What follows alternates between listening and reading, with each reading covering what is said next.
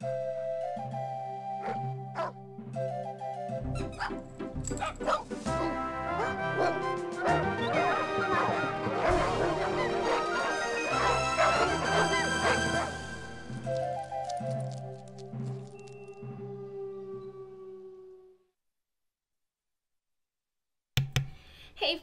Welcome back to another episode of Lilbumblebear's Let's Play. I'm Kristen and we're back with another Microsoft Learning Program.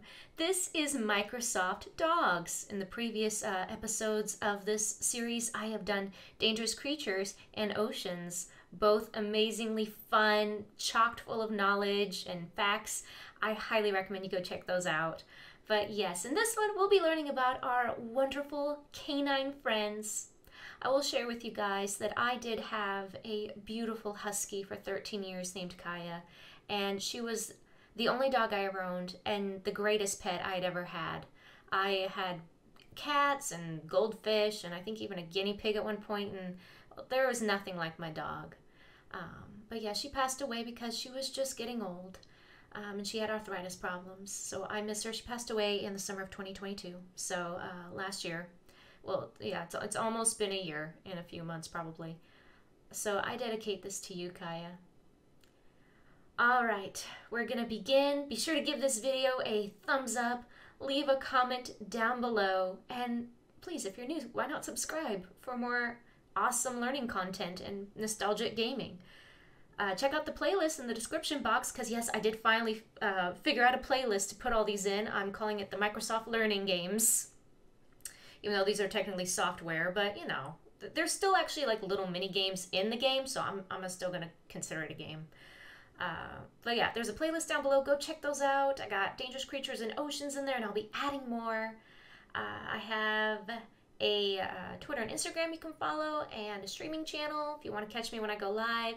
And I have a Discord server open to everyone, so if you use Discord, please join. Come in, say hi, chat with us, or maybe post some funny memes it's a really great little uh, tight knit community that I enjoy running. Okay. Oh, yes. As I've said in the previous videos, we'll be starting with the guides because they touch on a lot of the content in this game in a very fun way with their narrations and their facts. So we're going to start with the guides, but of course, I will individually go to each section. Um, and there'll be timestamps so you can find everything easily. Uh, okay, please enjoy.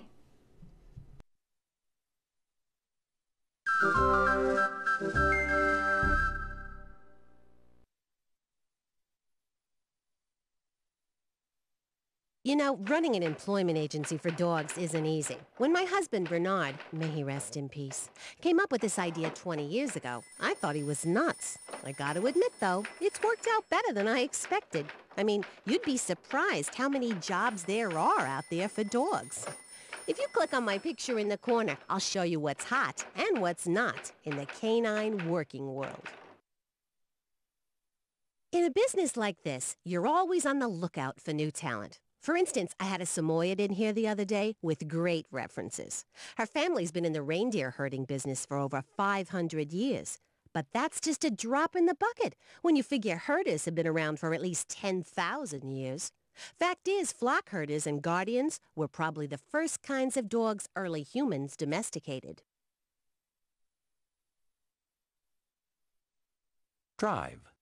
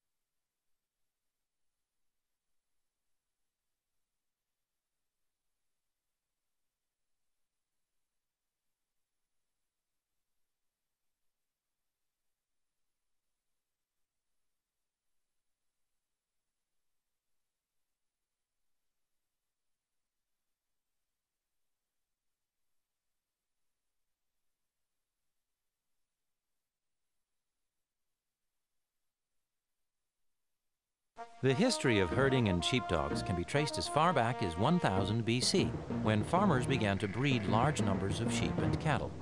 Although different varieties of herding dogs emerged, they all were hardworking, loyal, and intelligent, qualities they still possess today.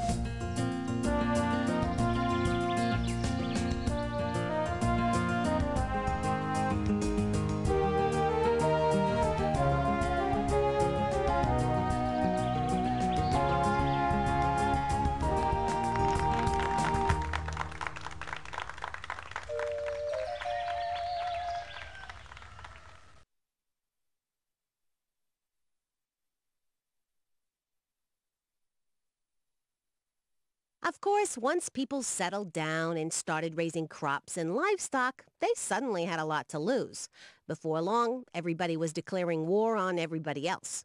Back then, nobody had guns, but dogs with spears or pots of boiling oil strapped to their backs could do an awful lot of damage to the enemy. During World War II, the Russian army had the same idea when they trained dogs to run with bombs on their backs under enemy tanks.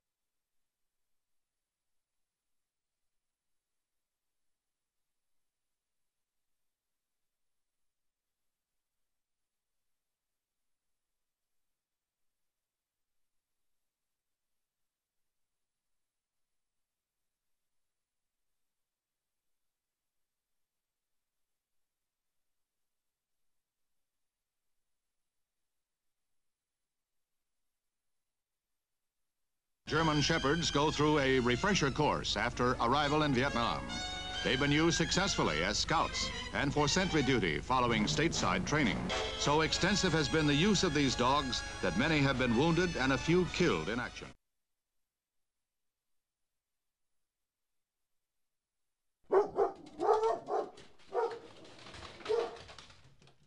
Ancient hunters didn't have guns, which is why they first developed sight hounds to run down game.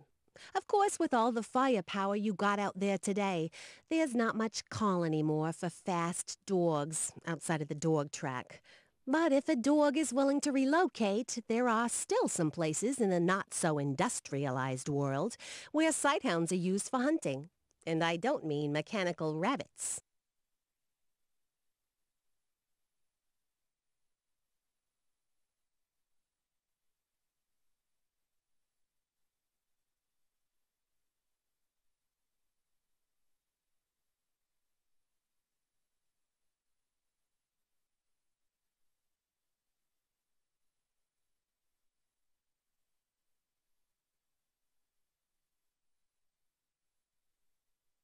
Pariah.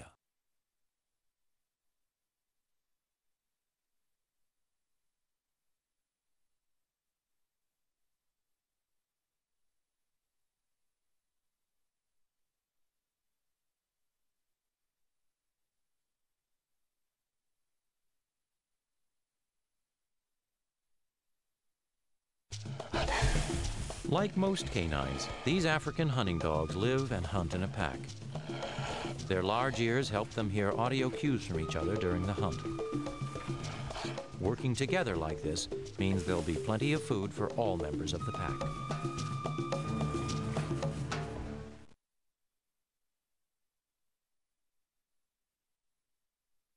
But if the hunting sighthound market is shrinking, the entertainment field is booming. These days, of course, everybody wants a movie contract, or at least a TV show. But in the old days, the circus was where it was at. Back then, poodles and Bichon Frise got most of the parts. Maybe because they were willing to cut their hair to match the clown's pom-poms.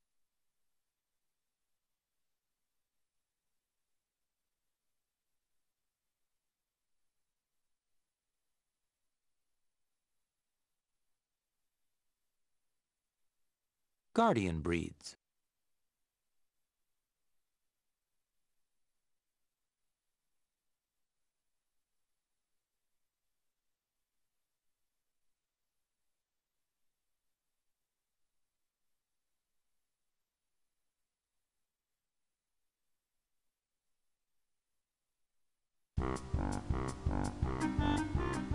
If you can teach a dog to roll over, can you teach it to do a backflip? Well, maybe not. but the same basic training principles still apply.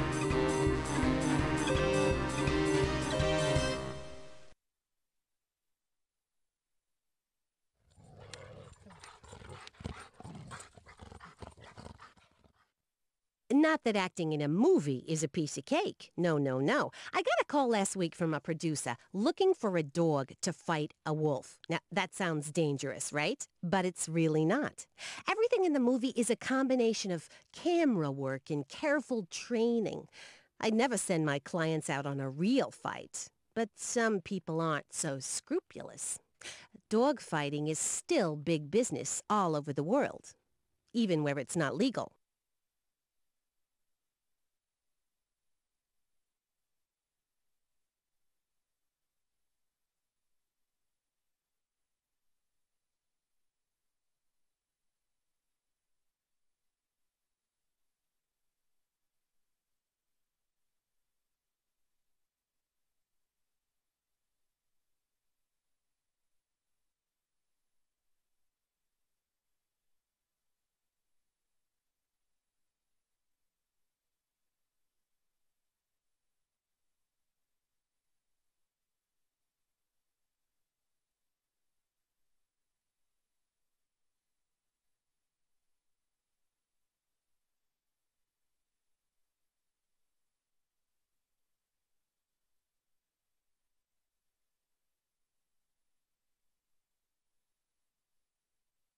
Away from you, you catch up just a half step, drop back as he cuts in front of you. Good boy.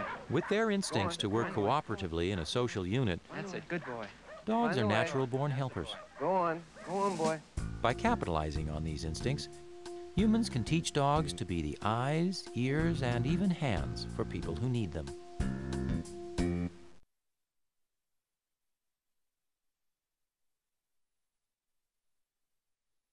And speaking of jobs that could be hazardous to your health, take a look at Laika, the Russian Cosmodog. Poor thing went up, but she never came down. Or how about all those beagles being bred for medical research? Some people say animal experimentation is a necessary evil. Other folks think there's no excuse for it. But wherever you stand on the issue, you gotta admit, science careers are usually pretty tough on dogs.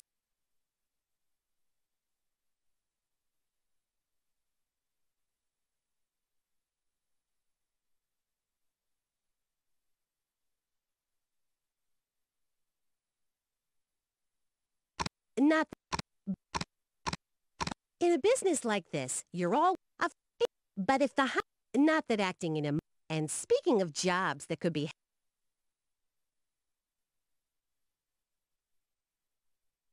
Borzoi.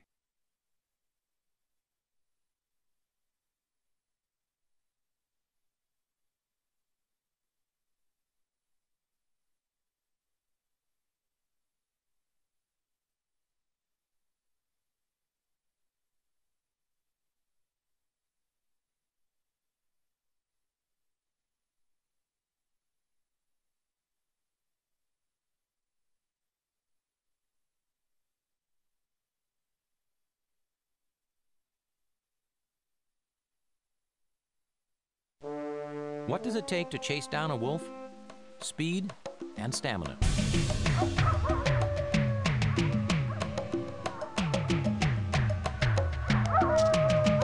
Wolf coursing was once the national sport of Russia, and only the swiftest and strongest dogs were up to the challenge.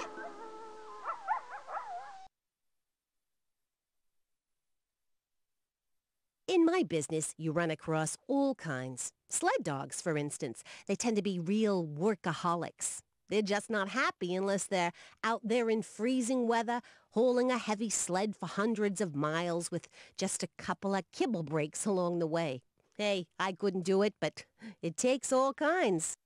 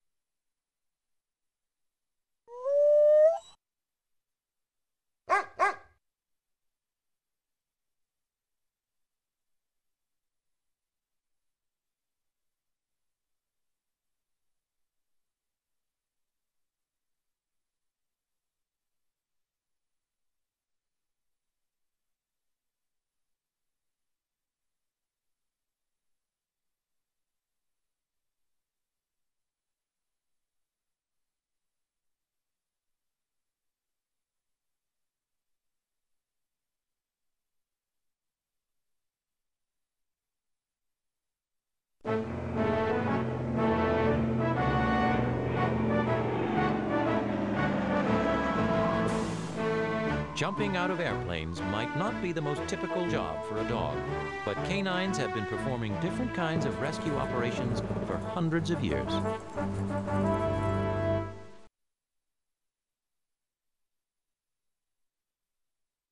The job market being what it is, it pays to be flexible. Some breeds are better at it than others, though, like German Shepherds. Believe me, you don't want to be up against a German Shepherd for a job.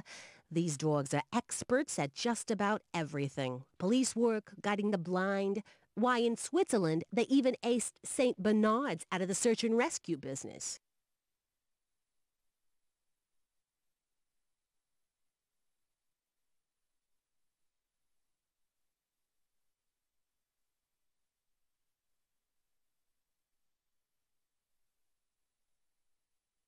German Shepherd Dog.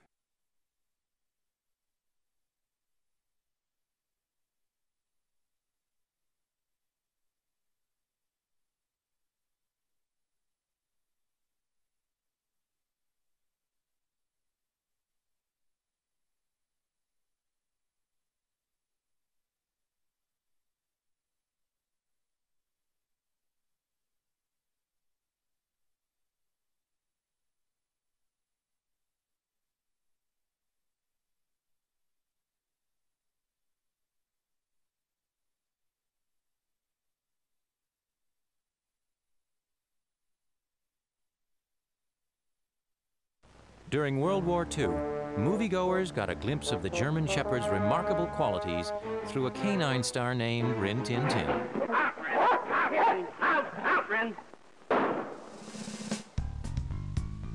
Today, the German Shepherd continues to prove itself as one of the most versatile working dogs ever developed. Its intelligence and strength make it invaluable to police forces all over the world.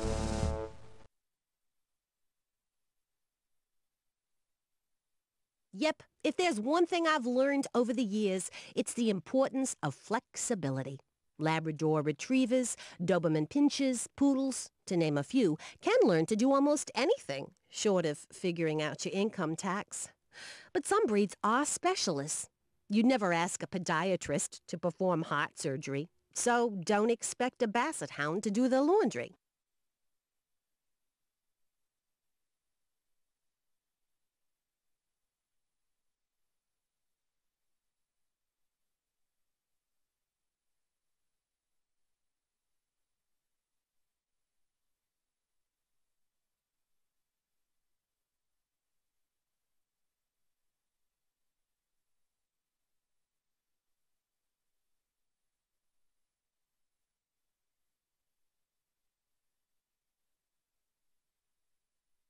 Basset Hound.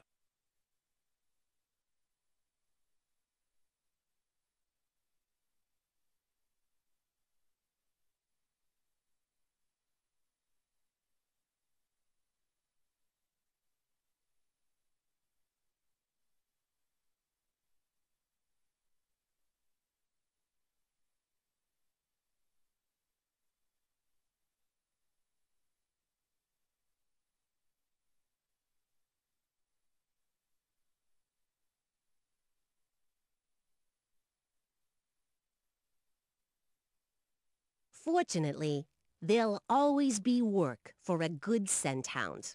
Just last week I got a dog a job with a truffle hunter over in France. Now, I don't mean those little chocolate candies. I'm talking fungus with a capital F. The things grow underground, and they cost a small fortune, like $60 or more an ounce. Sell a couple of pounds of those babies, and you can retire for the whole year. So a dog who can find 'em is worth its weight in, well, truffles.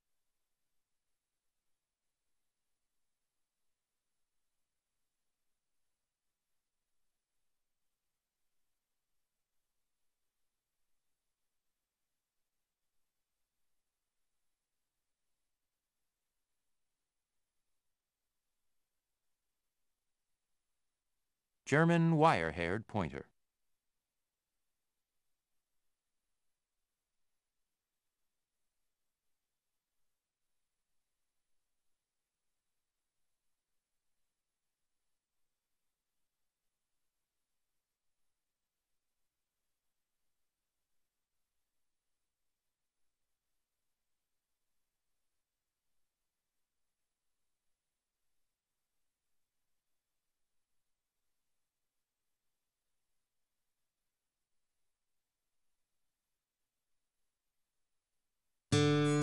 Pointers are generally hardworking and loyal.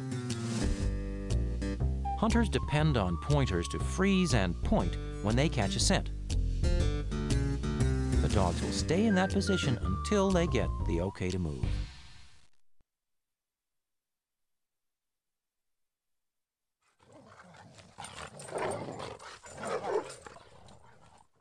Anything that expensive, you ought to be able to wear. Okay, so maybe I'd look stupid with a couple of mushrooms hanging from my ears, but some people can wear anything. Take these Dalmatians, polka dots no less. If those dogs weren't so good looking, they might have been out of a job when gas engines replaced horse-drawn fire wagons. Nowadays, they're mostly just mascots. Nice work if you can get it, as my husband Bernard, may he rest in peace, used to say.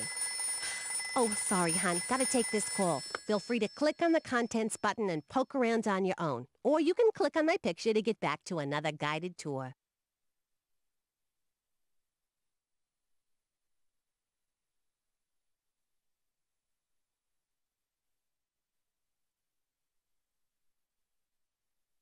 Dalmatian.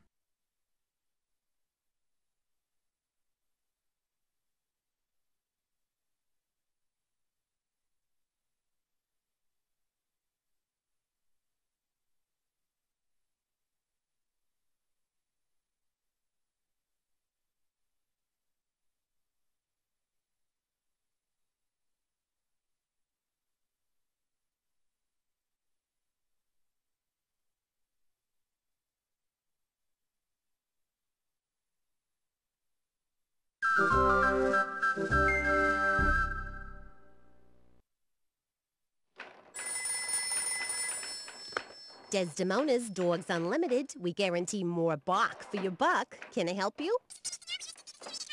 A dog that quacks like a duck. Well, let me look through my files. No, no, no. Sorry. No quacking dogs. Hey, how about a dog that looks like a raccoon? They're great with trash. Well, if you want something that quacks like a duck, I suggest you try a duck. Oh, you're welcome. Goodbye. Call anytime. Sheesh. The calls I get around here. You would not believe. The stories I could tell. Like what, you ask? Well, hun, pull up a chair and click my picture in the corner. I'll give you the lowdown on some of my weirdest clients. When I said I had a dog that looked like a raccoon, I wasn't kidding. No joke, that really is a dog. The thing is, sometimes you can't tell the players without a scorecard. Uh, what I mean is, there are animals that look like dogs, but aren't. Hyenas, for example. And other animals that don't look like dogs, but are. Like my friend here, the raccoon dog.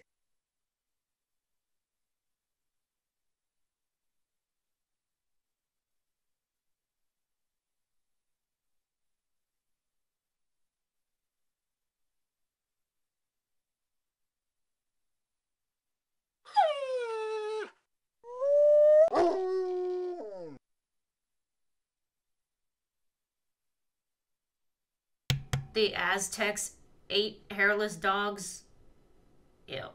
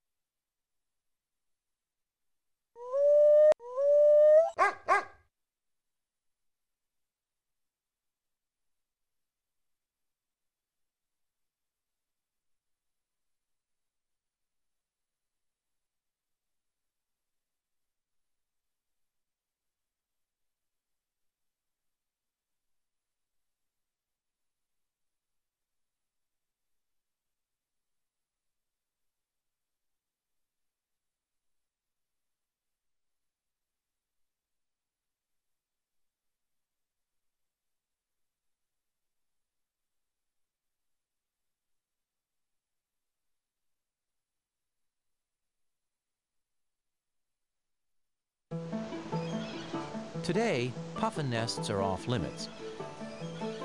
But at one time, raiding them used to be a job for this dog. The Norwegian Lundehund or puffin dog, is a six-toed, double-jointed wonder. Because it's bred to be able to reach into tight crevices, even its neck is double-jointed, allowing the head to bend almost all the way back.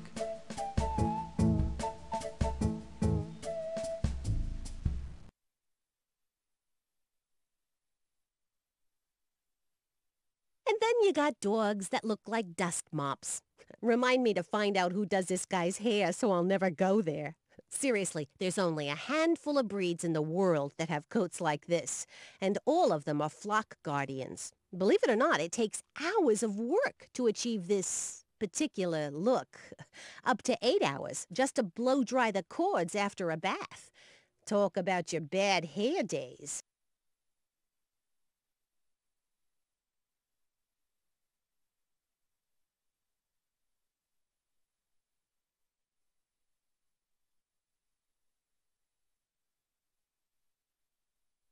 Kuvasz.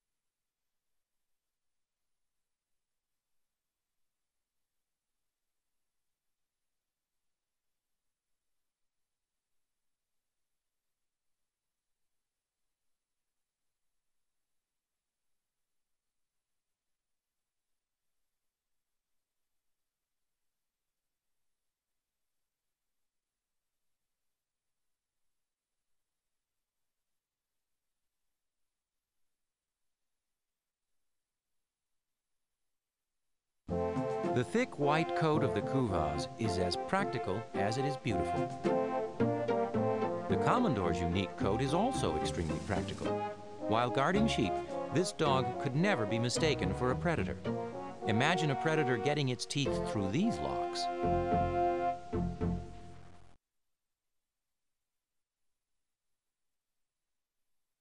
Some dogs never have to worry about their hair, 'cause they don't have any. I know what you're gonna say. These American hairless terriers look like baby pigs, right? But they grow on you after a while, and you wouldn't believe how many calls I get from people looking for a hairless breed. The advantage of dogs like these is no hair on the mission-style couch and no fleas in the Persian rug. The disadvantage is finding sweaters small enough to fit. These pups get cold really easy.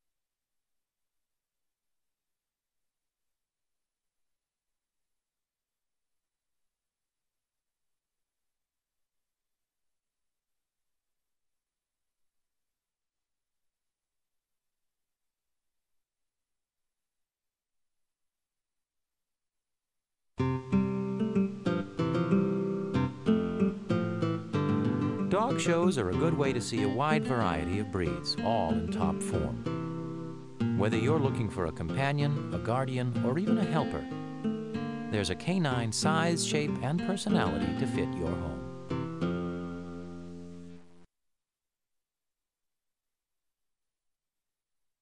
Like I said, hairless dogs are an acquired taste.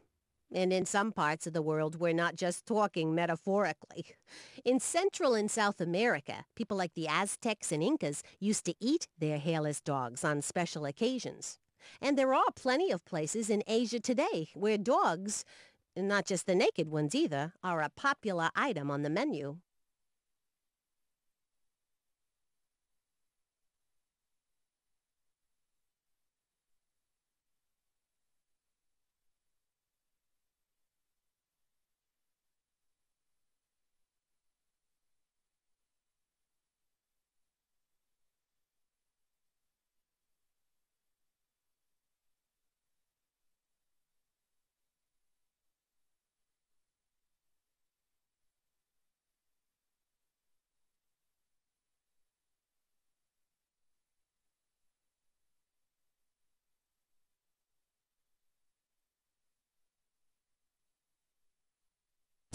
Sometimes called the Chinese fighting dog, the Shar Pei is an unusual looking dog, probably best known for its loose and wrinkled skin. For a fighting dog, this skin was very useful. Other dogs had a hard time sinking their teeth into it.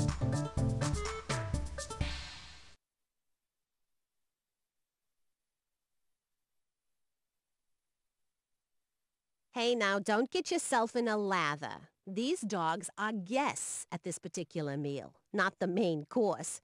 After 20 years in this business, I gotta tell you, people can get pretty wacky when it comes to their dogs. I mean, your basic canine thinks snacking out of a trash can is just great. But these dogs owner takes them to a five-star restaurant, probably drops a bundle on some souped-up kibble which the dogs don't even have the taste buds to appreciate.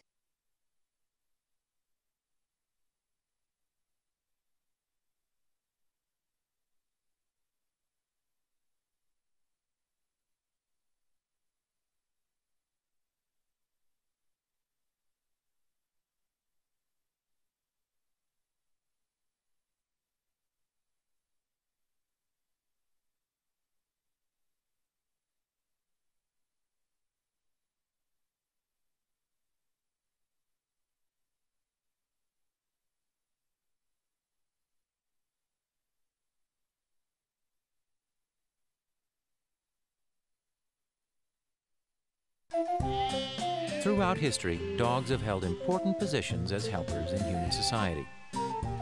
And although many people still view them as invaluable workers, others see them simply as the best possible playmates, especially when they're one short for the cricket match.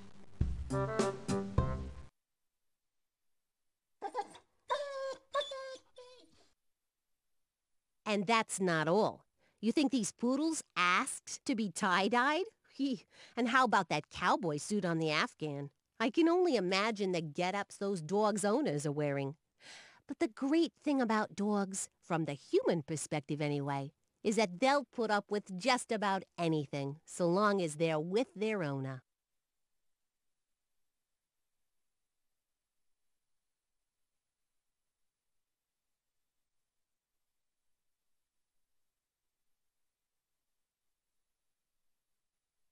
Poodle.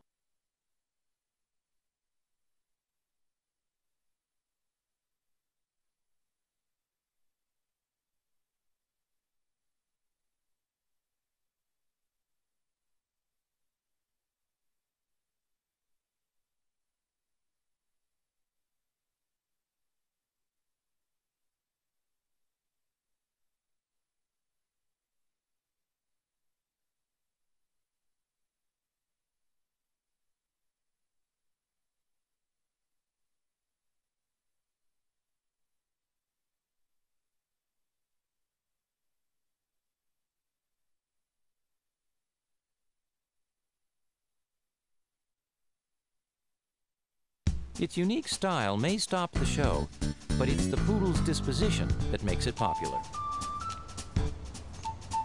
With its inherent devotion and intelligence, this Poodle Terrier cross is more than a pet. It's a valuable service dog that helps people get out on their own.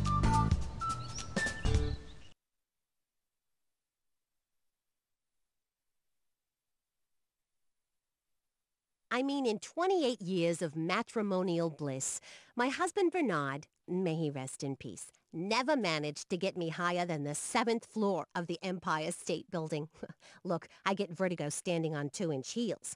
But this German Shepherd is actually hang gliding. You can't tell me that dog woke up one morning and said to himself, Hey, think I'll jump off a cliff today. No, only a human would think up a crazy stunt like that.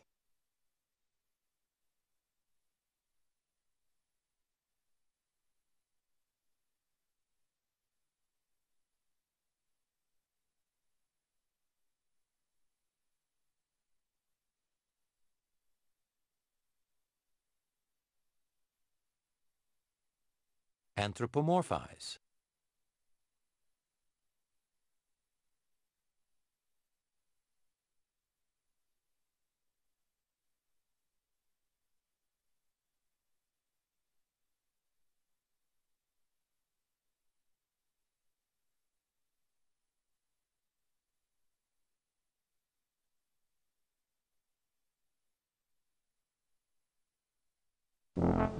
Throughout history, pets have taken on some very unanimal-like characteristics. It's easy to see, just as dogs think of humans as other dogs. Some humans think of their pets as, well, almost human.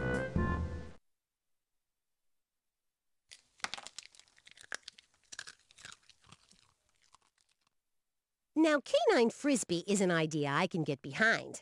Of course, the way I play frisbee, it's more like bowling. But I see these guys in the park with their dogs all the time. And let me tell you, it takes real talent and practice to do what they do. You know, there are even competitions. As a matter of fact, I went to the National Dog Frisbee Championships last year, looking for new talent. I met a bull terrier there that has real potential.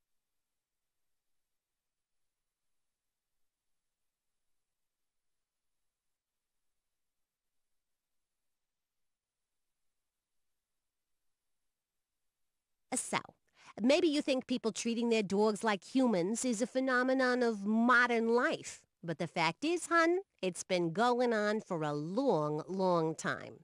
You know, Chinese emperors used to treat their Pekingese better than their slaves.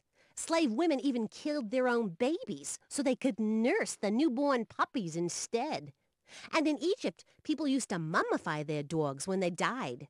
Everybody in the family went into mourning, just as if their pet had been human.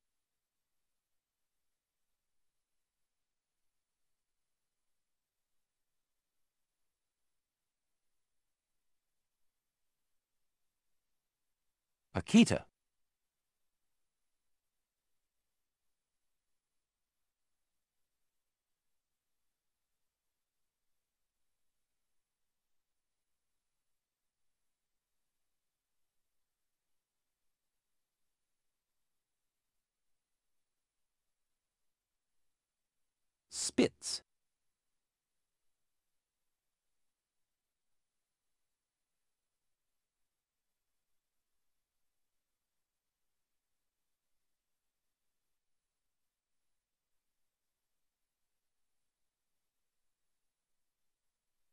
But I think even the ancients might have raised an eyebrow just a little if they'd known about Bosco. Who's Bosco, you ask? He was elected mayor of Sunol, California, back in the 80s, and he just happened to be a Labrador retriever. That dog ran in five elections and was never defeated. A dog in public office. Sheesh. Actually, on second thought, it might not be such a bad idea.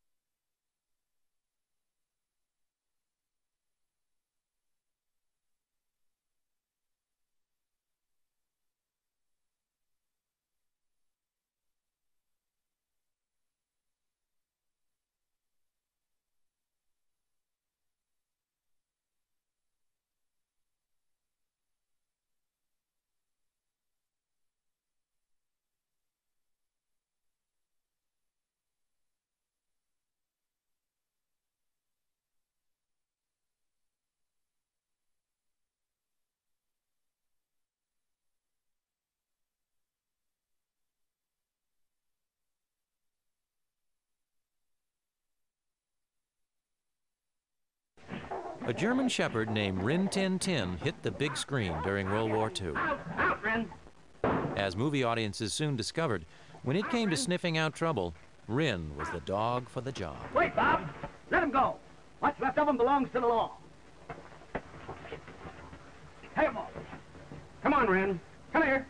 Come on, Ren. That's a boy. yes, he's a good old Ren. But why they had to dress him up in a shirt and tie for his official portrait, I don't know. Now, Thierry Poncelet's paintings of dogs in historical costumes, I can understand. That's art. And we all expect artists to be a little wacky, right? Besides, everybody knows art imitates life, and even people who don't dress up their dogs still think they're almost human. I don't get the duck thing, though. Dog is a duck. Hey, wait a minute. I wonder if that dog can quack. Excuse me, hon, but I gotta call a man about a duck, a, a dog. If you want, you can just keep browsing on your own by clicking on the contents button, or click on my picture to start another guided tour.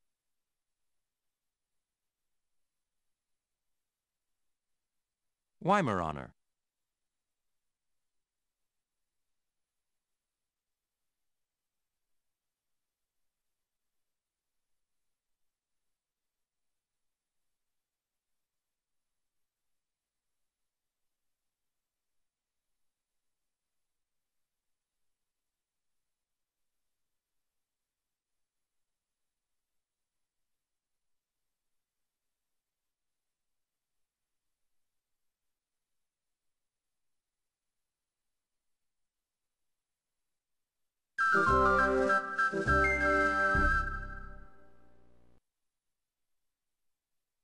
Yeah, yeah, bottom line, if he helps you get the bird, he gets the feet.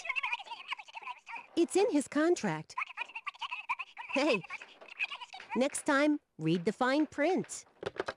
Sorry for the interruption. Some people just don't realize that sporting types aren't like the rest of us. That guy on the phone, for instance, goes bird hunting with a Finnish Spitz, violates the dog's contract by not giving it the kill's feet, then can't figure out why the dog won't hunt for him again. Like I said, athletes are different. Click on that button in the corner with my picture on it and I'll show you what I mean.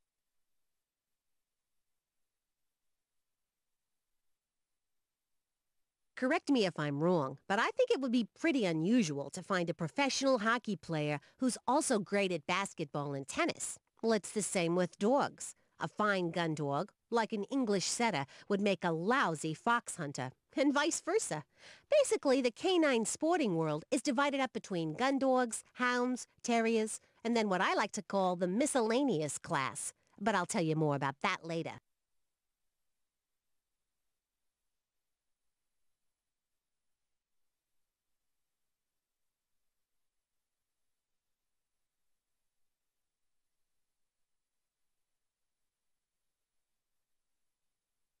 English setter.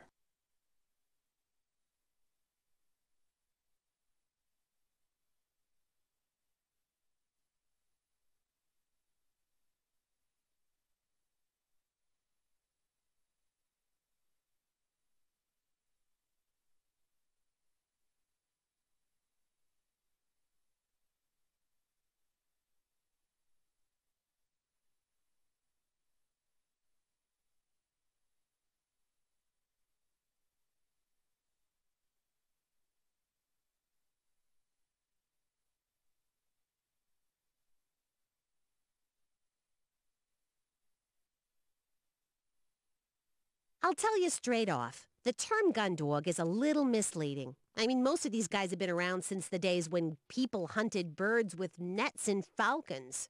And just because they're all lumped into the same category, don't make the mistake of thinking all gun dogs are alike. You got your retrievers, your pointers, your setters, your spaniels, and your water dogs to choose from. Some dogs just specialize in one thing. Others are generalists. You gotta know what you're looking for.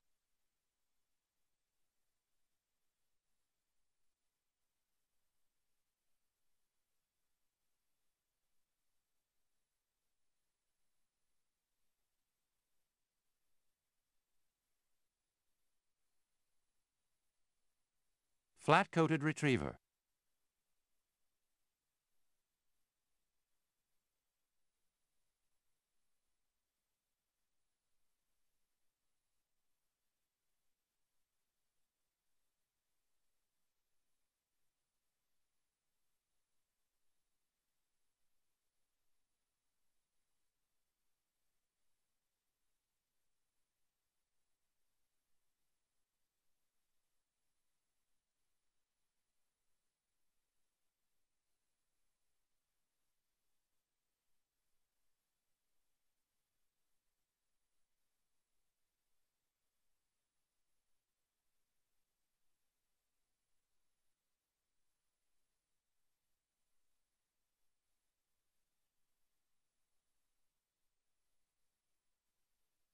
For instance, you might ask, what's the difference between a water dog and a retriever? I mean, they both go in the water, right?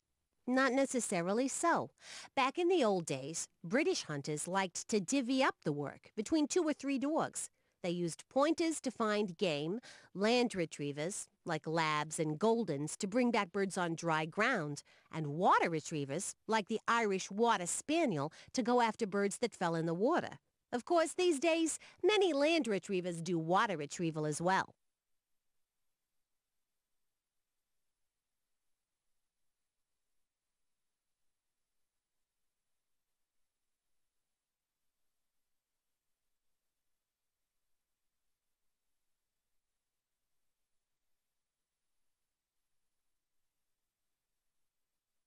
Chesapeake Bay Retriever.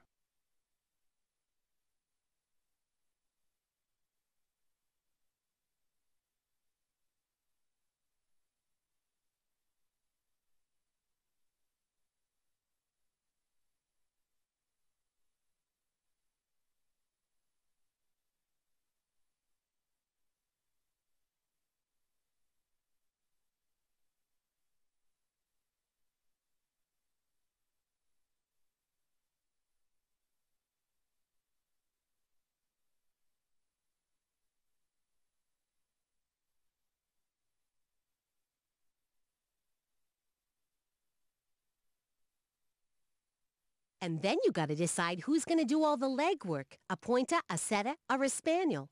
Pointers and setters pretty much do both the same job. They show you where a bird is hiding without scaring it off. In the days before guns, this was a great thing. Hunters could sneak up with their nets and catch the birds before they knew what was happening. Pointers were bred to hunt like wolves. When they smell their prey, they freeze and point. But setters are probably descended from herding dogs, and so they crouch down low and creep towards their target, like it was a sheep.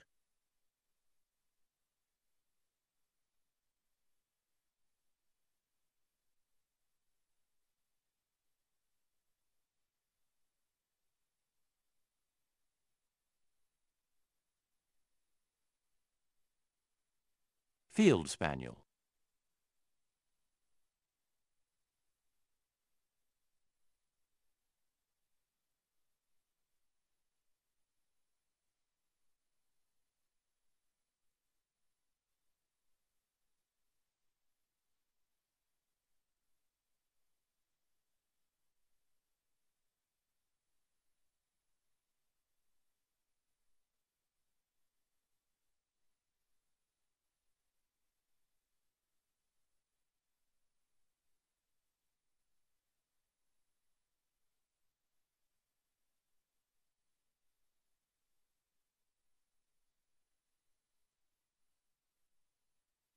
Now, a spaniel is a whole different kettle of fish.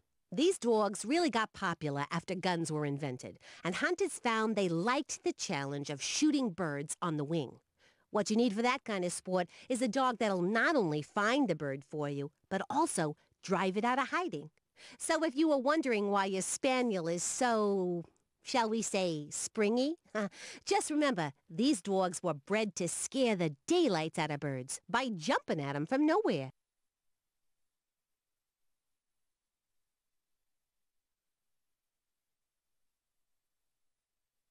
English Springer Spaniel.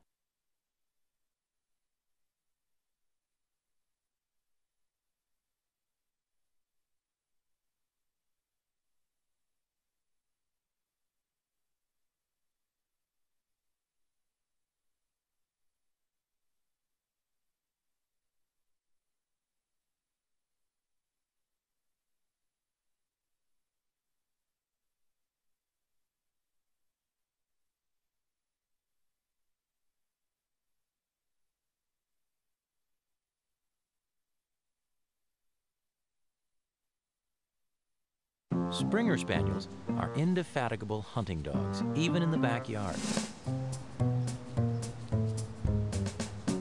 This pup might not know what she's looking for, but it doesn't look like she'll stop until she finds it.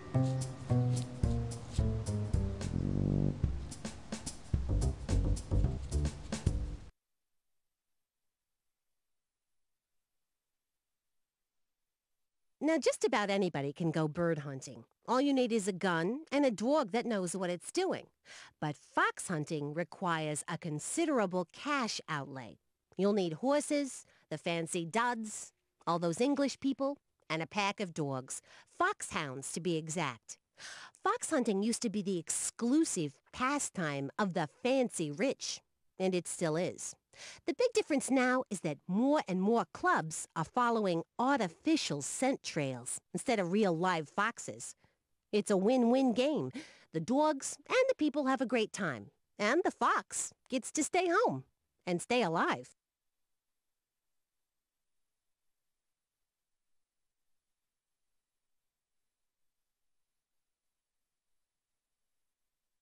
English foxhound.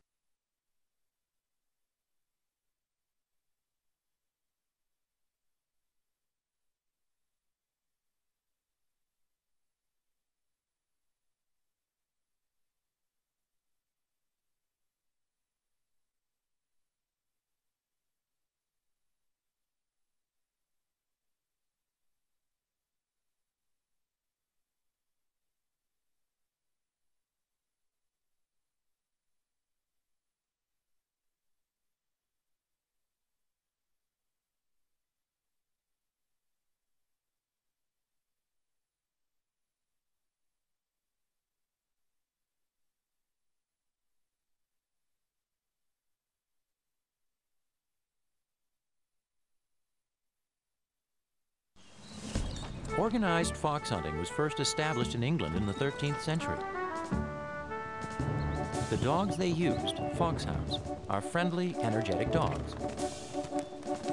Although they're generally not recommended as house pets, they do make excellent hunters.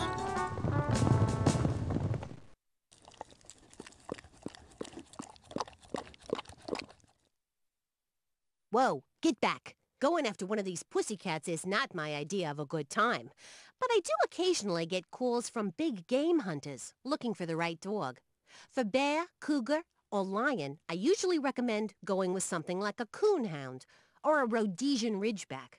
Dogs like these have cold noses, meaning they can follow an old trail, and they're big enough and brave enough to face even this big cat.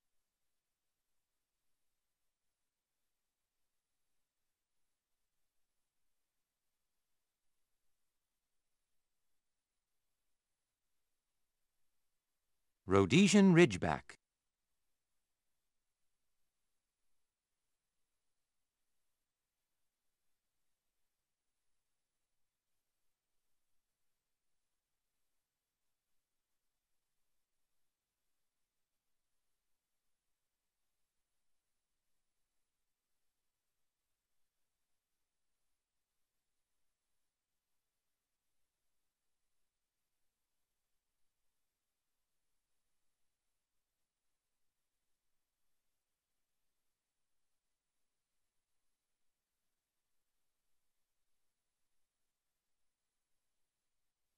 But even a lion might have second thoughts if he met up with an Irish wolfhound.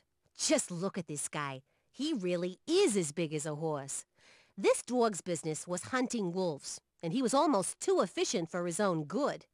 After all the wolves in Ireland were gone, the Irish wolfhound went to England and wiped out the entire population of Canis lupus over there. But once there were no more wolves, people didn't see much point in feeding such a big galoot and the breed nearly went extinct.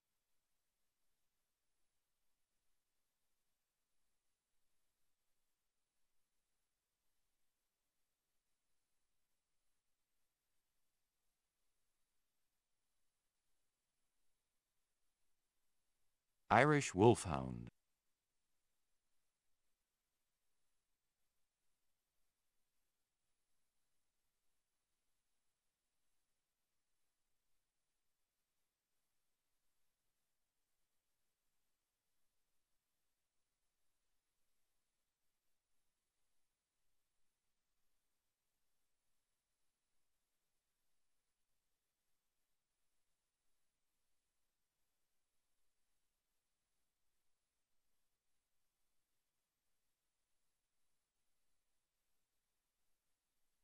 There is more evil around us here than I have ever encountered before.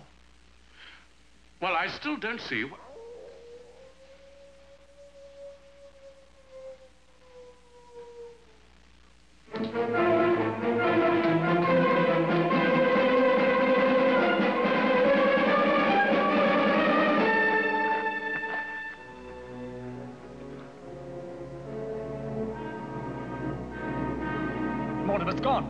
Cart's not there. You told him to stay with Sir Henry? Well, indeed I did.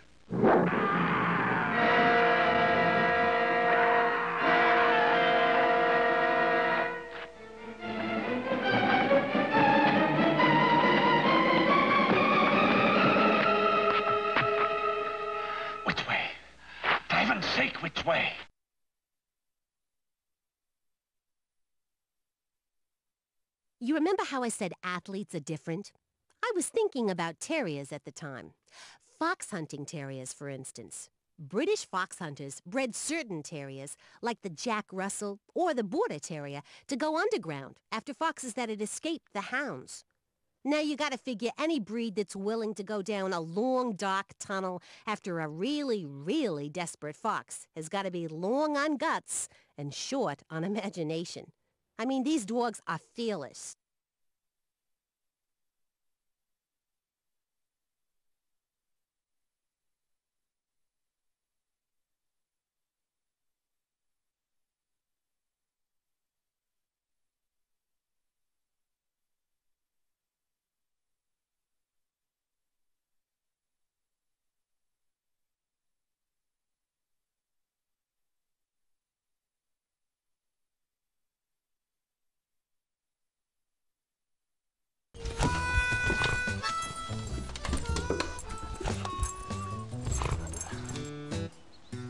Pointers are among the oldest sporting dogs and have assisted hunters for centuries. Unlike hunting dogs that flush out game, pointers stand like statues with one forefoot raised and muzzle pointed toward the quarry.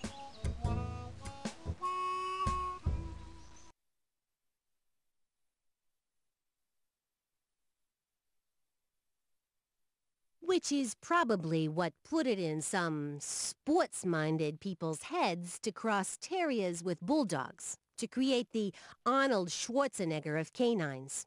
A dog that would fight and kill its own kind. And just in case you think this kind of thing doesn't go on anymore, I'm here to tell you that even where it's illegal, dog fighting is still a big money sport. It's situations like this makes me wonder what dogs ever saw in us humans in the first place.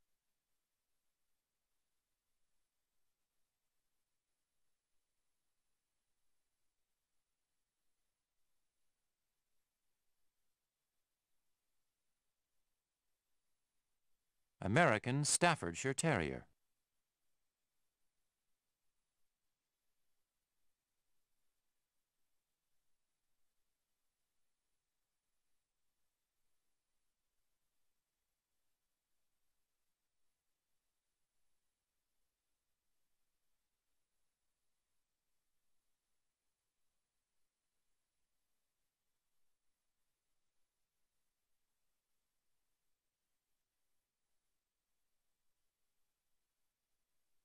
Remember that miscellaneous class I mentioned?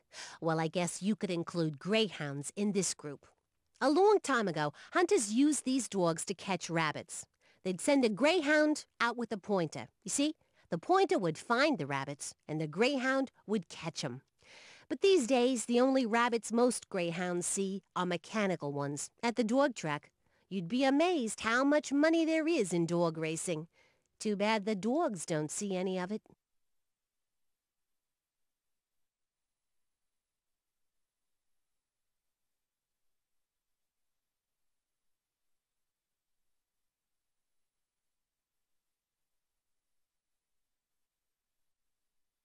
Greyhound.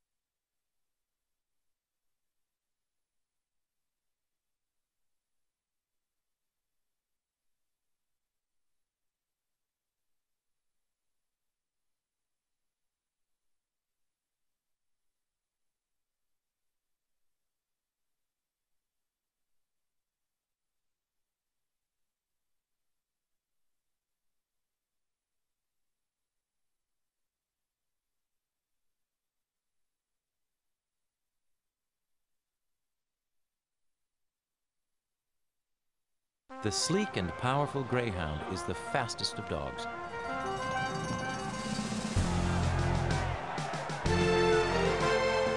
Along with Whippets, they're the number one choice for dog racing in stadiums all over the world.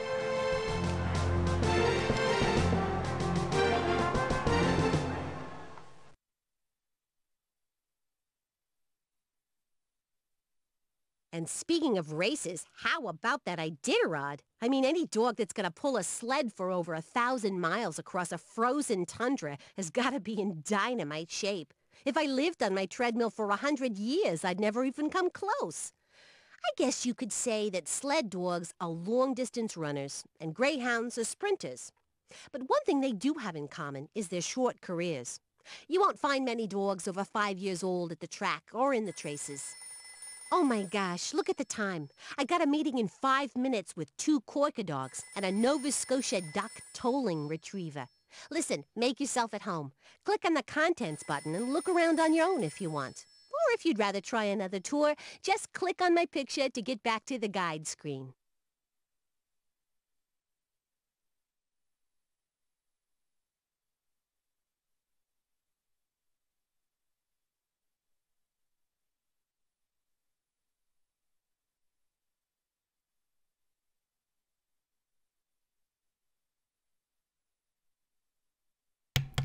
Now, my dog Kaiya was an Alaskan Husky, not a Sib- Siberian Husky. Um, let's see if I can find. Yeah, she she didn't look quite like this. She was Alaskan. She had very uh, soft, more like a cream color than a white. Um, she was cream and she had beautiful blue eyes, and her fur was the softest fur I'd ever felt on any dog I ever knew. Um, so, but yes, this this is my Kaiya page right here.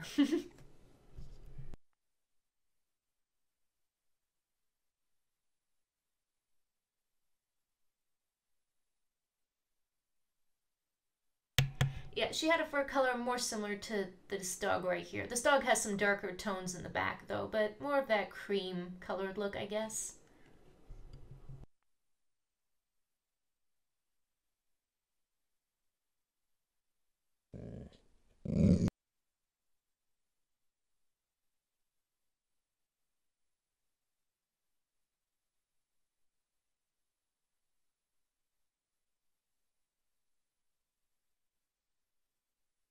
Siberian Husky.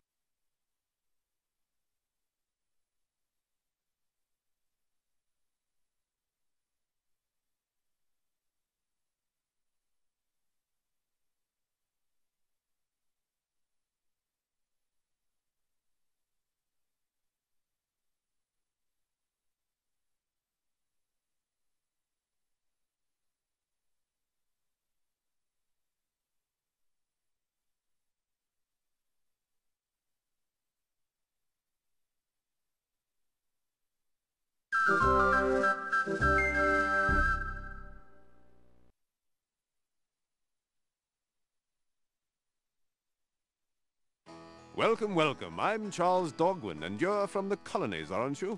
Do excuse the mess. I'm trying to write up my theories and publish them before some young pup beats me to the punch. And this is my colleague, Spin. Little joke. He's a dog, as you can see, not a young one. Good fellow, though, never contradicts me. Oh, Sir Charles, have you had kippers for breakfast? Hmm, I pride myself on my nose. And I do correct Sir Charles. He thinks out loud, you know.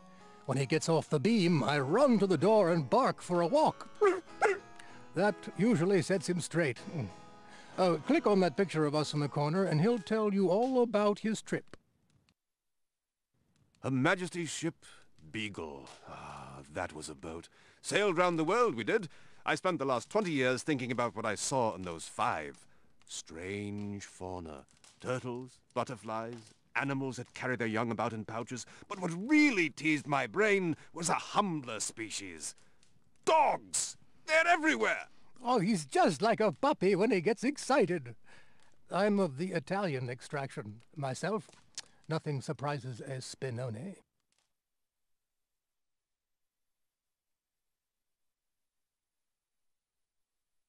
Kerry Blue Terrier.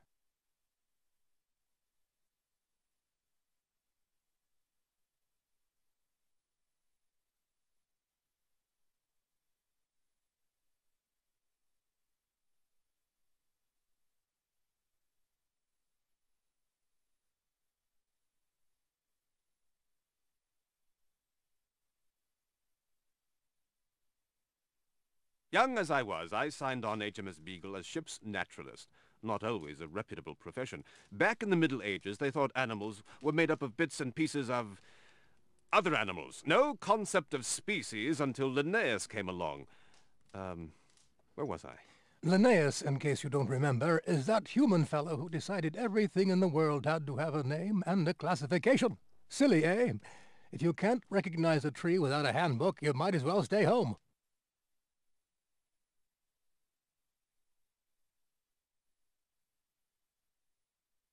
Dogs. That's it. You can't grow up British and not know dogs. My grandfather kept foxhounds. As a lad, I rode with the hunt, had a fine time as long as I didn't think too much about the fox. Then there are the terriers and the great hounds. Of course, a lot of those British dogs are really imports. It makes sense to study a subject close at hand. And what species is closer to us really than our dogs?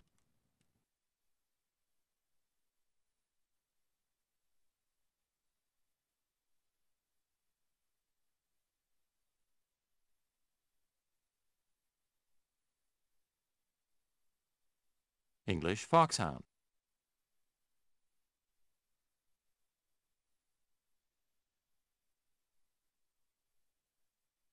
We English even characterize ourselves in terms of dogs.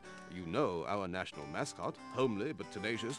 Um, what was my point? Oh, yes.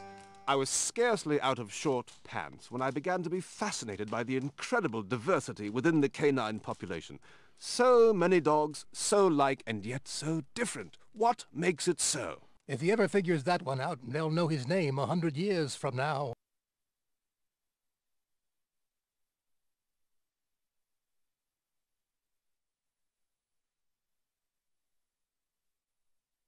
Bulldog.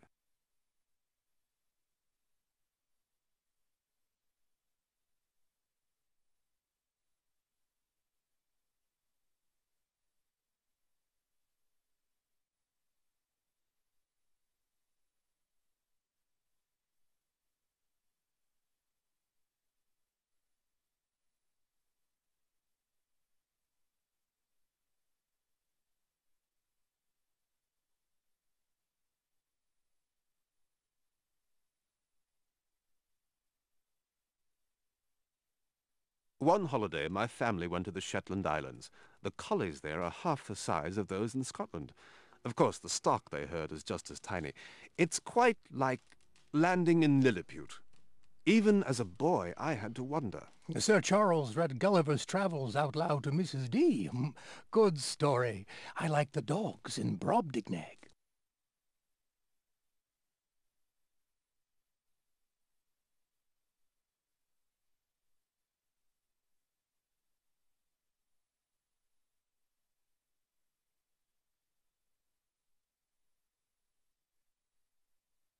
Shetland sheepdog.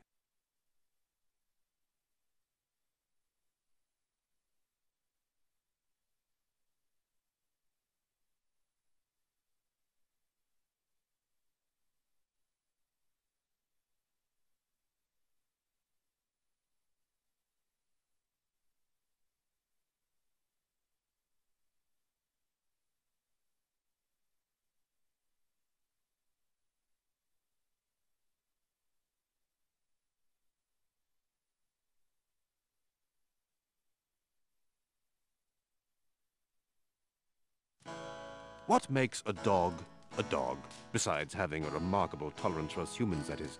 Oh, there's nothing like a voyage round the world to enlarge one's point of view. A dog, according to Linnaeus, is a member of the family Canidae, not to be confused with the British colony in North America. A dog is a carnivorous mammal. A dog is one of nature's great achievements. Or was it man's? Um, hmm.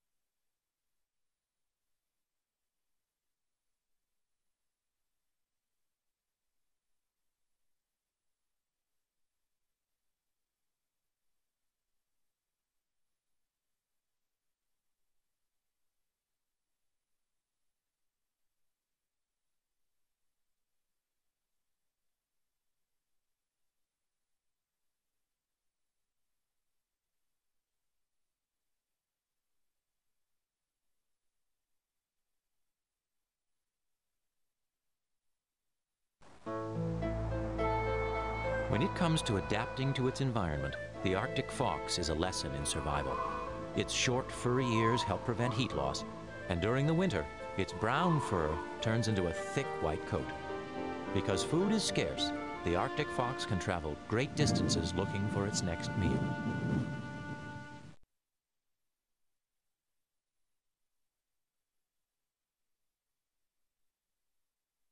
If I'd never left home, I might have said all dogs were furry beasts like my friend Spin here.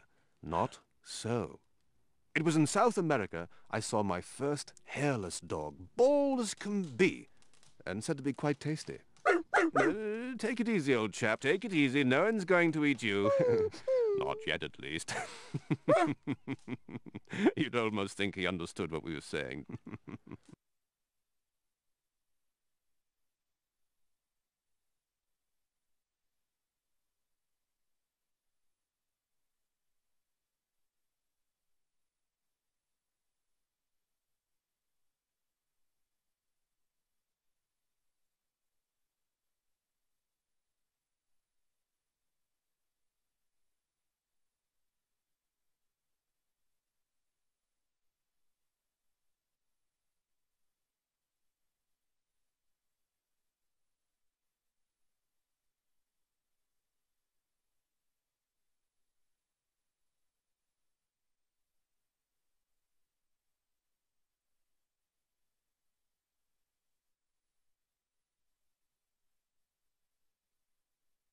Raccoon hunting was once a top sport in many parts of the southeastern United States. Coon hounds could follow a trail for hours, covering large areas of countryside.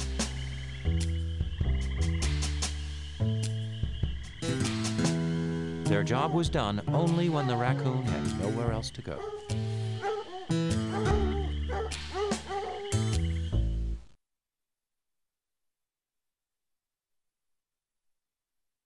It turns out that they eat dogs in China, too. They have their own breeds of hairless dogs, but they also eat great furry ones. I'm no linguist, but I'd have to guess the slang word chow derives from the unfortunate pooch that serves as the main course. You'll note that dogs don't eat humans. Even a wolf won't, unless it's quite literally starving. To be honest, I find this whole conversation to be in very, very poor taste. Hmm. Me too.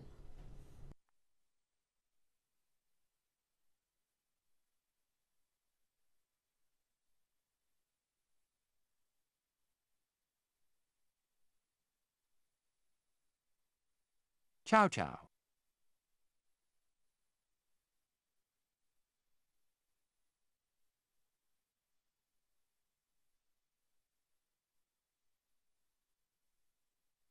Eczema.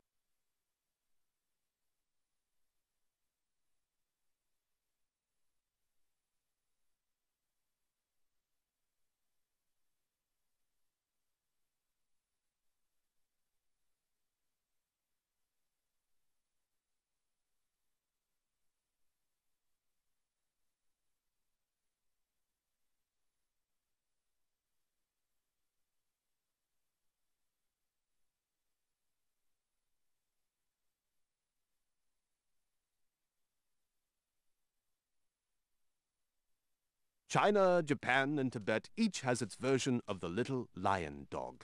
Look a bit like Skye Terriers. Since the lion is sacred to Buddha, these little pups get treated very well indeed. The monks in Tibet put Lhasa Apsos inside their robes, keeps everybody warm. That suit you better, does it, Spin?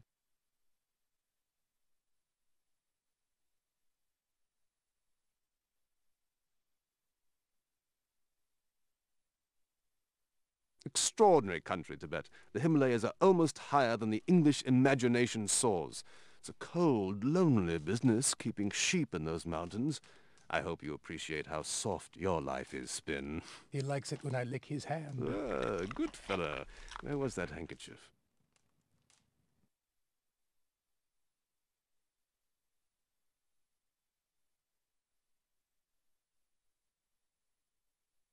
Tibetan Terrier.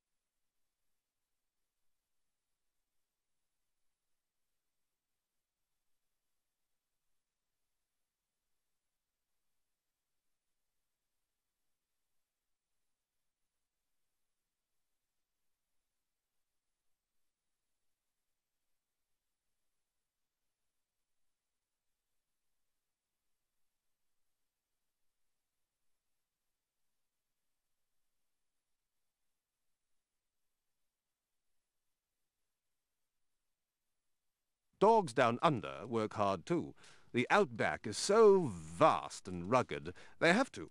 Australian cowboys say one border collie is worth two men on horseback. Border collies come from Scotland, actually. They're the only dogs brave or silly enough to perform well in that dreadful climate.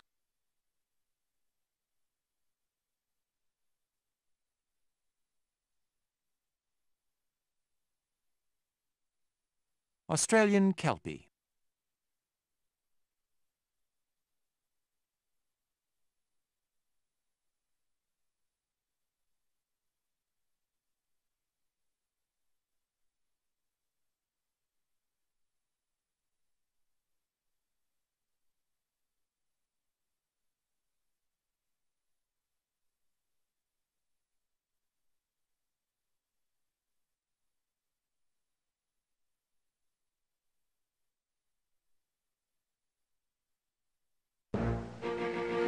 Herding dog rounds up sheep that have strayed from the main flock. Trained to obey signals, a dog like this is invaluable to its owner. Not only is it able to travel over long distances every day, but figures show it can do the work of six humans.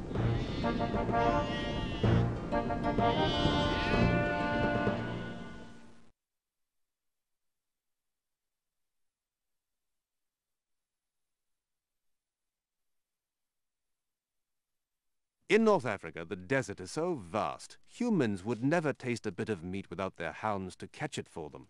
Desert dogs have very short coats, as you might expect, and very big ears to keep them cool.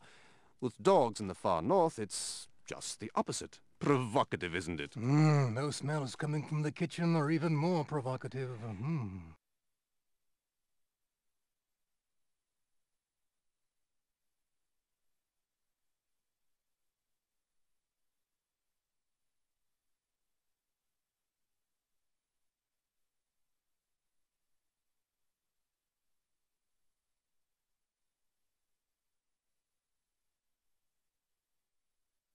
Saluki.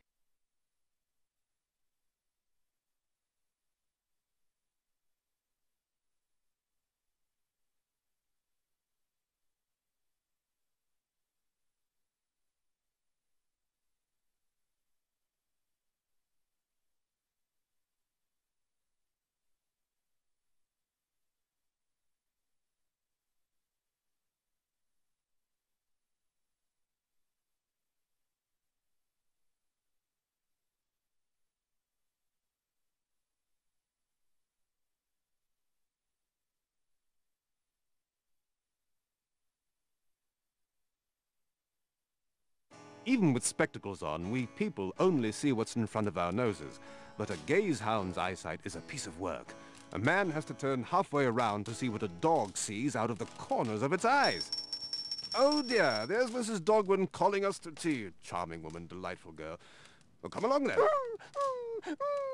I'll save you a bit of tea cake. Shall I spin, old chap, old dog you?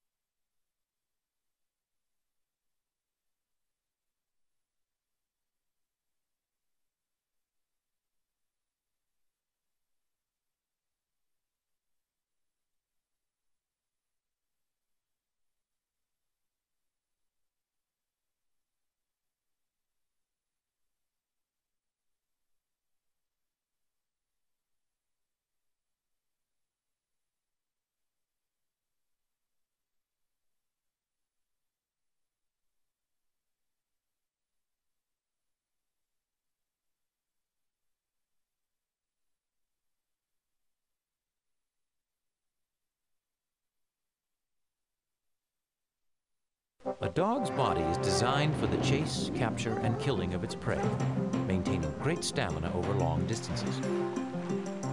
When dogs swim, they're actually running underwater. They use their front legs as paddles, just like many children do when they're first learning to swim.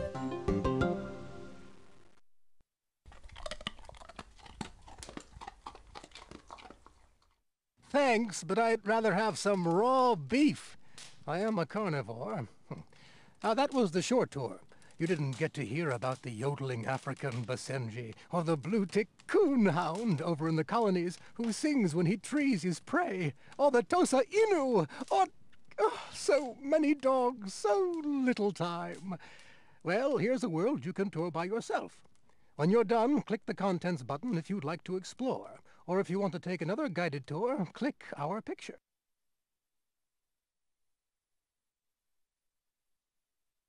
Chien. Woof woof. Dog. Woof woof. Perro. Guau guau. Cachorro. Uau uau. Uru. Woof woof. Mbwa. Uh, uh. Kelb. Kelev. Hav hav. Cane. Bau bau. Hund. Wow, wow.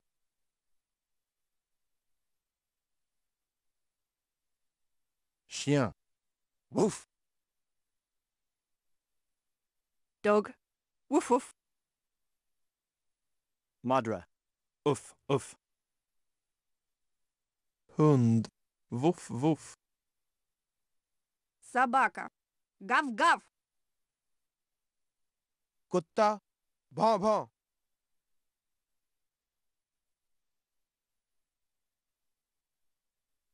Go. Wang. Wang. Inu. Wang. Wang. Aso. Ow, ow, ow, ow. Nai. Vav, vav. Dog. Wolf.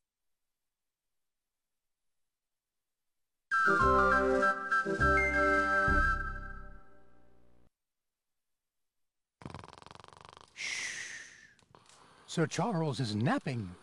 He's been reading that fellow Malthus again.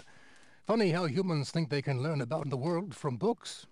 I tried one once when I was just a pup, but there wasn't much to it. I was hungry again in an hour. Inheritance of beneficial traits. The fact is, if you want to know about a dog, just ask a dog.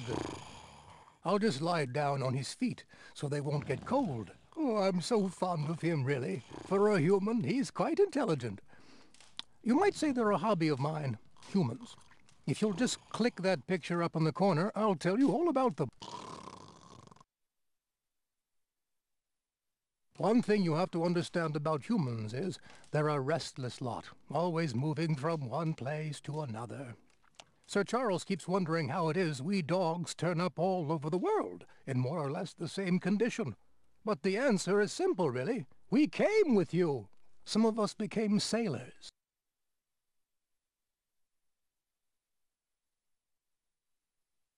Bichon frisé.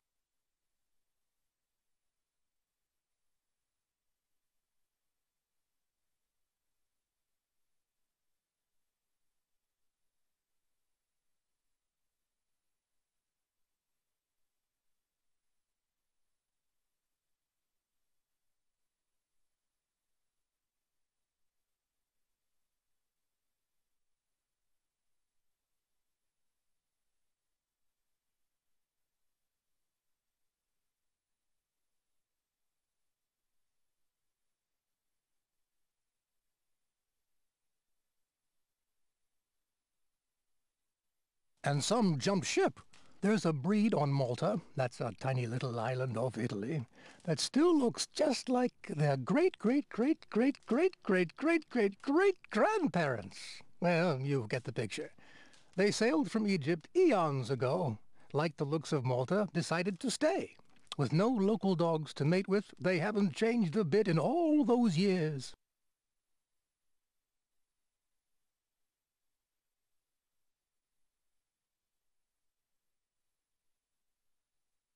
Maltese.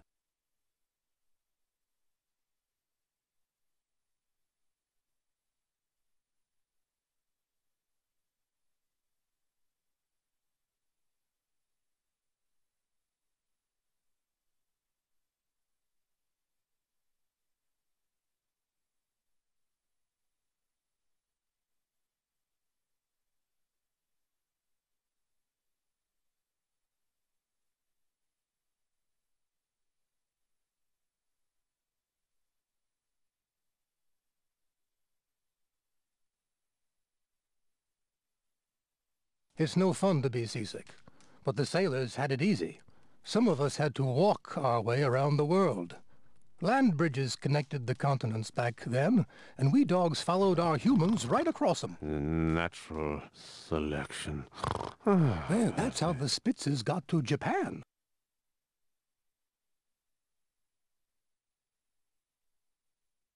Shiba Inu.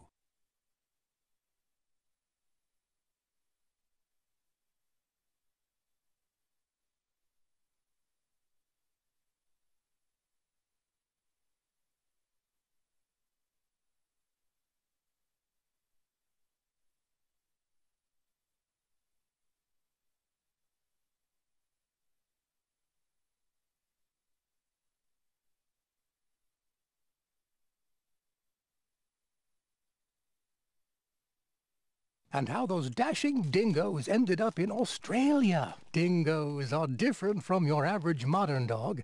They've kept to the old ways more than most. Stay away from humans mostly and hunt their own food. They know how to keep their mouths shut too. They hardly ever bark. Listen to that, would you? You'd almost think he was trying to bark.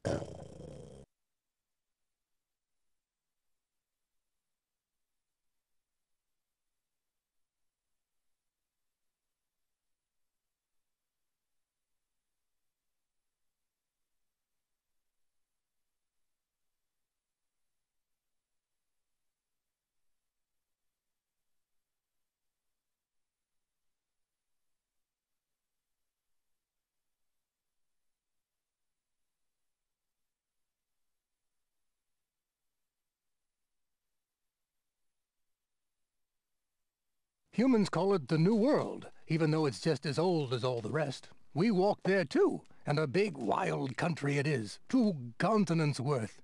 In the old times, the humans there were more hunters than herders, so they didn't have as much use for us as some folks, except sometimes when they got hungry.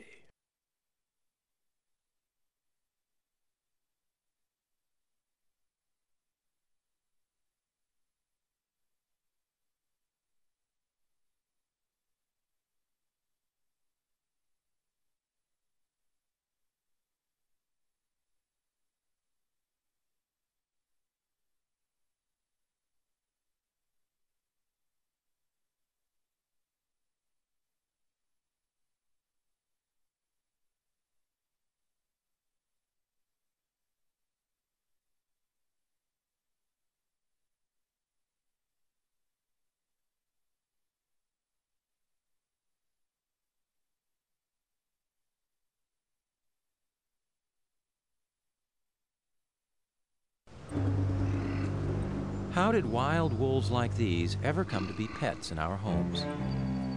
The answer is instincts. Wolves' instincts tell them the best way to survive is to live and work together in a pack. Dogs simply accept humans as their pack members.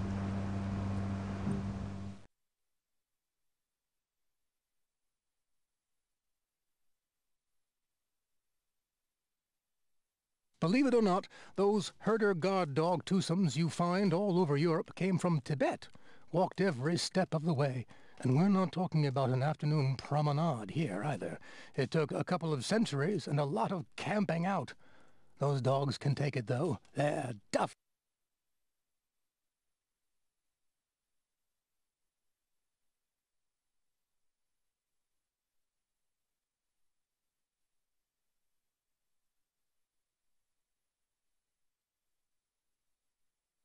Tibetan Terrier.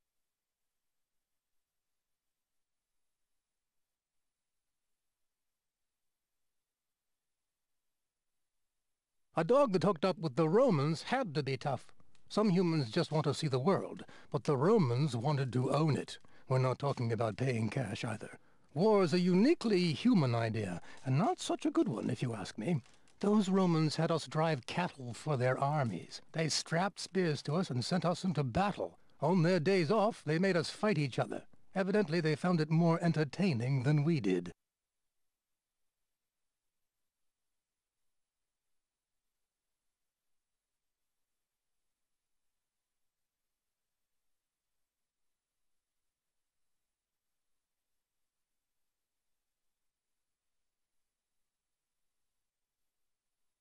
Irish Terrier.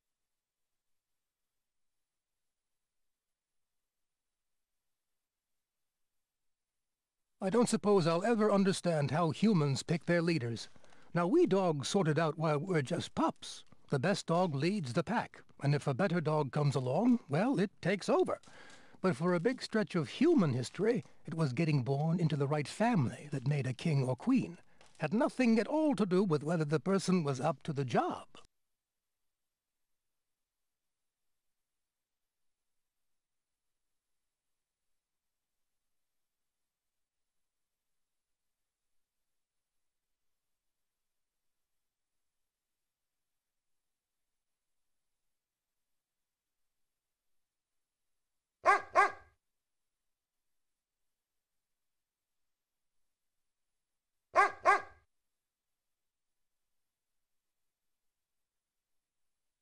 Oh!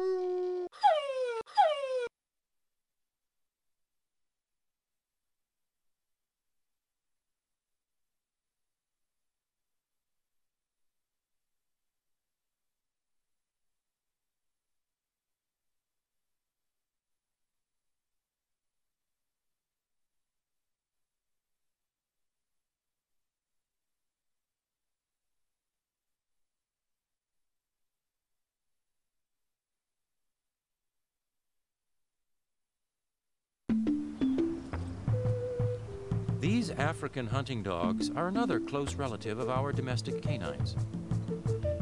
Like domestic puppies, the young hunting dogs use playtime as a training ground. As adults, they'll live and hunt together in family groups.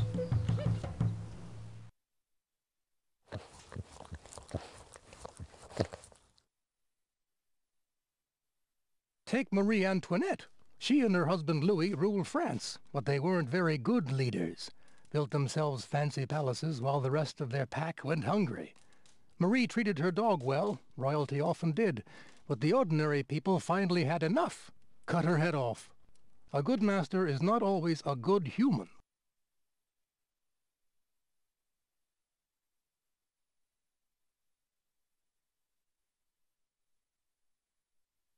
Papillon.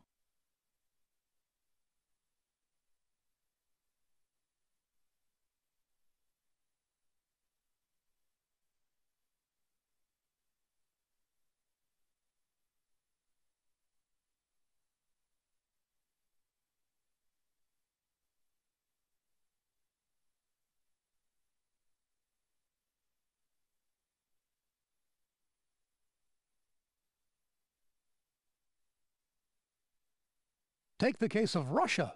The Tsars and their noble friends go on wolf hunts that last two weeks or more. They take the train to where the wolves are, forty cars full of food and wine, and more to carry their hounds. Meanwhile, the peasants are starving. And who pays for it all?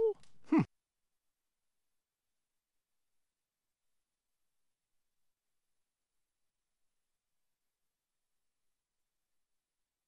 Borzoi.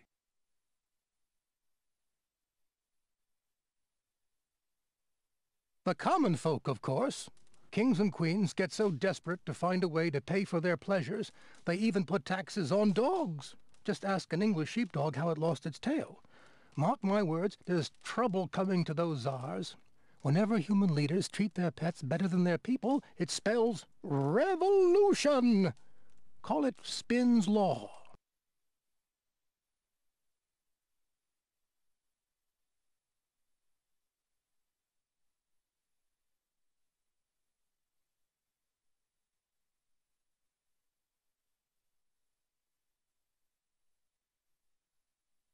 Old English Sheepdog.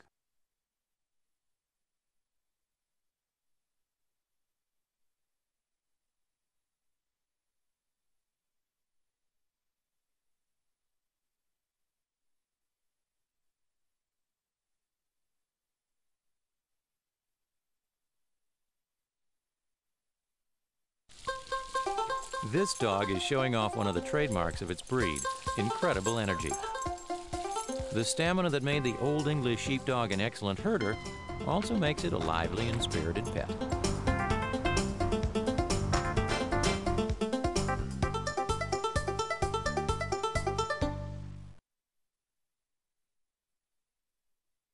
And while I'm on my soapbox, there's another thing. Oh, oh, oh, there you are, Spin. Good fellow. I've just had the most remarkable dream. I fell asleep pondering how one generation inherits traits from another, that sort of thing. And in my dream, I saw a sort of spiral staircase, or was it two entwined? I was quite convinced I had the answer. quite so. Utter nonsense. If you want to explore, click the Contents button or click the picture in the corner and you can take another tour.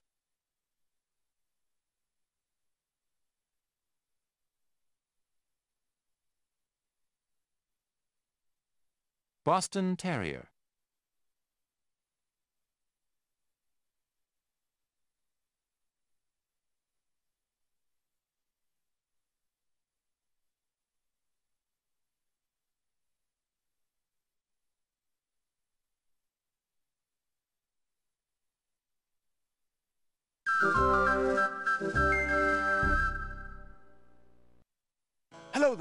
Come in. Charles Dogwin here, and this is my delightful dog Spin. Speak, Spin, and you shall have your cake. Oh, I wish you wouldn't do this when we have company. Come on, old fella. That's it. Now, go lie down. That's good, boy. As I was saying, I'm convinced that nature must do something like we humans do when we breed animals. Take dogs.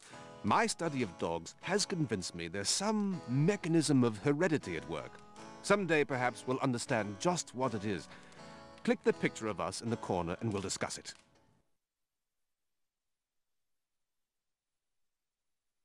One thing my travels led me to suspect.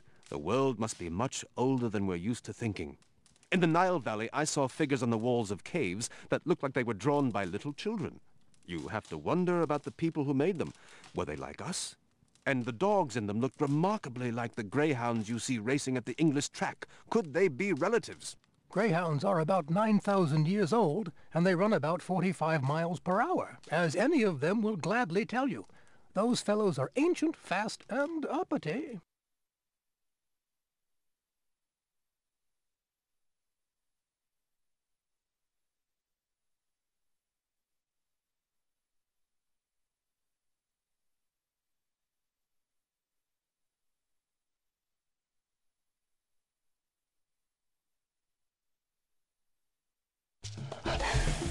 Like most canines, these Take white dogs.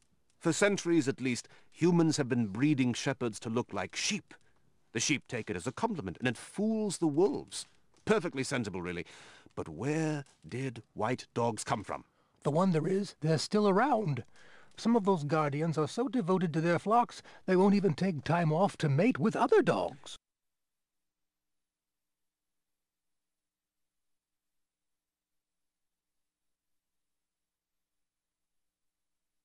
Kuvasz.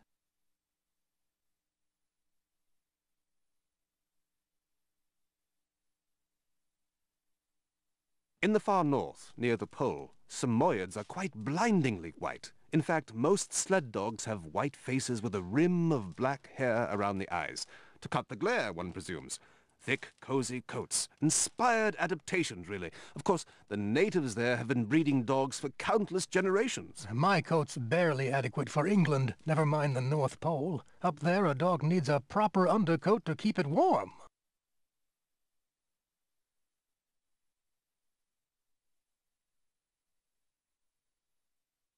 But who's been breeding Arctic foxes?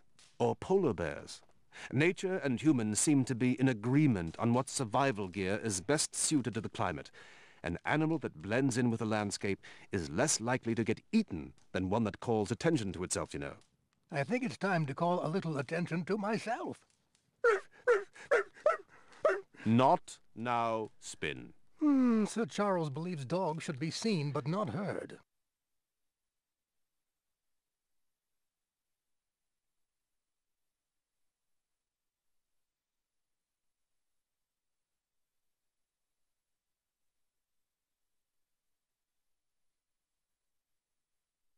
Pomeranian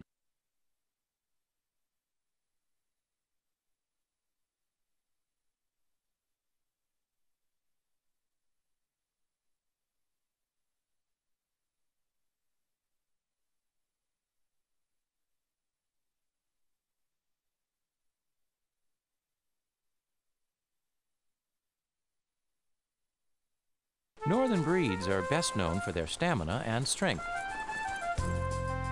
There's another side to these hardworking animals. With their energy and affectionate dispositions, they can be devoted pets, always ready for a new adventure.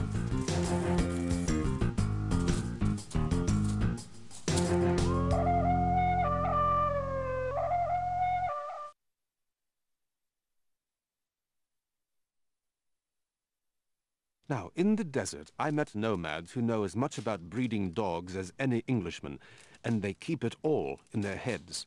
What they're breeding for is big lungs and long legs. Science has something to learn from folk wisdom, don't you think? Uh, science has a lot to learn, period. I mean, Sir Charles thinks what a dog learns in its life can be passed on to its puppies. If we spoke the same language, I'd set him straight.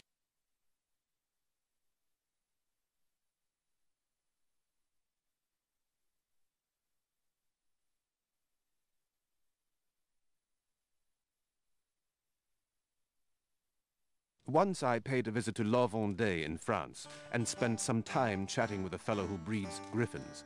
Now, griffons come in large and small sizes with long or short legs, you know. I asked them how they did it, and he said to me, uh, happy accident, mon cher professeur. When a dwarf appeared in the litter, my ancestors saw the potential of a short-legged hound. Fine hunters, those griffons, Even the ones that travel low to the ground. They're descended from Spinones, you know.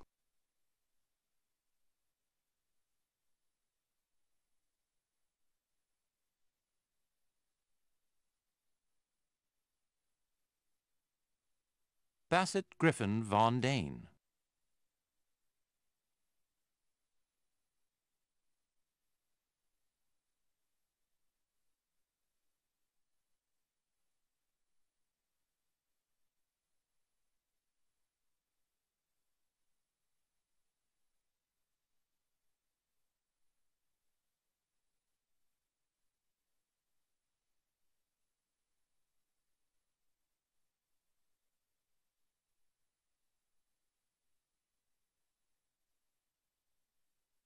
Griffons.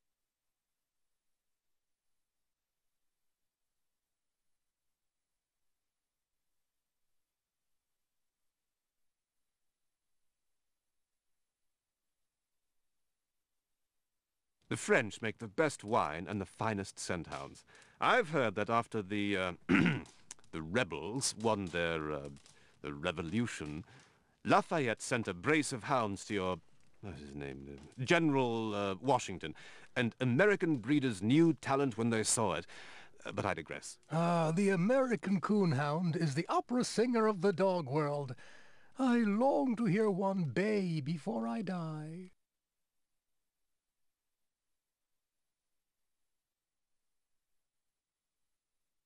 Black and Tan Coonhound.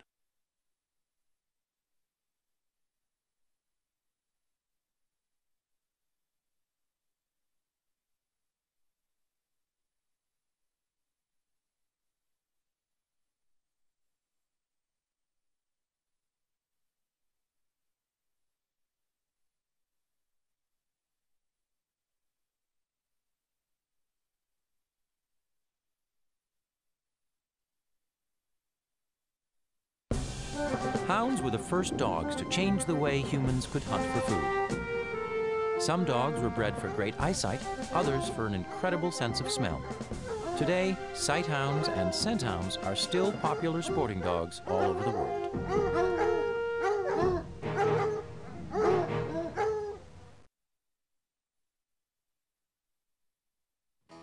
As long as anyone remembers, and collectively that's quite a long time, there's been five basic types of dog, each one quite useful to humans in its way. With those ingredients, we could cook up any kind of dog that walks the earth today. Take Spin here. He's got a hound's nose, certainly, with a bit of mastiff and a bit of herder both mixed in. Uh, the mystery is where he got his bristly coat. Hedgehogs are bristly. My coat is wiry, thanks very much.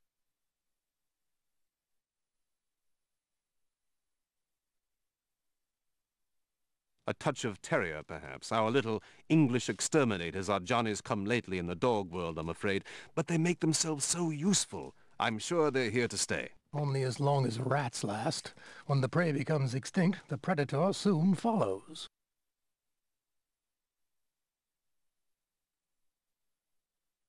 Now just have a look at these fellows. All dogs, of course, but look at the difference in their muzzles and, and the placement of their eyes. Shows you how powerful selective breeding is. Almost a kind of, kind of sculpture done in flesh and bone. People seem to think that flat-faced dogs are fetching. They couldn't fetch uncooked spaghetti. I'm glad I have a proper muzzle.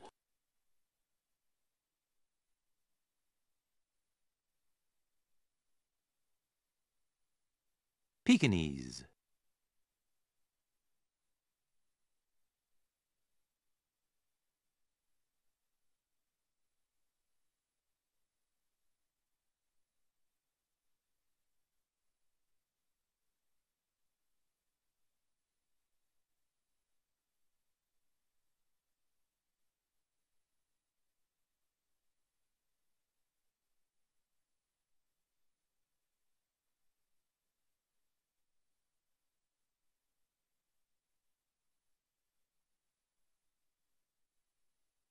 The time it takes to create a breed gets collapsed when one fellow sets out to make the perfect dog. Old Parson Jack Russell made himself a terrier, and so did Captain Edwards of Sealyham. Makes one wonder if obsession isn't part of the English character. Those fellows just kept breeding for the traits they wanted till they got them. A breed isn't a breed until it breeds true all by itself, you know? If humans took more care with their own breeding, they'd be a better lot. Can you imagine having to walk around on only two legs all day long?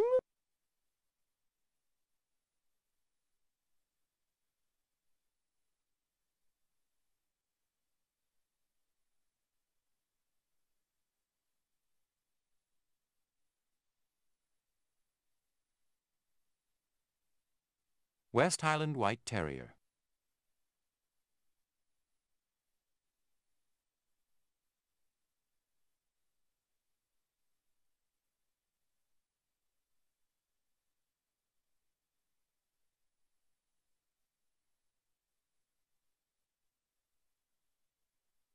Of course, one wonders what sort of dogs we'd have if we left them free to choose their own mates. I suppose you might say it's my obsession to try to figure out how nature goes about her business, hmm? The truth is, every purebred dog was once a mutt. Oh, Spin wants to go out, don't you, boy? the neighbor's bearded collie comes in heat, and despite his age, Spin finds her quite enticing. what is it they say about old dogs? All dogs are wiser than old humans. That's what dogs say.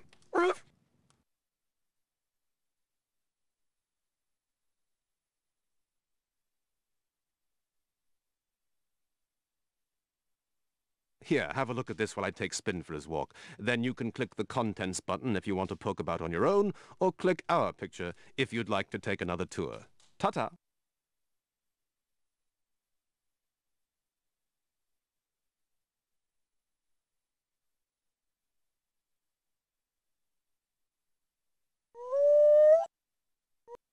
Yes, Dalmatian genes made Australian cattle dogs loyal to humans and friendly with horses.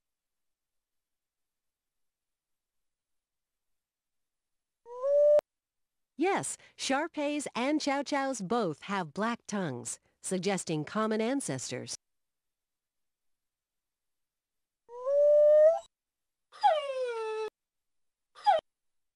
Correct. Some experts believe the bloodhound was an ancestor of the golden retriever.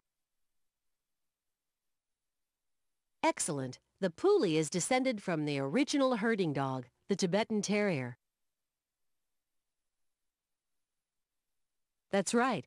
The English Greyhound contributed to the Doberman's racy body.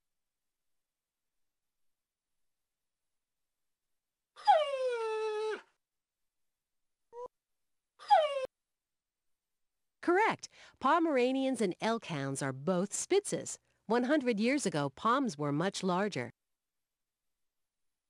Right. Newfoundlands got their swimming skills and waterproof coats from Portuguese water dogs. Right. The White and Bull Terrier's coats came partly from Dalmatians. Yes, pugs are miniature mastiffs. descended from the same stock as Great Danes.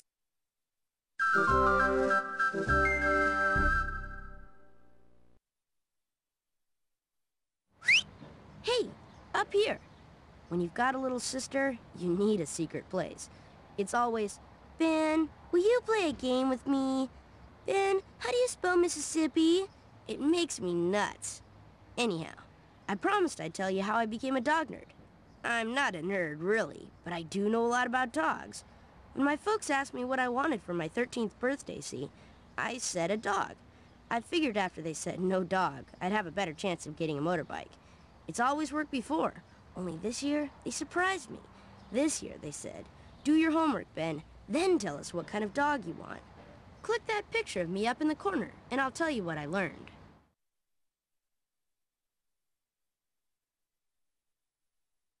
Dogs have four feet, they bark, and they wag their tails, right? Well, that's what I thought. But my mom's the kind of person who won't buy a new toaster without reading 14 back issues of Consumer Reports. She says homework, you study up. I decided to start with the dog man. He's this old guy who's always walking about a million dogs in the park, right about the time baseball practice gets out. I've never talked to him before, but one night, I decided to catch up with him. Uh, excuse me, I said. I'm thinking about getting a new dog. How do you figure out which one's best?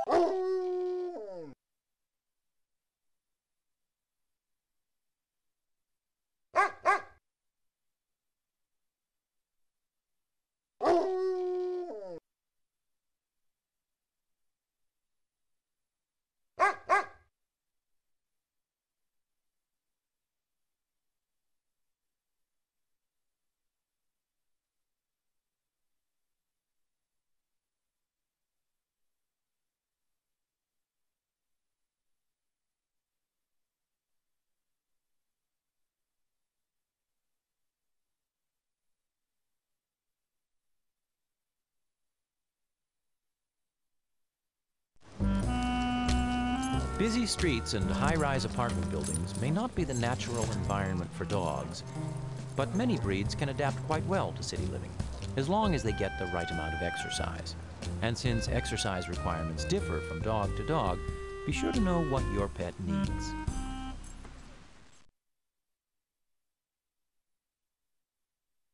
The dog man laughed. You should choose a dog as carefully as you'd pick a wife, he said. The way marriages go these days, the dog might be around longer. I said I wasn't planning to get married right away. I should hope not, the dog man said. What I mean is, you want to find a dog that fits you. Your personality, your family, your house, your life. I looked at the big bouquet of dogs he was holding by their leashes. I pointed at this black and tan one that sort of reminded me of a Porsche. He looks kind of cool, I said.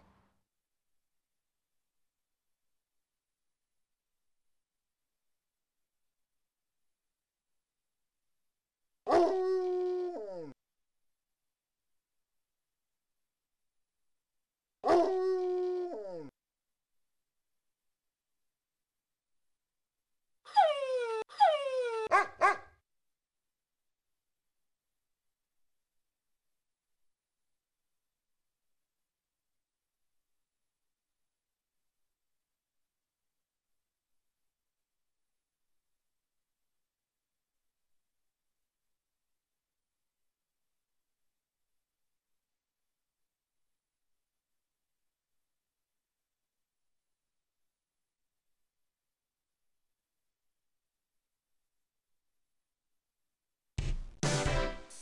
They come in all shapes, sizes, and temperaments.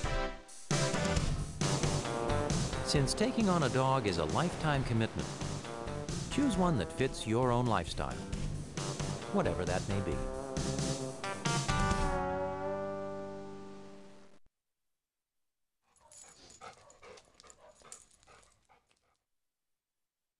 The Doberman, the dog man said? She's a beauty, all right. But Dobies are a lot of dog. Real dominant. They take a lot of training. The dog man looked me up and down. You tough, he said. What kind of question is that, I thought.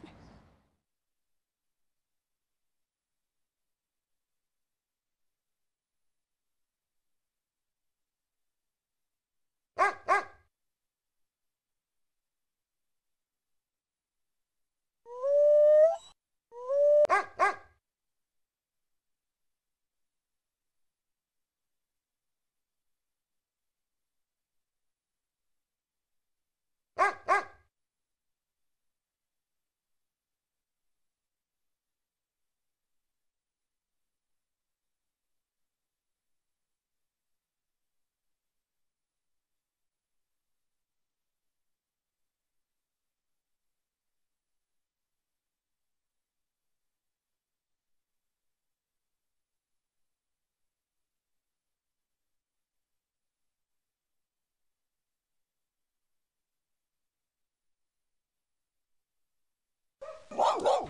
Baring the teeth is an obvious sign of aggression.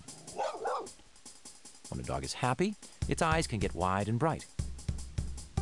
A dog's face, like a human's, can express different emotions. Have you ever seen a pup with raised eyelids and a tilted head? That usually means it's puzzled or quizzical.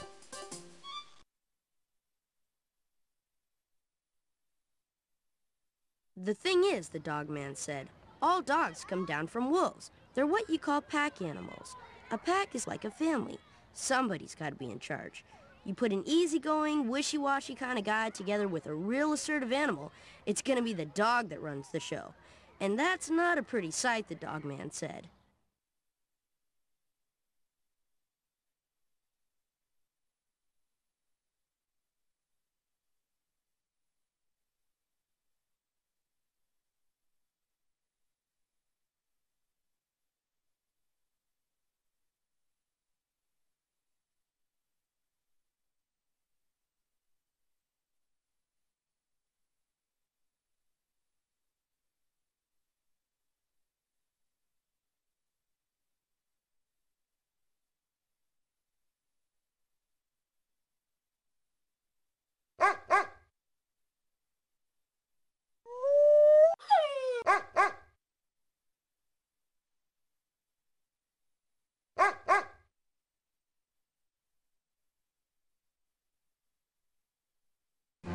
At an early age, these pups learn their most important lesson. Living in a pack means knowing your place in it. Getting a sled team to work well together takes time and training. The strongest dog is accepted as leader of the team along with a human. The rest of the pack knows it's their job to follow the leader.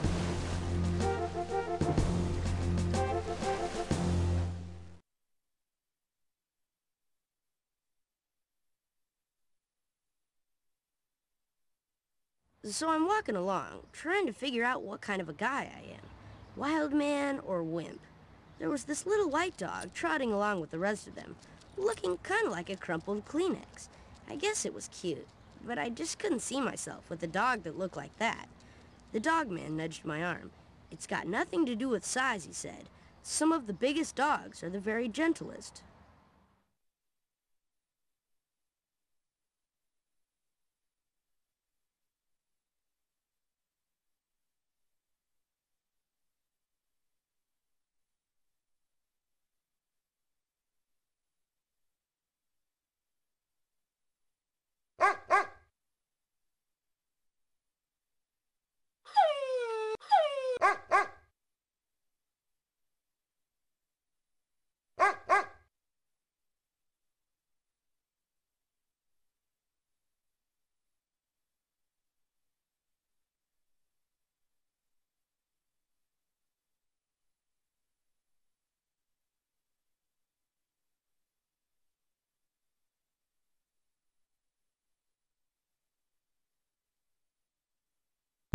Have you ever wondered which was the biggest dog or the smallest? The Great Dane holds the record for tallest dog.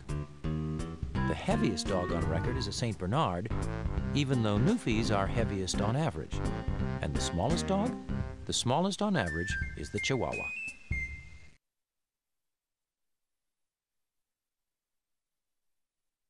And some of those little guys, look out. They rule the roost. It's about attitude, the dog man said.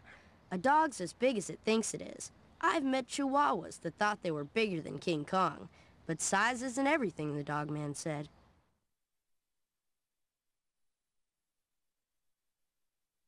There's more, I said. Exercise, the dog man said. Some dogs are born jocks. You put an athlete with a couch potato, forget it. Nobody's happy. The dog man jerked his head towards the dogs. These guys, their owners can't make time to walk them, so they hire me. It's a good thing, too.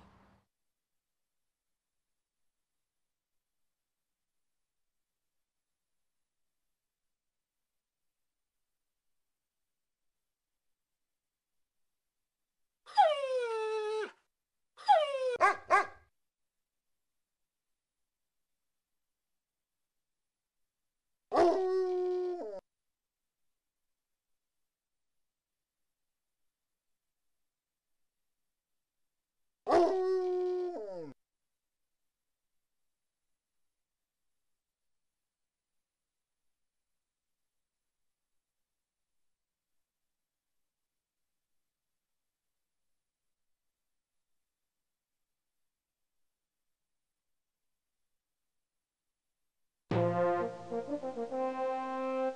Like humans, dogs need regular exercise to keep fit and healthy. If you turn exercise into a game, it's more likely to become something you and your dog will look forward to regularly.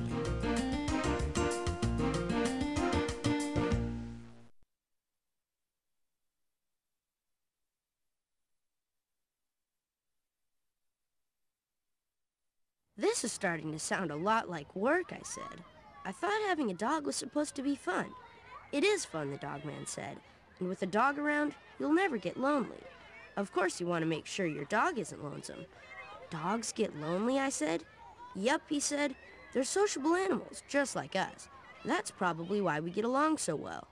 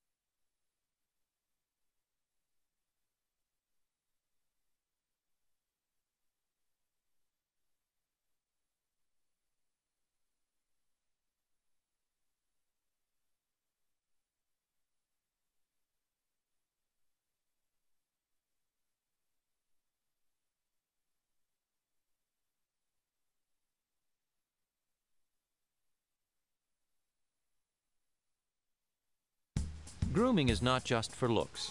It can keep your dog healthy. This Cocker Spaniel didn't get the regular care it needed, so its matted fur will have to be shaved. Since dogs differ in their grooming requirements, be sure to find out what level of care your dog needs.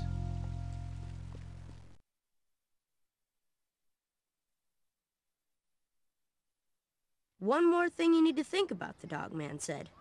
What's that, I said. Hair, he said. A dog's coat needs attention. More work, I said. More fun, the dog man said.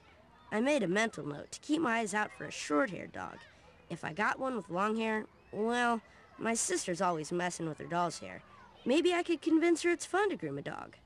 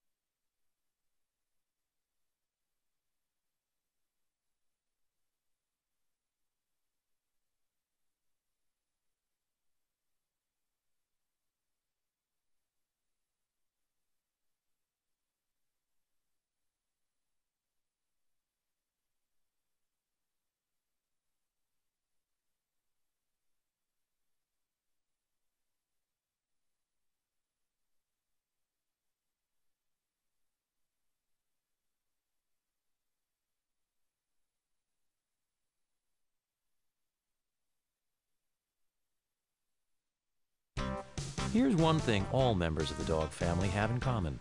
They shake. A shake starts from the head and creates a wave of motion that moves down the length of the body. Shaking is a self-grooming technique, like brushing your hair.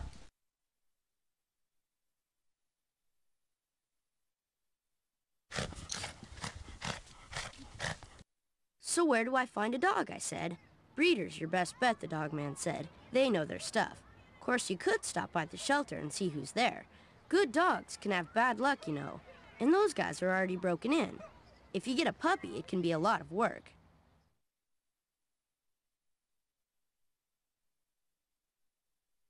I don't care, I said. I want a puppy. It was about the only thing I knew for sure right then. Before I headed home, I asked the dog man how come he knew so much about dogs. Before I retired, he said, I was a cop. My partner was a dog. You let me know how it all turns out, okay, kid?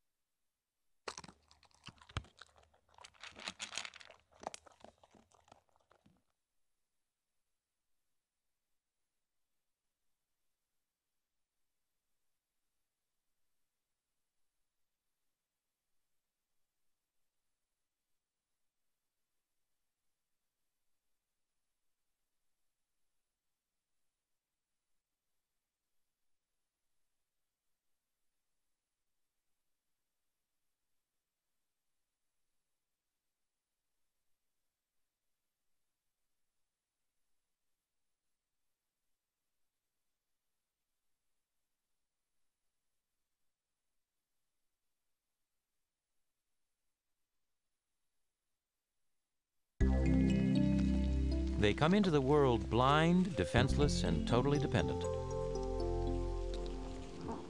But a puppy will stand at two weeks, walk at three, and run by the time it's five weeks old. In a very short time, a puppy will begin to learn its most important social lessons through play. If you're pet shopping, consult these puppies. It's kind of like computer matchmaking, except these guys help you get a dog and not a date. When you're done, just click the contents button if you want to nose around on your own. Or click my picture if you want to take another tour. How much time will your dog be alone on an average weekday? Think about it. If you're the kind that stops by your apartment once a week What for he's clean what- laundry, What, what he's trying to say is, you're never there. busy, busy, busy. You might be better off with a pet rock.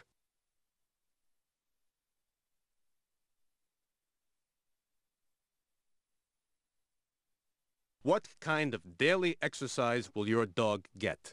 You know, my owner and I have finally come to an understanding about the exercise thing. Well, what's that, Fist? I keep her company while she does the stair number. She climbs, I pant.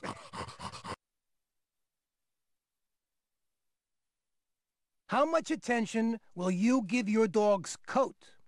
Oh, you know, I know a poodle has a standing appointment at the grooming salon, goes once a month.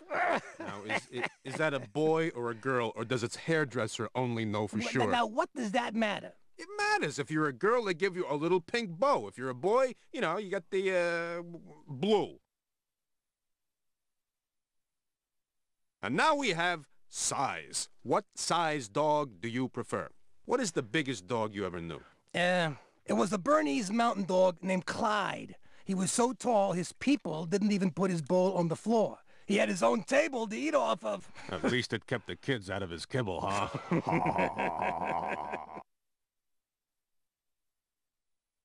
I want my dog mainly to...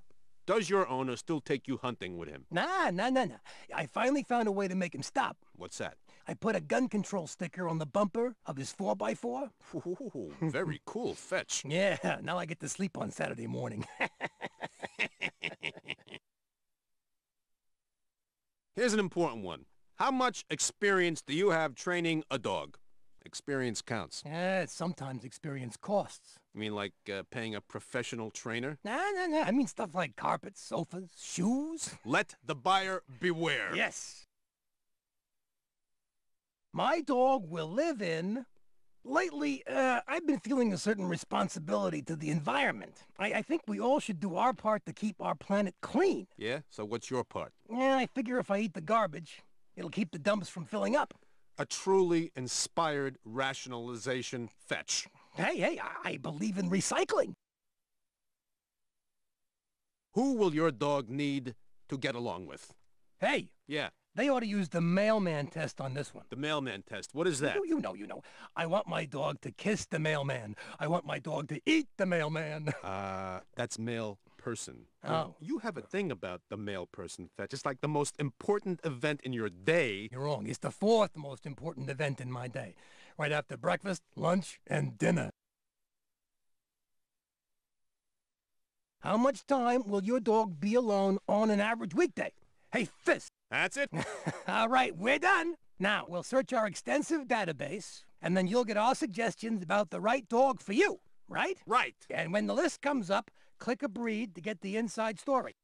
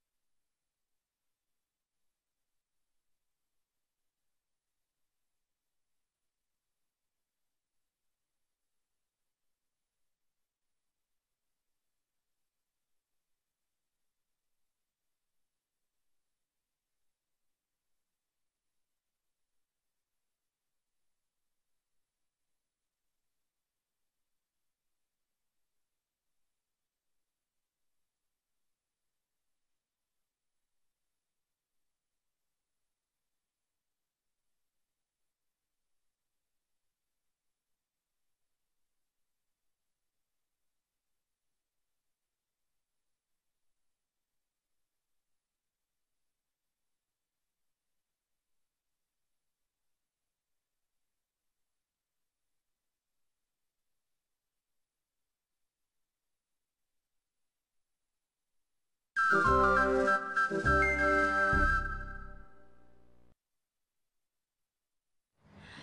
goes. Hey, Portia! Move! I Oh! Come on, Portia. Don't lick my face, okay? This is her, Portia. She doesn't like it when I sit up in my tree. Now, do you, girl? Took a lot of thinking and a lot of looking, but I finally figured out what kind of dog was right for me. If you want to meet Portia, click on my picture up in the corner. There she is, a Portuguese water dog. At least that's what she'll look like when she grows up. My mother likes her because she's different. All mom's friends have labs or goldens, your typical suburban dogs. My dad likes her because she doesn't shed. My little sister pretends she doesn't like her, but that's just because she's jealous. I got a dog, and she didn't.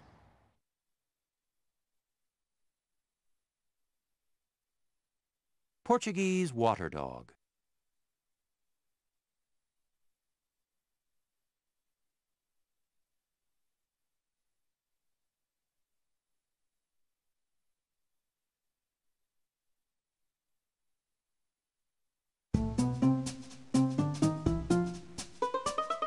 Who says a sheepdog can only herd sheep? Strong instincts tell these dogs that any moving animal is a stray, even one with feathers.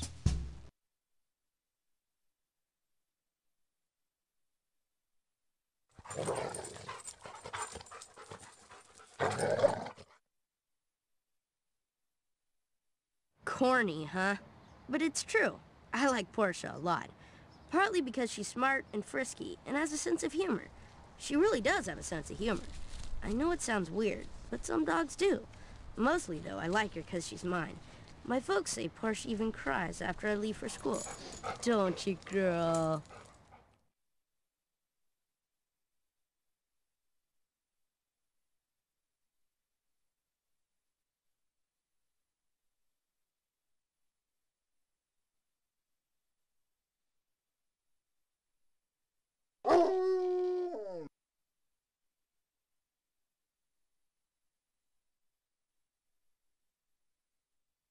The first time I saw her, she was only about a day old. Her hair was real short, and her eyes were closed all the time. None of her senses were up and running yet, so she had to find her mother just from her warmth. To tell you the truth, Portia looked more like a naked mole rat than a dog.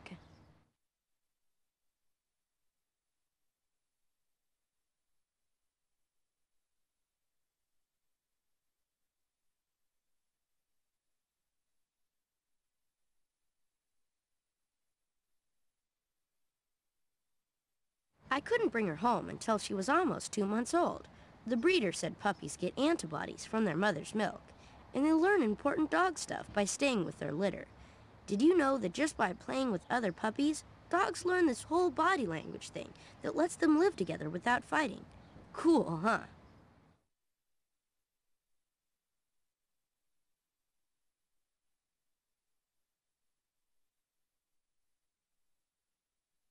Australian cattle dog.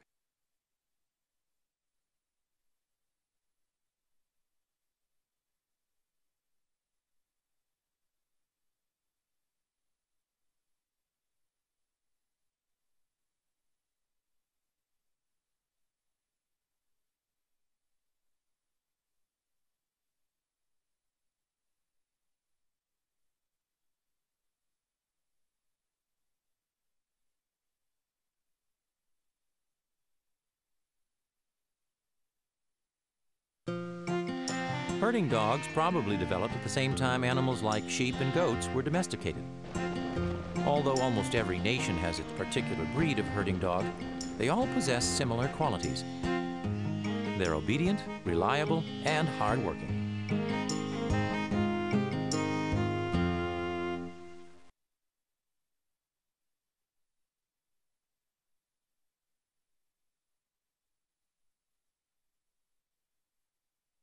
Puppies need shots, just like human babies do. Portia doesn't like 'em much. I never did either. But you can't take puppies anywhere until they get 'em all. Otherwise, they might catch some terrible disease.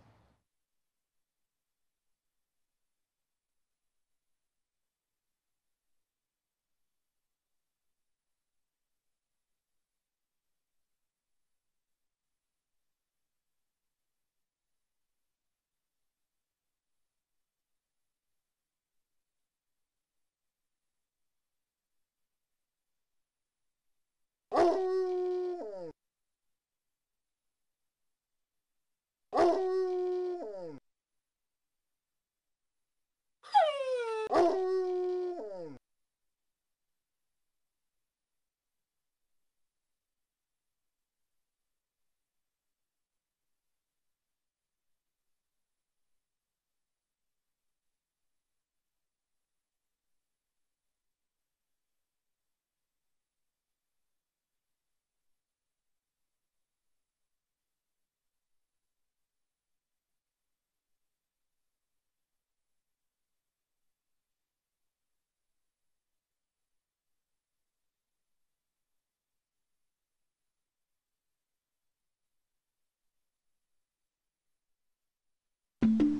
What makes a puppy trainable? The same instinct that keeps their wild relatives in a well-ordered pack. These African hunting dog pups are being trained to accept a dominant leader. Just like wild dogs, puppies need to have a leader for their pack, and humans work just fine.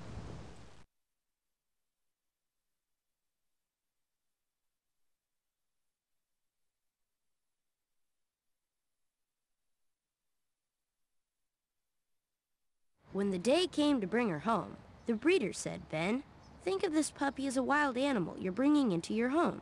You have rules, but she's got instincts. It'll help you understand her if you learn to think like a dog.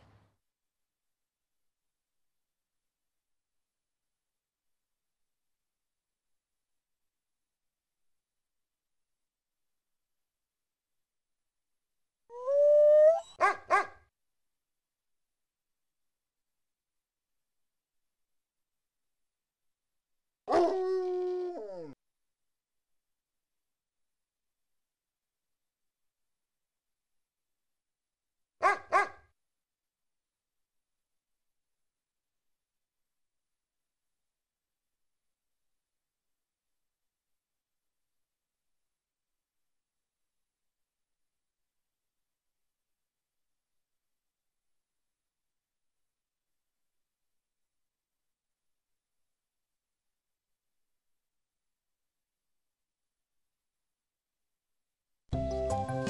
Like humans, dogs have a well-established social order that they learn at an early age. Puppies first learn about pack hierarchy through play. Here's where they discover the rules of rank and territory and their place in the pack.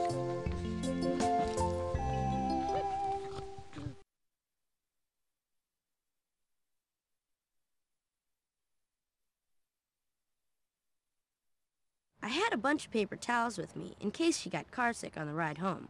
But Portia turned out to be a good traveler. The windows were down, and she kept sticking her tongue out, trying to lick the wind. Hey, if you don't have a crate, remember to fasten your dog's seatbelt when you take her for a ride. Listen to me.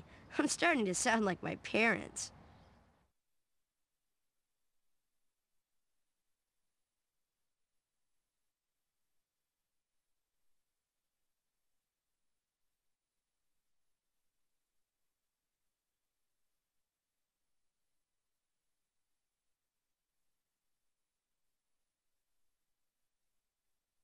It was really cool showing Portia her new home. Because I'd done my homework, I knew what she was trying to tell me when she bowed down in front of me. Actually, in dog it meant, hey, you want to play? Not, you're the king. My sister didn't know that, though. She got real upset when I suggested she might want to try it.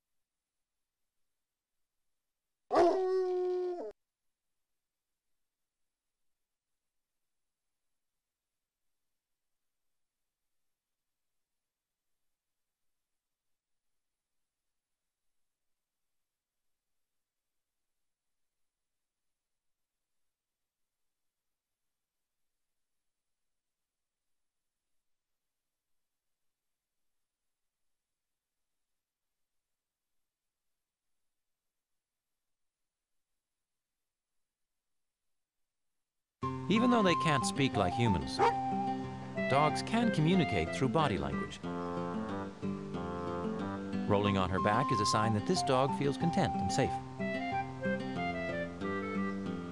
A stance like this says, I want to play. And these pups aren't fighting. Aggressive play is their way to figure out who's the leader.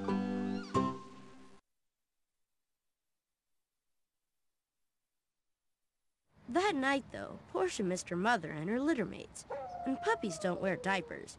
You have to be really patient and really responsible when you're housebreaking them. I mean, you can't just put the pillow over your head and pretend it's not your problem. I didn't get much sleep.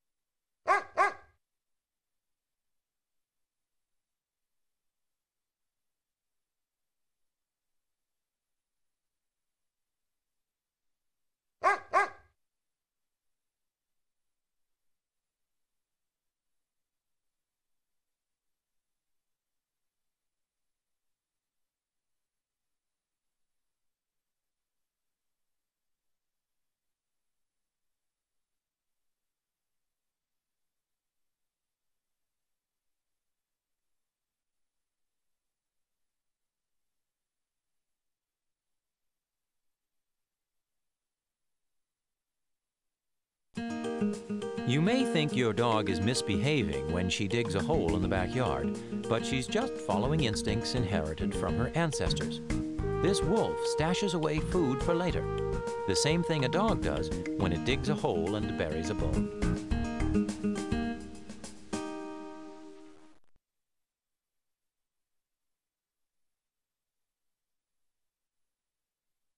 Portia got to sleep in the next day, but me, I had to get up and go to school. I nodded off in English, and Mr. Pingree said, Burning the candle at both ends, Ben? Whatever that means. He thought it was cool I'd name my dog after a character in Shakespeare, though. I wonder if it's worth an A.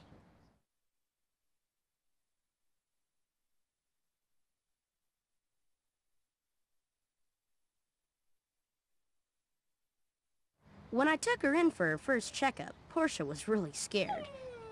Actually, the vet said she was probably picking up some of that from me. Dogs are really sensitive to what people are feeling. Dr. Rogers knew how to calm her down, though.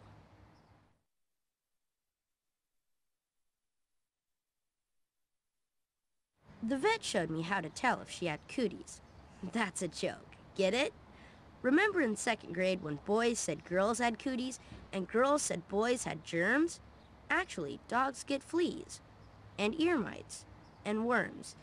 Just thinking about it kind of makes your skin crawl.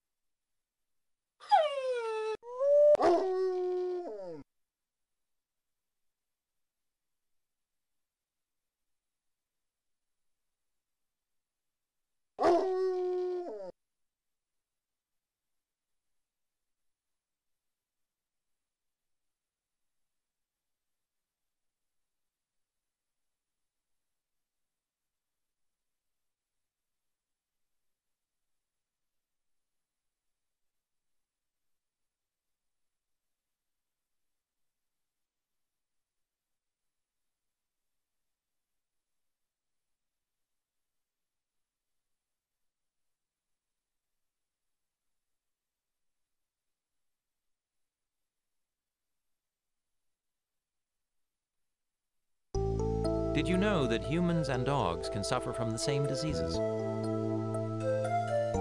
These dogs have a neurological condition called narcolepsy.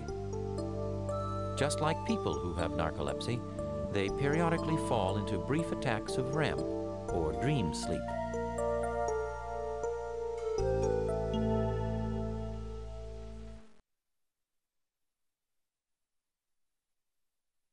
Dr. Rogers even taught me how to do dog CPR.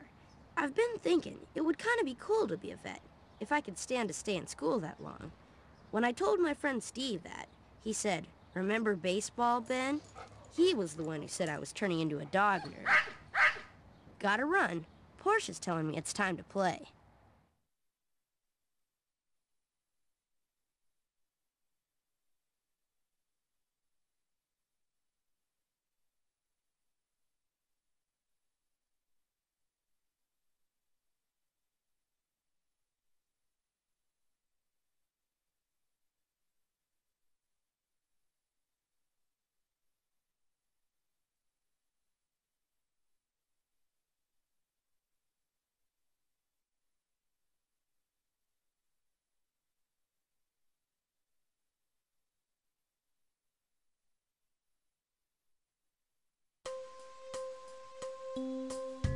Even healthy dogs need annual medical examinations. Preventative care, like vaccinations, can protect a pup from life-threatening diseases. And with the increasing surplus of unwanted dogs, you might want to consider having your dog spayed or neutered, as this one is.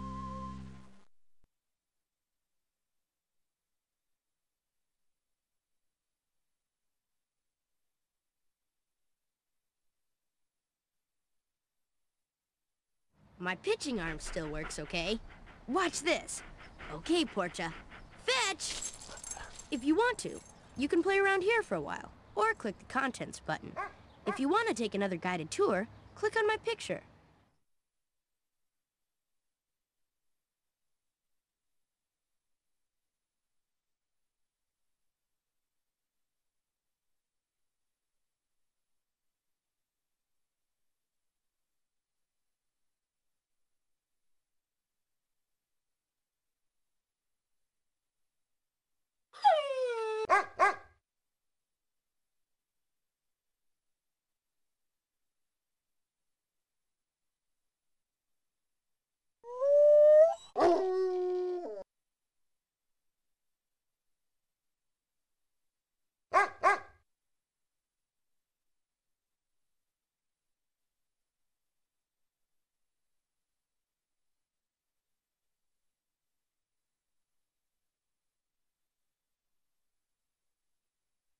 All dogs need to play, but it's important to choose the right kind of games.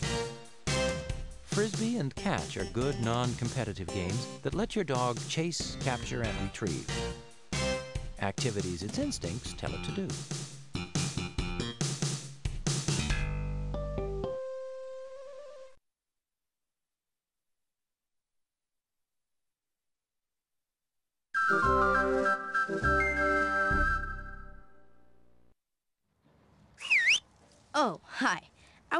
Practicing my whistle.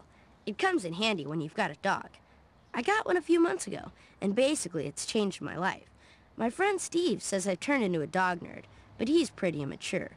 I mean, if it's not baseball or rap music, he doesn't see the point.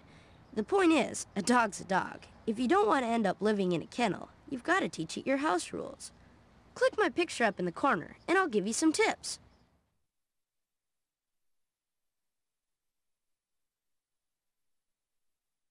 Tip number one. A dog is basically a wolf that's been hanging around with humans for a few thousand years. So if you let it do what comes naturally, it'll do wolf stuff.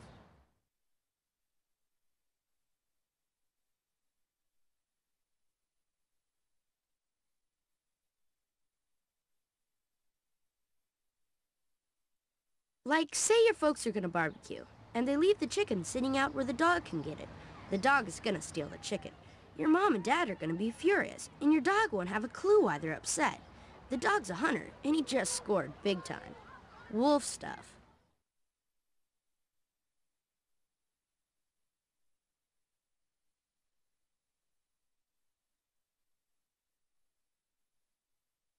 Uh, uh.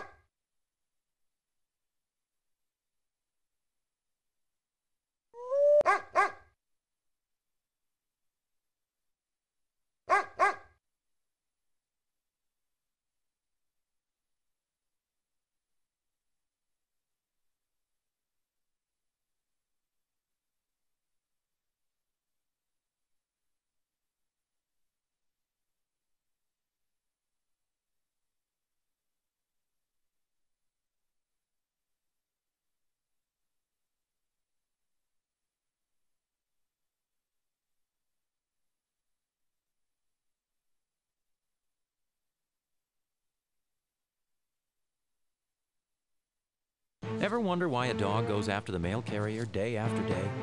This is a dog's chance to manipulate its environment. The mail carrier comes, the dog barks, the mail carrier goes away.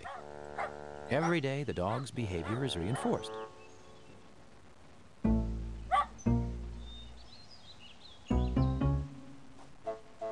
All part of a day's work.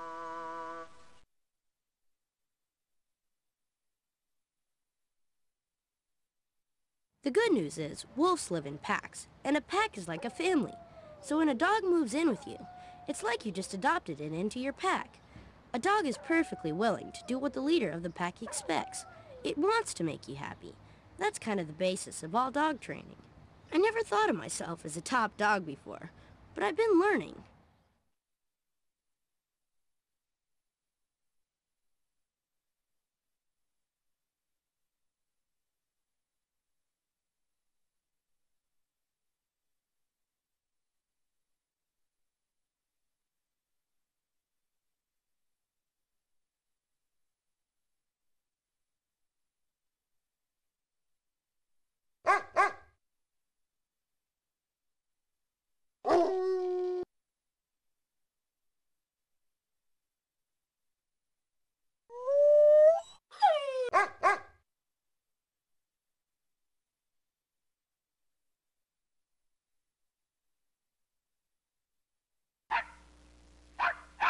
I'll get you anyway, Pee-wee.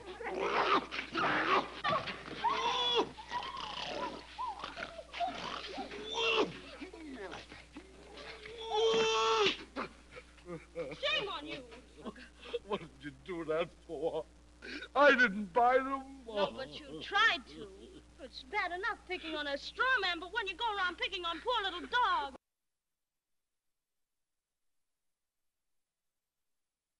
Think of your dog as a foreign exchange student. It's a culture clash thing. It sees a car speeding by. It thinks, oh, here goes a funny-looking green gazelle. something that might be good for dinner. You've got to make your dog understand that in your culture, you don't chase cars or you end up being roadkill.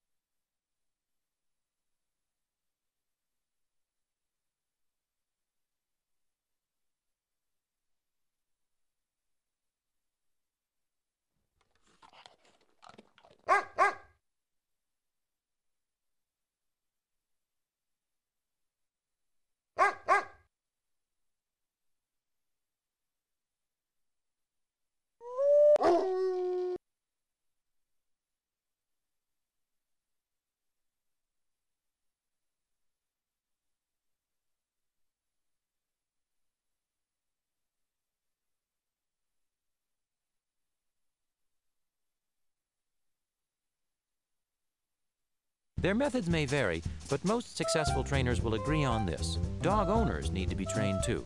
Understanding a canine's basic instincts makes training easier for you and your dog. Sit. No. Sit. Do it again. Sit. Sit. And stiff. Sit. That's right. Now start. That's right. Now push her back. Yes, but that was far too gentle. You see, to get dogs to do it quickly, you mustn't be soft. Come on, stand up. No. Sit.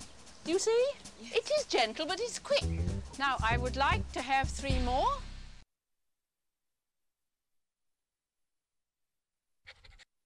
Fortunately, dogs are really smart.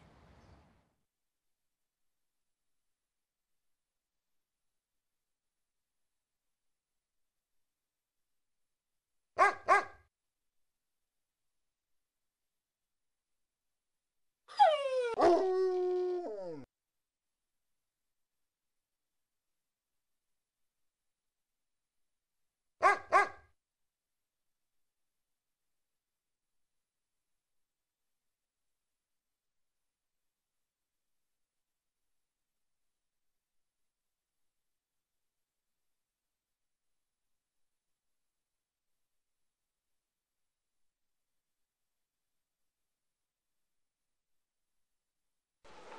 Well, let's try this then. Can he add those two and subtract? Well, he can do that for you in one operation. Barney, please add up 9 and 2 and subtract 2. What is the answer?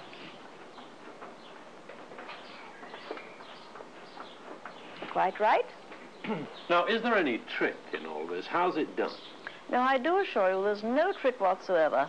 Uh, my own personal belief is it's telepathy.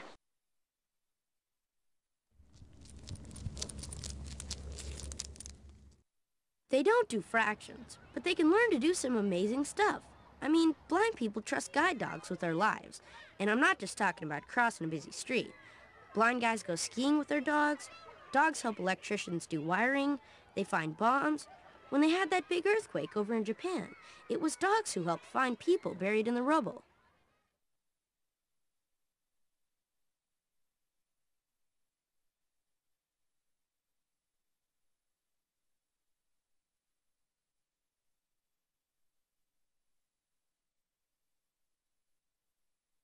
German Shepherd Dog.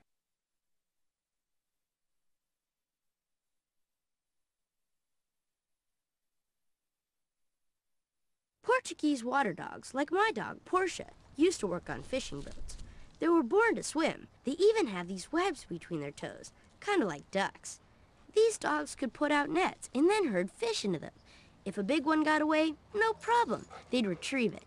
If it got foggy, they'd act like radar. Now that's smart.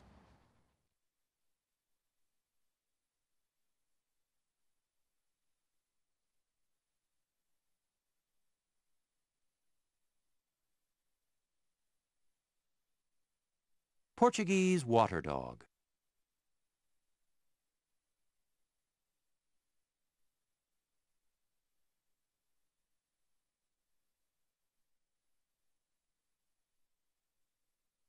And dogs in movies? Sure, the scripts make them look good, but basically, they really do do a lot of what you see on the screen. The thing is, their trainers break down those complicated routines into a bunch of simple steps, and the dog learns to do it one step at a time. Now don't tell my little sister, but the first time I saw Old Yeller, I cried my brains out.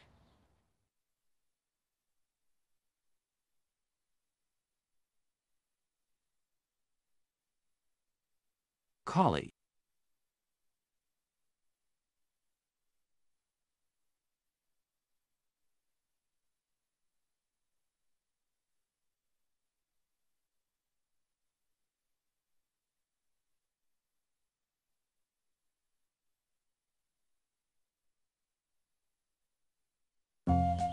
Friendly, affectionate, and smart.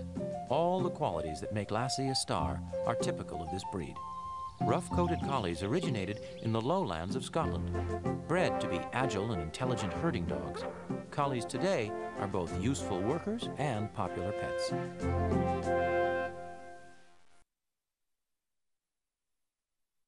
The trick is, whether you want to teach a dog to sit or to skydive, you use the same basic cycle.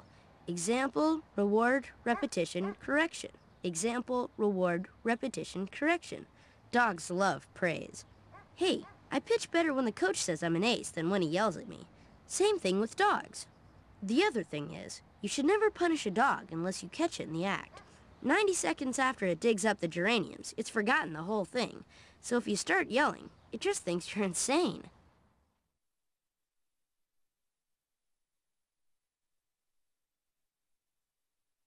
The other big thing is, be consistent. Like, don't laugh when your dog jumps up sometimes and yell at it at other times, or it's only going to get confused. It's like when your parents tell you you have to get eight hours of sleep, and they also tell you you have to get all your homework done before you go to bed. So which rule do you follow? Dogs hate mixed messages as much as kids do.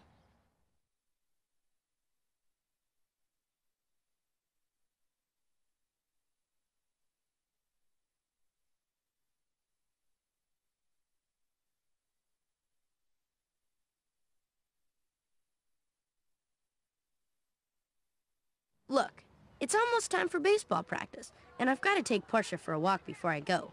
But here's some stuff you ought to think about getting, especially the crate. It's like giving your dog its own room, and it really helps when you're teaching your dog the bathroom stuff. Nobody does their business in their own room.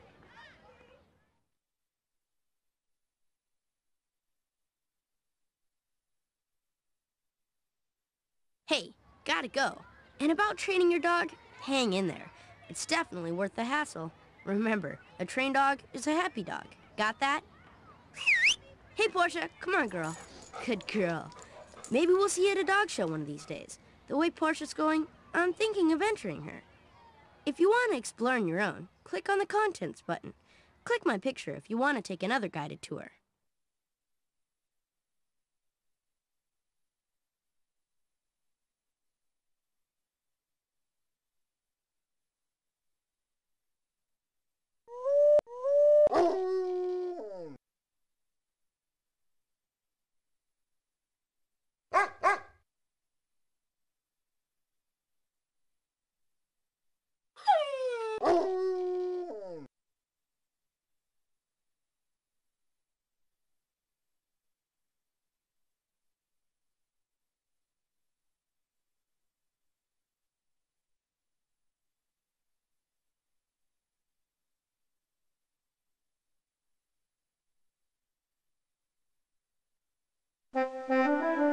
The 1940s, a dog named Lassie helped make the rough-coated collie one of the most popular breeds in the world.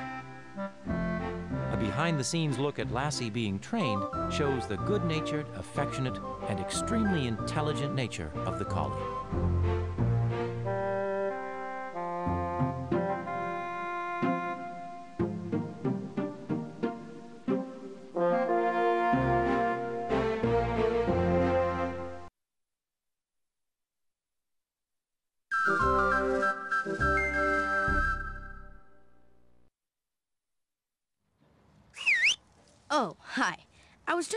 Practicing my whistle. It comes in handy when you've got a dog. I got one a few months ago, and basically it's changed my life. My friend Steve says I've turned into a dog nerd, but he's pretty immature. Tip number one. Oh, hi. I was just practicing my whistle. What's that you say? Come closer, child. My ears aren't what they used to be. Oh, don't worry about those dogs there. They're tame enough. At least when they're asleep. Now, what did you want to know?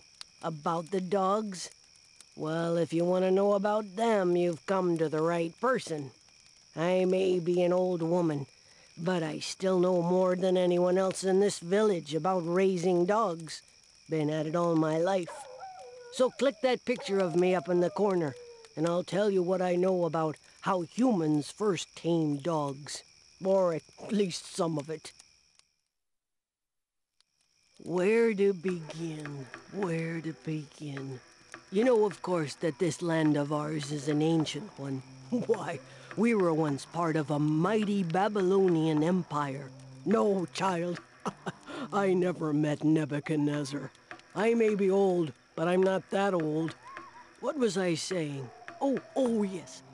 Since the Babylonians, we've had the Egyptians, the Hittites, the Assyrians, uh, the Persians, the Greeks, and now the Romans marching through our fields with their dogs of war. But a thousand, thousand years before even Babylon was a twinkle in King Hammurabi's eye, we had dogs of our own.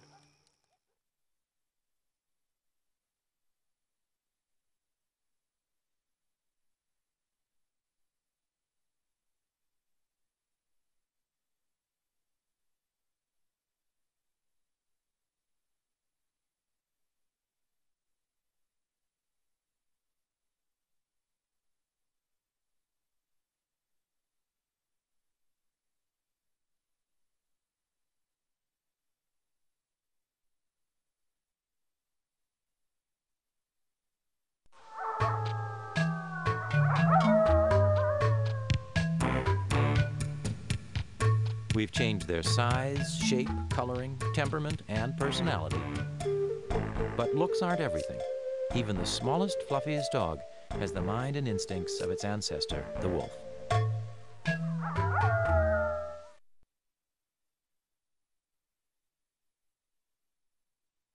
I can't tell you who first got the idea of taming the wild animals that prowled just beyond our firelight. I like to think that long ago, a woman, maybe like me, found a litter of wolves, of wild dogs, brought them into the village with her. Now, before you go out looking for baby wolves or jackals, let me warn you, it takes more than just raising an animal with people to make it tame.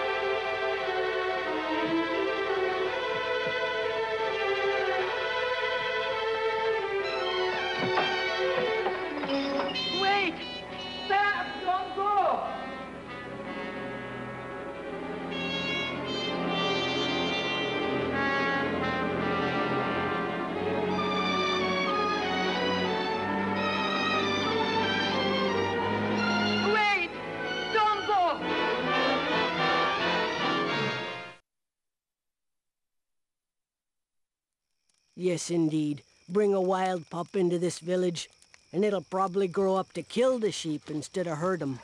So how did these dogs get so tame, you ask? Well, it didn't happen overnight. It took many generations of carefully choosing only the gentlest, most willing to please pups from each litter. People wanted dogs that acted more like puppies, even when they were grown.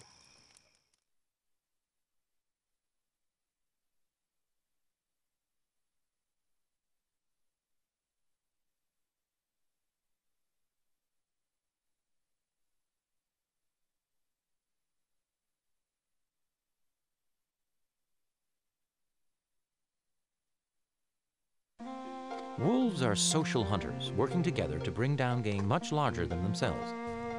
Domestic dogs were bred to be successful hunters by capitalizing on their wolf instincts. Scent hounds, for example, work in a pack to trail their prey until it's cornered.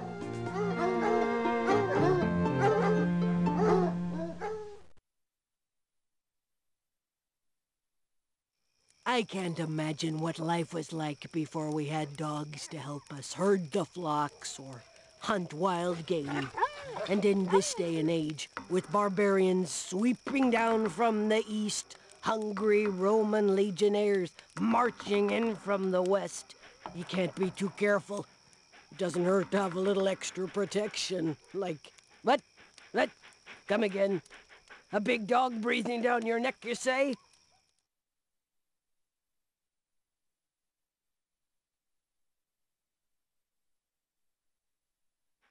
Oh, don't mind him. That's just Caesar. You've probably noticed that huge fighting mastiffs like him are mighty popular with the Romans. In fact, Caesar there got left behind, didn't you, the last time a legion marched through here? But the Romans weren't the first to discover big dogs. Oh, no. The Phoenicians were trading mastiffs back when Rome was no bigger than this village here.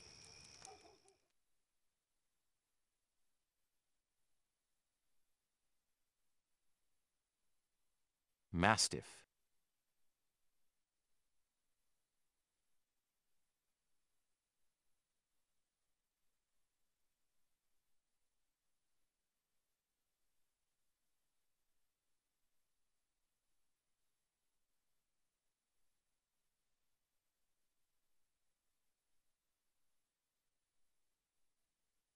But you know the Romans, marching here, marching there with their big, great armies and conquering everything in sight. For the most part, the Romans just litter the countryside with dogs they don't need anymore. Just like old Caesar there. A blessing in disguise, I call it. Gives me new stock to experiment with. Right now, I'm considering mating Caesar to one of my grandson's running hounds, just to see what happens.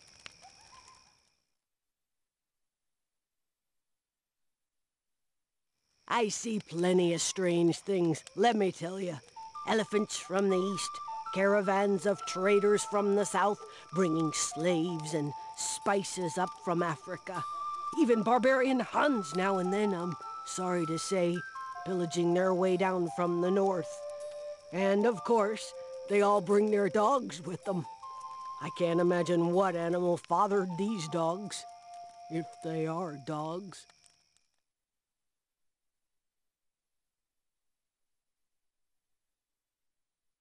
Briard.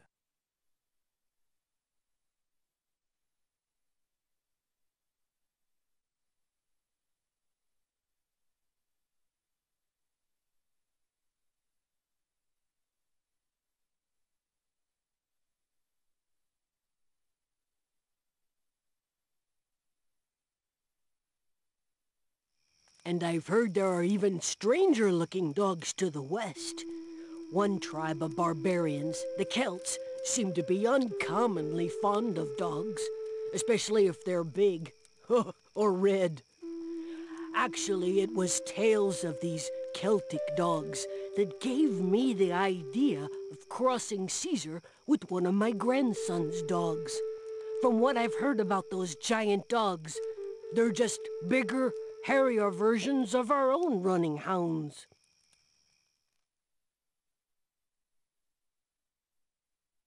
Brittany.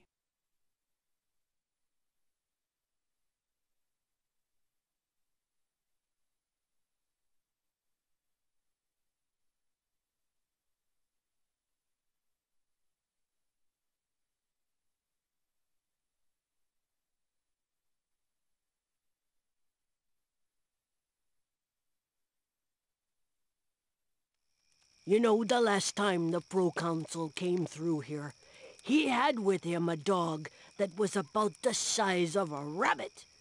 My grandson tells me these small animals are very popular with Roman ladies. but I just can't understand what they see in them. They don't hunt, they don't herd, they certainly don't guard. So why bother? Italian Greyhound.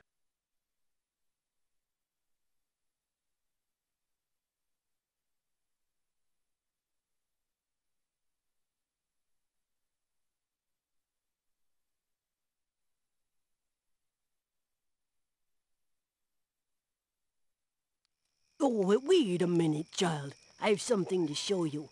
Where did I put them? Caesar, move! Oh, here they are. This dog's skull came from the east, from a land far, far over the mountains. To tell the truth, I'm not entirely convinced that it is a dog. Looks more like a monkey's head to me. Hmm. The other comes from Gaul, the skull of a wild wolf, I'm told. How different they are. And yet, and, oh, forgive me, child, but I'm old and I need my rest. If you'd like to prowl around on your own, feel free. Caesar will make sure no harm comes to you. Won't you, Caesar? Just click the contents button. Or if you'd like another guided tour, click my picture to return to the guide screen.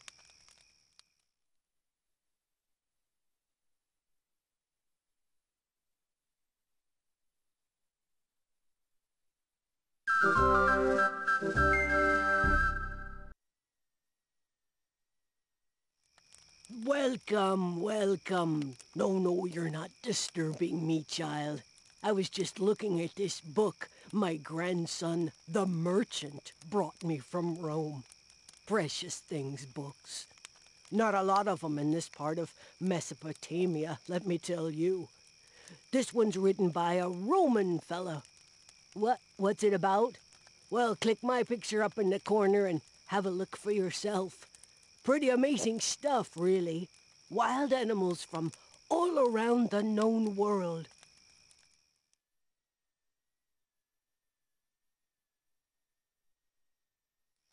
Hmm, I'll admit this one isn't very wild. There's a whole pack of 'em sleeping right over there. Dogs like this have been around these parts since before King Nebuchadnezzar dreamed up the hanging gardens of Babylon. Still, you can see a kind of family resemblance to jackals. You never saw a jackal? Well, wait, I'll, I'll show you a picture. There's one in here somewhere.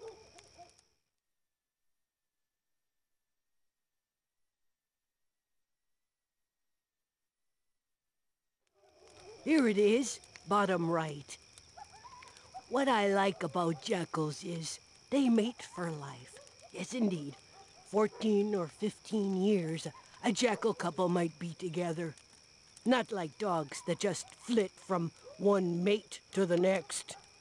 Or some humans, for that matter. That red thing? Let me see. The book says it's a, a fox.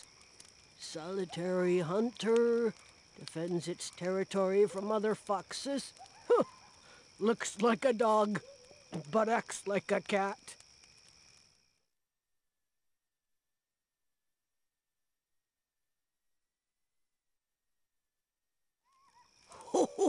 These fellas remind me of a bunch of barbarians dividing up the loot after sacking a village. No, child, those aren't dogs. They're wolves. What? What's that you say? A wolf drooling on your shoulder? Nonsense. That's just my mastiff, Caesar. He's all bark and no bite. That's probably why those Roman legionnaires left him behind. You won't see wolves around here, but this book says there are great packs of them to the north and west.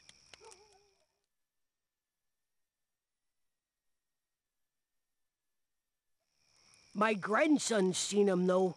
As a merchant, you know, he travels a lot. He says there are two easy ways to tell a dog from a wolf. You can look at the teeth.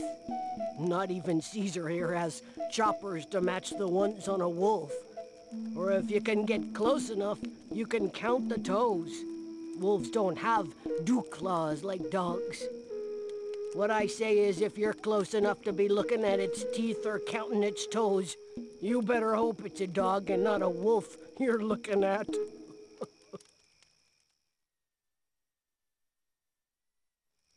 If I weren't so old, I'd make my grandson take me with him the next time he travels to Gaul. I'd give anything to see wolves. I hear they're enormous and smart, too.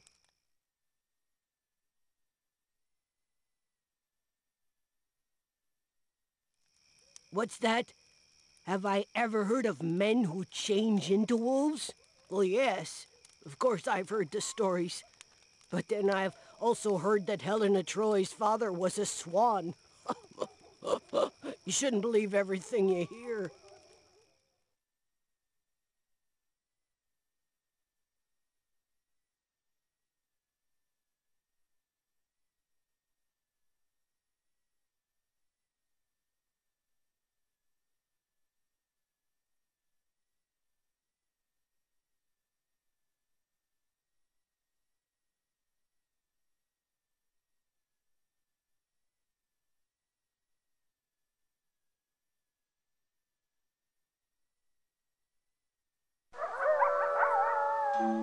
According to the myths of the American Indians, the coyote is one of the oldest spirits around. Legend has it, he has two unique powers. He can create what he can imagine, and he has the ability to be reborn.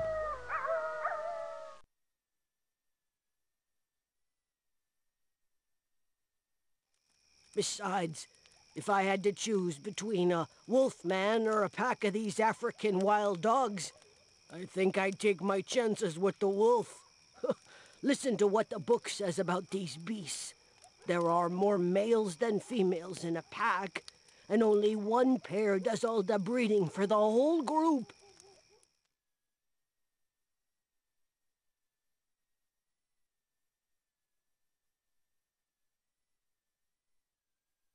Beagle.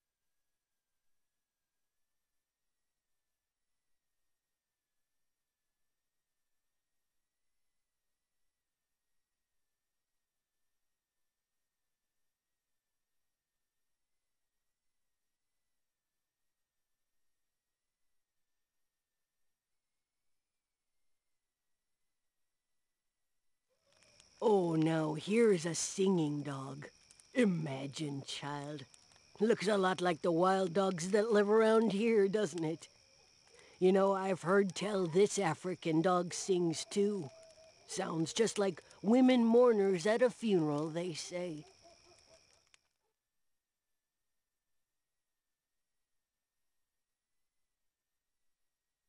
Basenji.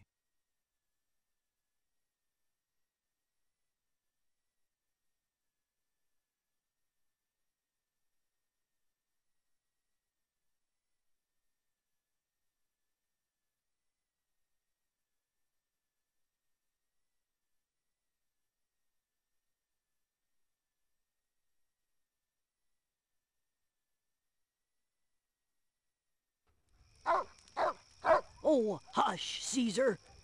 There's nothing out there but a couple of those wretched pariahs. Pass me that rock, would you, child? Hey, hey, you, get away now! We hate them around here, but not everybody feels that way. I've heard that in parts of India, they don't dare harm one of them because the souls of the dead inhabit the dogs that eat their corpses.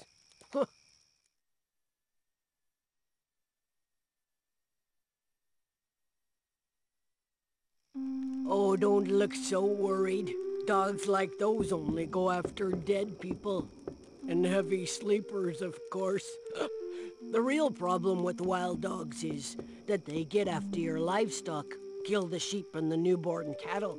That's one reason we keep tame dogs by us, to guard our flocks and drive the wild ones away. Not that this bunch is doing much. hey, you dogs, wake up! Well, child, I, I think I'd better just go and check up on the sheep. We've some new lambs, and I'd hate for those skunkers out there to get 'em. If you'd like to keep looking through my book on your own, click the contents button. Just try not to get fingerprints on the papyrus. But if you'd like another tour, click my picture.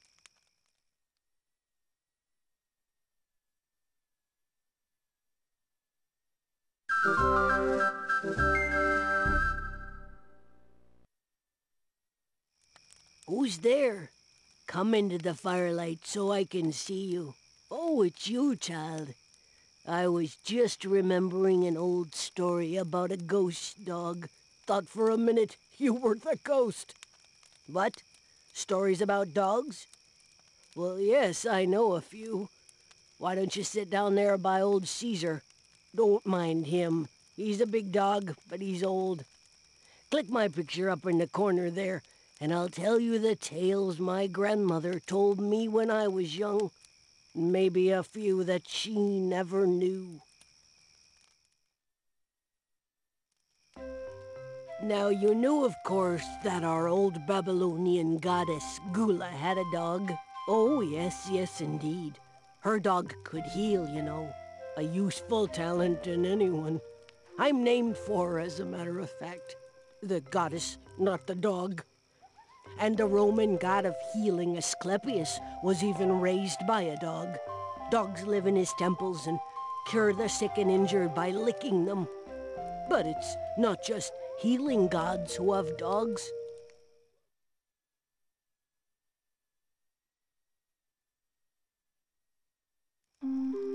No, even the devil has a dog. If you want to see demon dogs, the Greeks will tell you to wait at any crossroads around midnight. Sooner or later, Hecate, goddess of the underworld, will pass by there in a chariot drawn by great black dogs. And they're not the only ones. In India, they tell of a ghost that... Say, child, you look a little like a ghost yourself. Now, now, not all the dogs of the underworld are terrible. In Egypt, it was jackal-headed Anubis who led souls to the afterlife. That's not so bad, is it? Of course, if your soul wasn't as pure as it should be, Anubis fed your heart to a crocodile.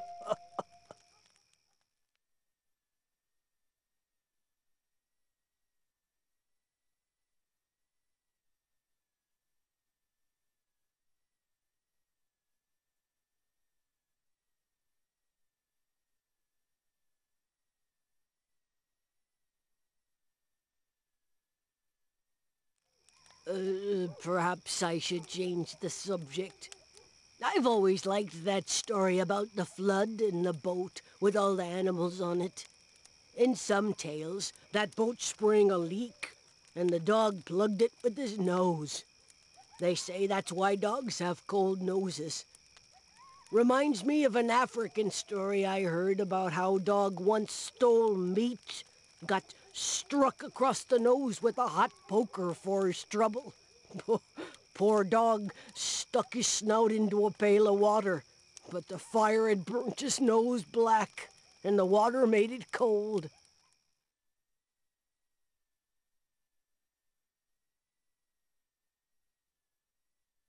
Afghan hound.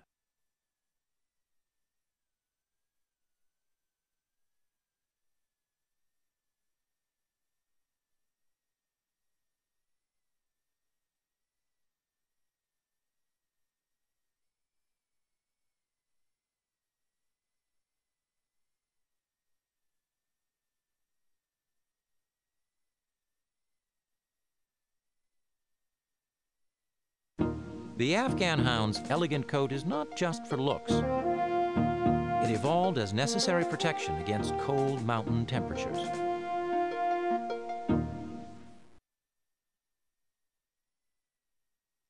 Look, look up there now. See that constellation?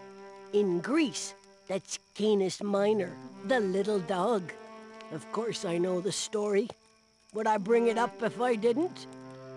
Once, there was a little dog named Mara, and she belonged to a fella named Icarius.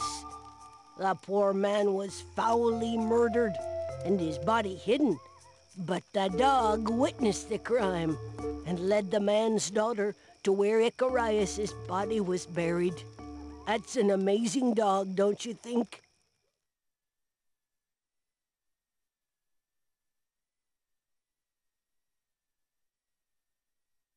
Briard.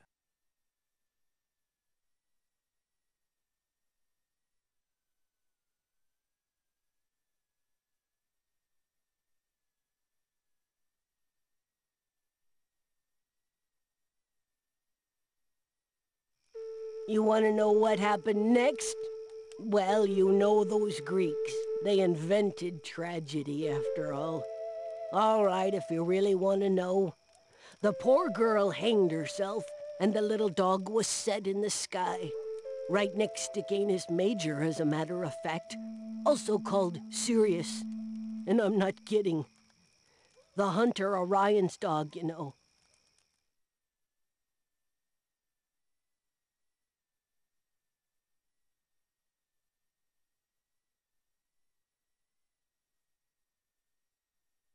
Italian Greyhound.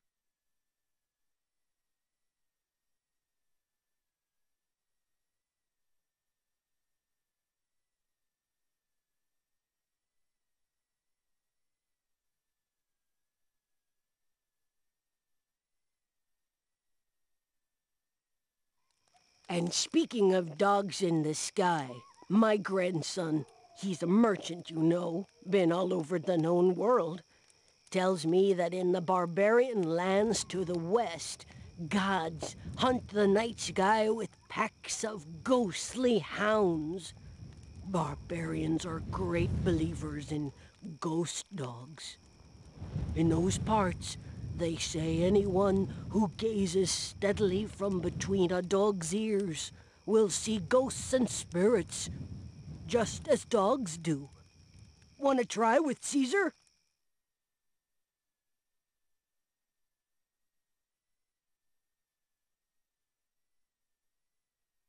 Gordon Setter.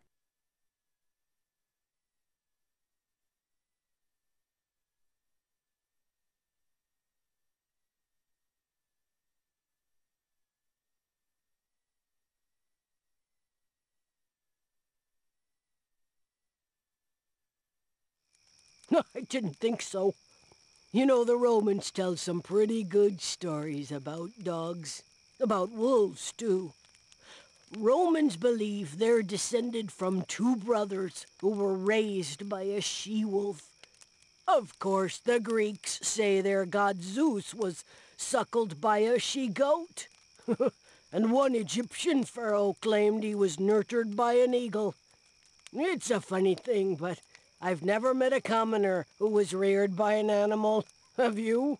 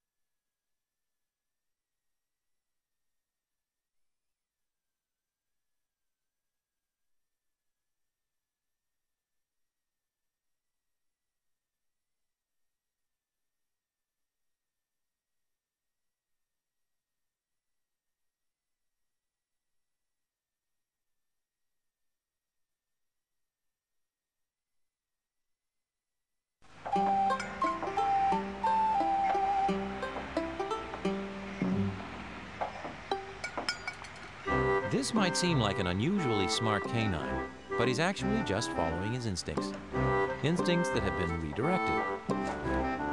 Instead of rounding up stray sheep, this border collie has been trained to bring back stray tools. You could say he's a roofer's best friend.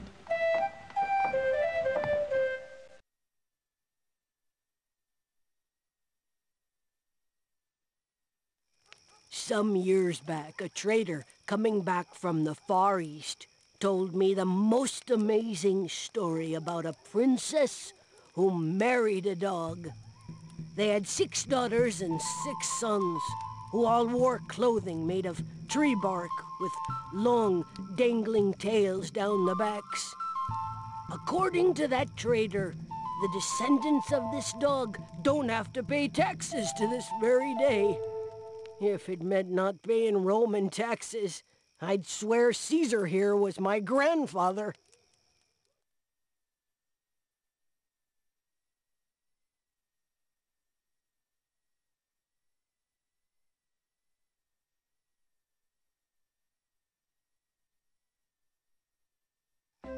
You know, the Greeks say it was a man called Prometheus who brought us fire from the gods. But in Africa, they claim it was a dog. Well, child, I've spent a lifetime among both men and dogs, and the older I get, the more sure I am that the Africans were right. I'll wager that if you sailed to the far side of the earth, you'll find stories of gods and dogs there too. More stories? Gracious child, what an appetite you have. Certainly there are more, many more, but you'll have to discover them for yourself. Caesar and I have chores to attend to before we sleep. Don't we, Caesar? If you want to find more stories on your own, click the Contents button. Or if you'd like another tour, click the button with my picture in the corner to return to the guide screen.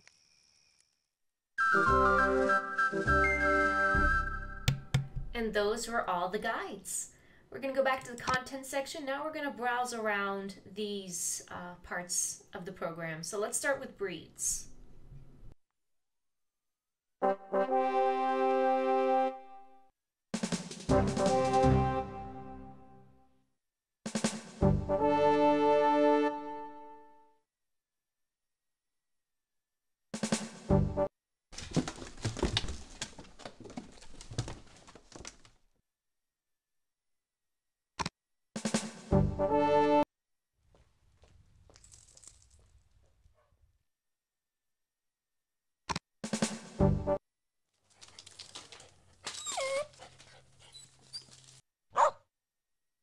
Dachshund.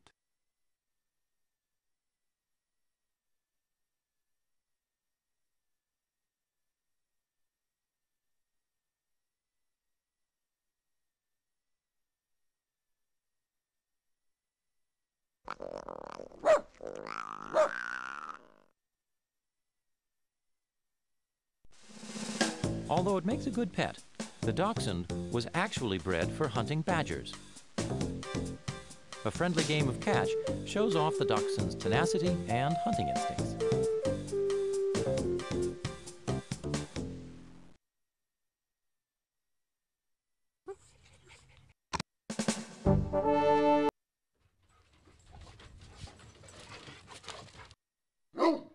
Irish Wolfhound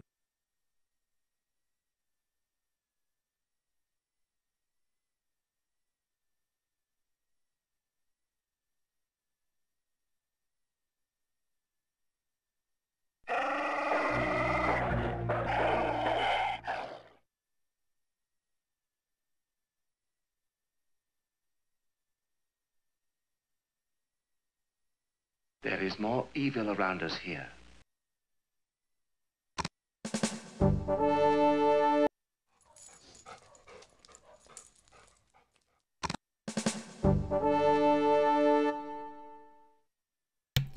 I'm mainly going more in depth in the uh, dogs that the tour guides didn't go over. So if you see me skipping over some, it's because the tour guides had already touched on these dogs, and you'll have to go back to the guides if you want to see more in depth um, facts. So I'm just trying to find the ones we didn't get information on.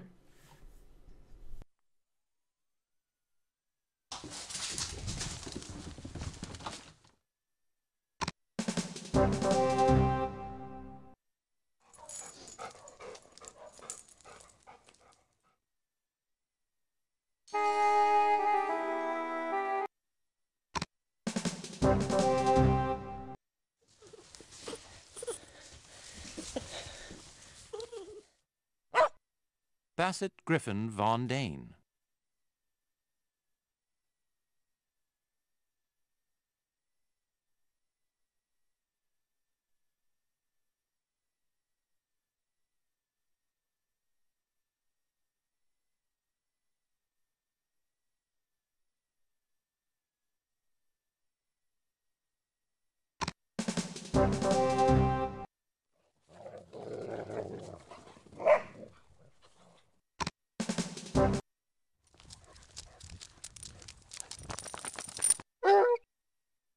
Bloodhound.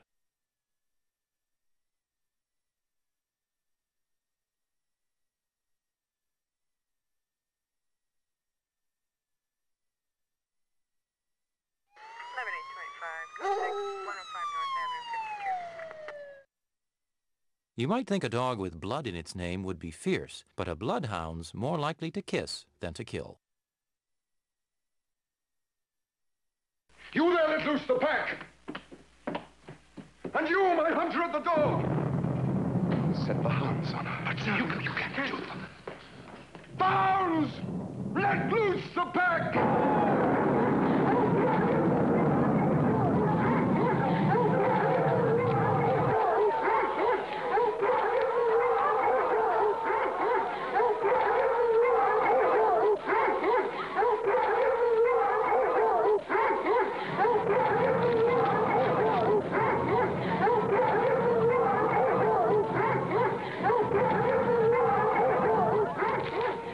Get her. My friend, you cannot do this. Get her! May the hounds of hell take me if I can't hunt her down!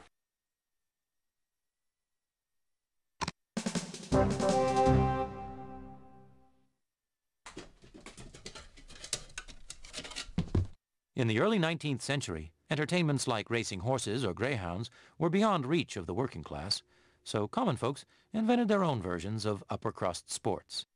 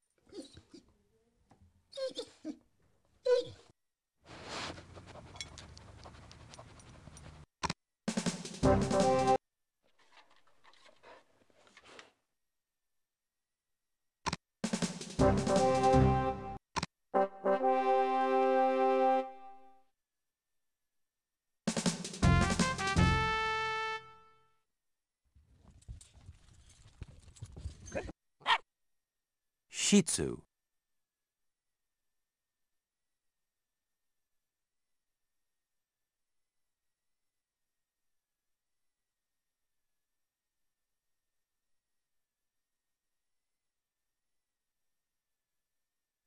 Chinese emperors like dogs they could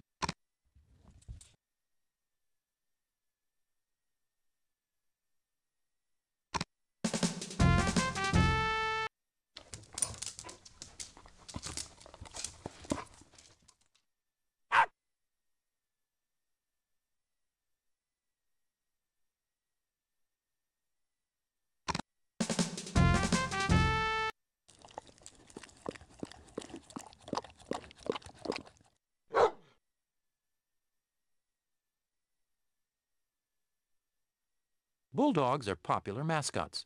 The English version is the symbol of Britain, while the American Bulldog represents the United States Marine Corps.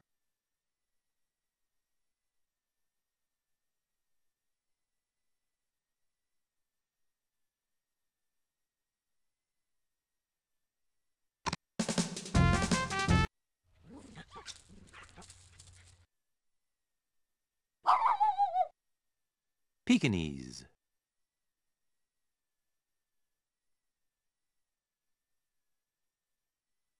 the People's Republic of China outlawed pet ownership to keep dogs and humans from competing for the same scarce food.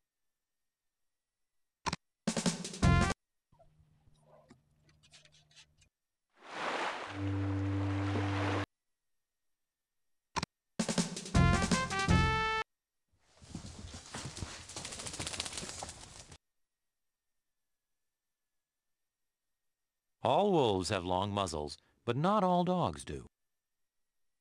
Former President Ronald Reagan's fondness for Cavalier King Charles Spaniels helped make the breed popular in the U.S.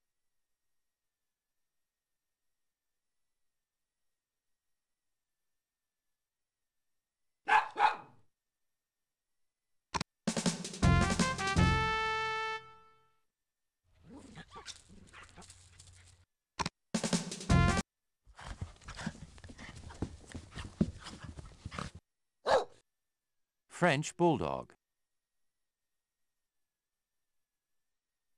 That cute little French Bulldog was developed from animals capable of killing bulls.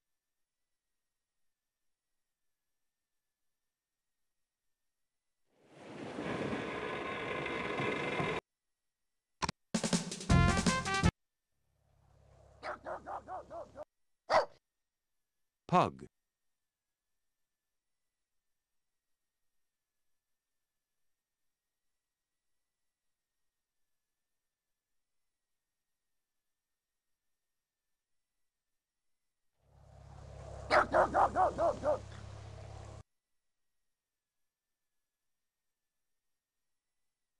When it comes to sports and politics, humans like to identify themselves with dogs.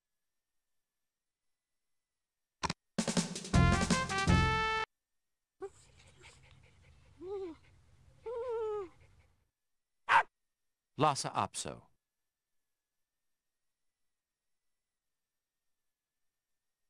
Lhasa Apsos are sometimes called lion dogs, but they aren't the only dog to go by that nickname.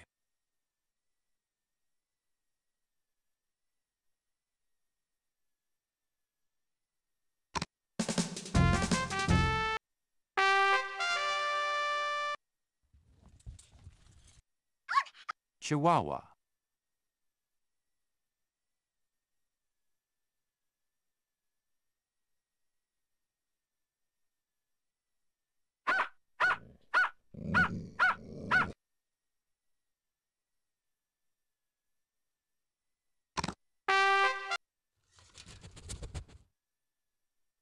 No matter how reduced its size, the Pomeranian still got a big spirit.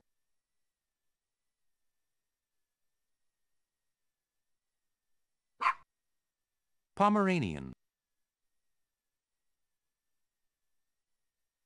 Northern breeds are best known for their stamina and strength.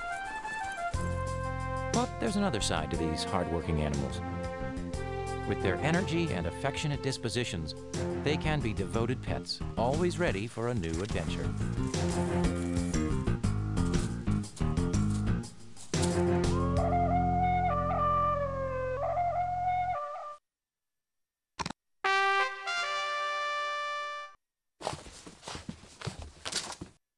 Dog that looks like the Egyptian jackal-headed god arrived in Malta by way of Phoenician sea traders.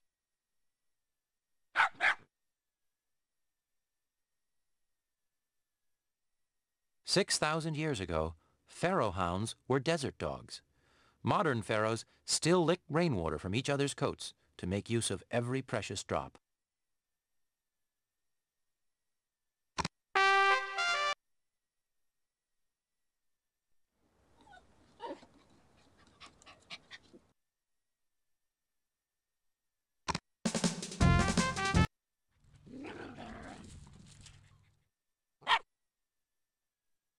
Japanese chin.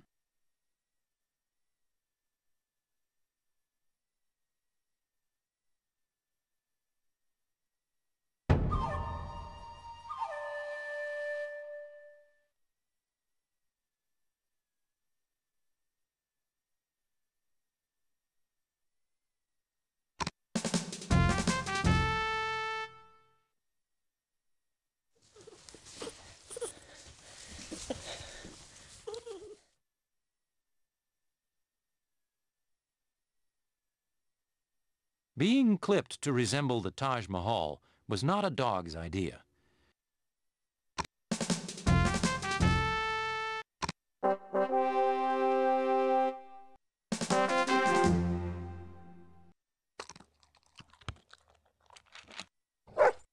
Bernese Mountain Dog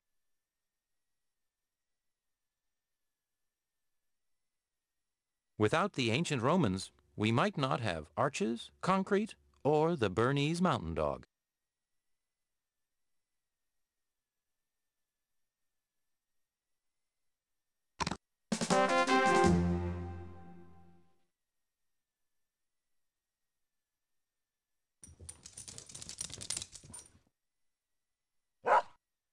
Boxer.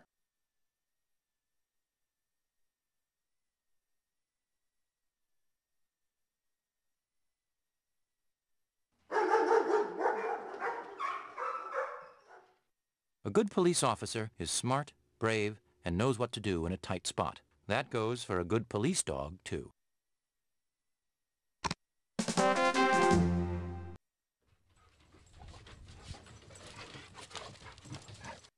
In many cases, a dog is only as good as its owner.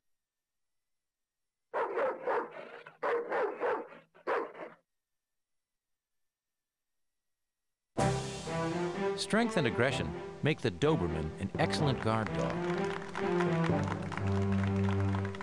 But it's also been trained as a retriever and sheep herder. To keep its sleek shape, a Doberman needs to get plenty of exercise. Doberman Pinscher.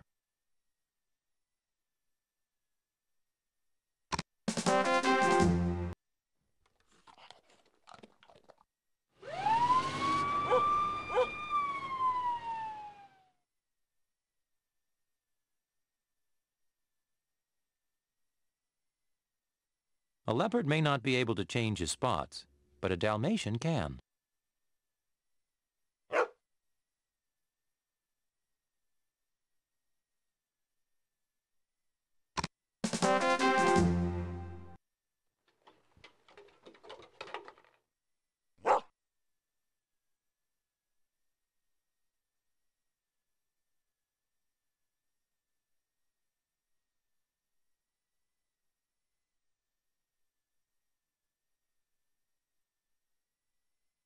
Over the thousands of years that humans and dogs have been together, hundreds of breeds have developed.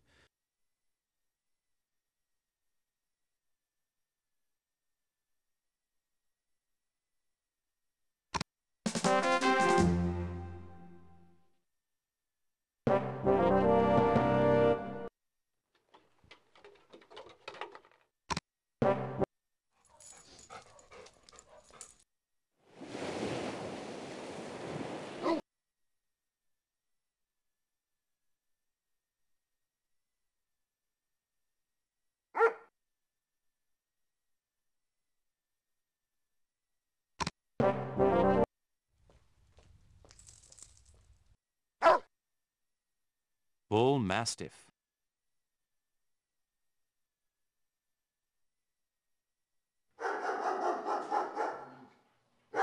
The Bull Mastiff may have been the first stealth weapon. Bred to approach its quarry silently, this breed had invaluable first strike capabilities.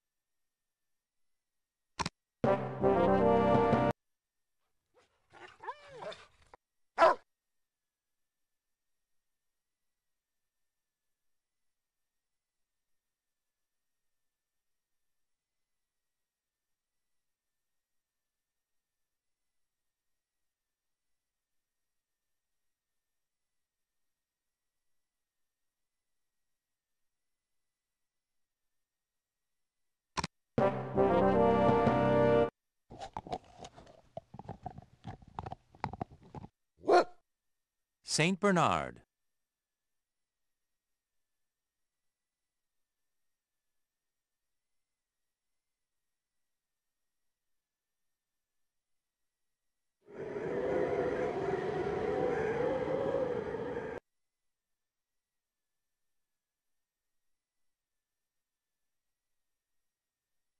War was hazardous to this breed's health.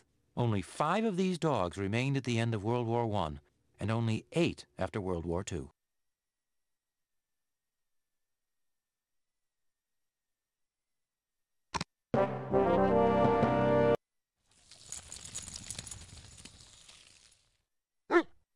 Newfoundland.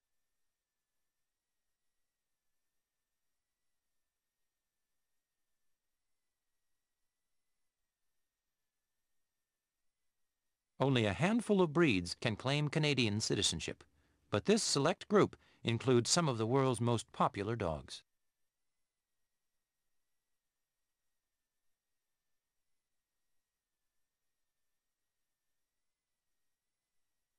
The Newfoundland is the heaviest dog on average and can easily be mistaken for a bear. But despite its size, the Newfie is a gentle dog that can fit in easily with humans.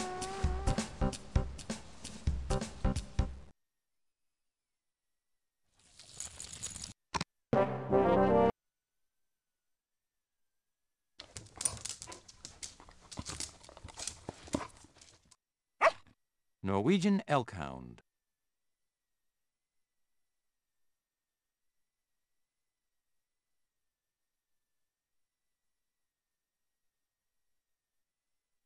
The more things change, the more they stay the same. The Norwegian Elkhound has barely changed at all in 6,000 years.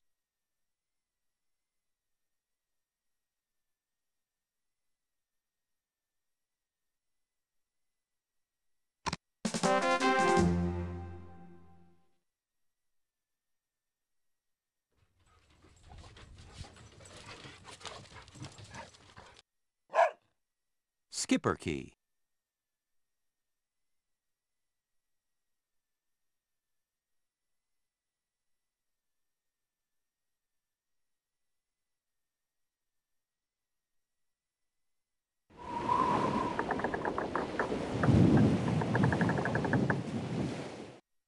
Dogs and boats may not strike you as a natural combination, but the fact is, dogs have a seagoing history that dates back to ancient times.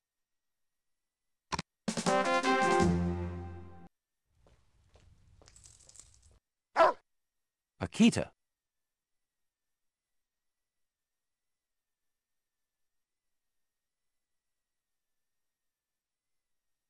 A funeral for a dog? Don't laugh. As long ago as in ancient Egypt, whole families shaved their heads and eyebrows to mourn the death of a family pet.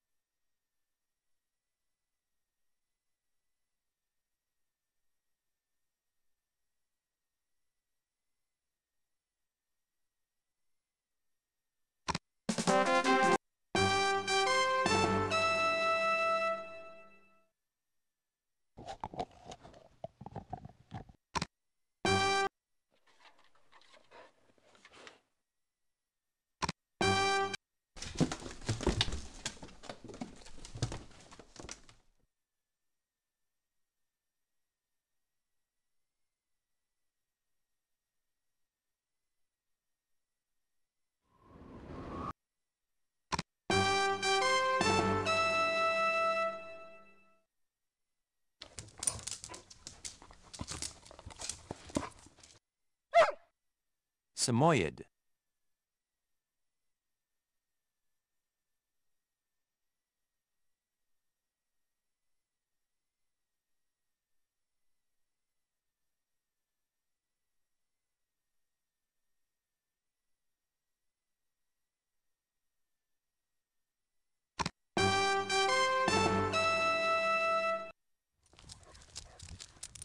Japanese breeds come in one of three sizes small, medium, and large.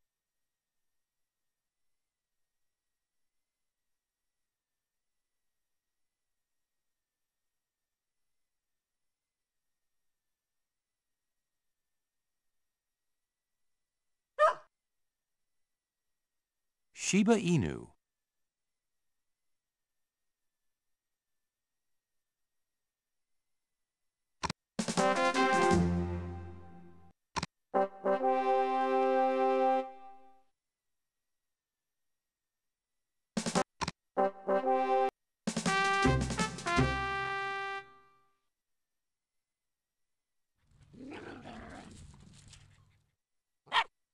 Smooth Fox Terrier.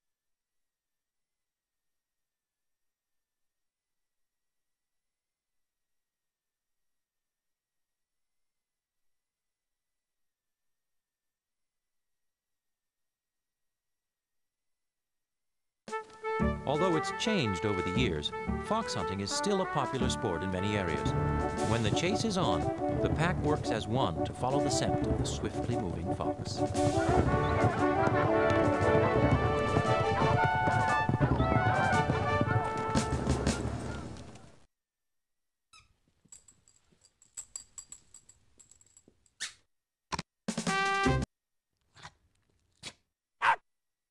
Norwich Terrier.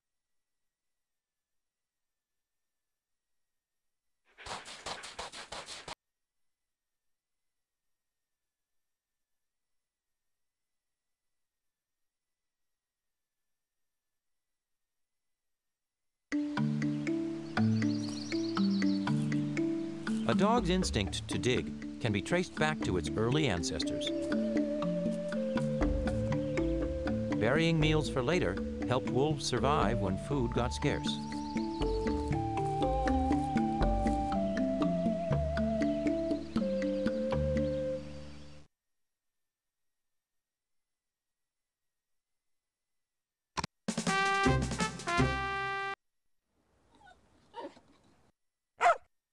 Welsh Terrier.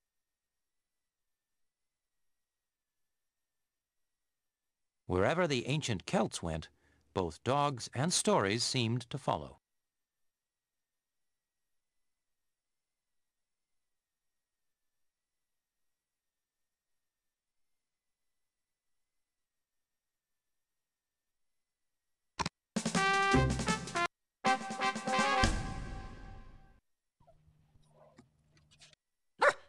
Australian Terrier.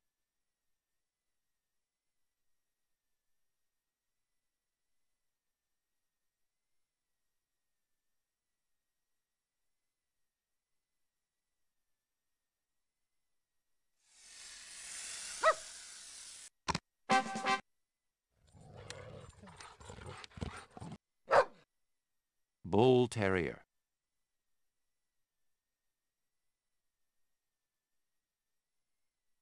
Over time, aggression has been bred out of many formerly ferocious breeds.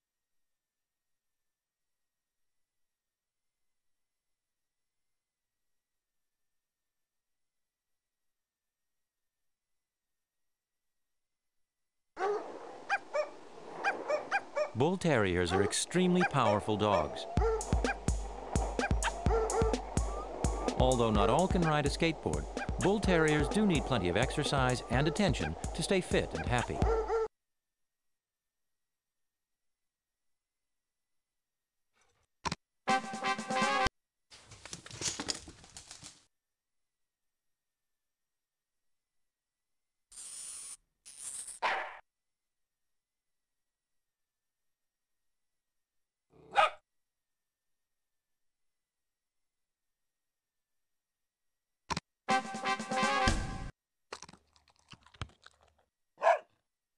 Boston Terrier.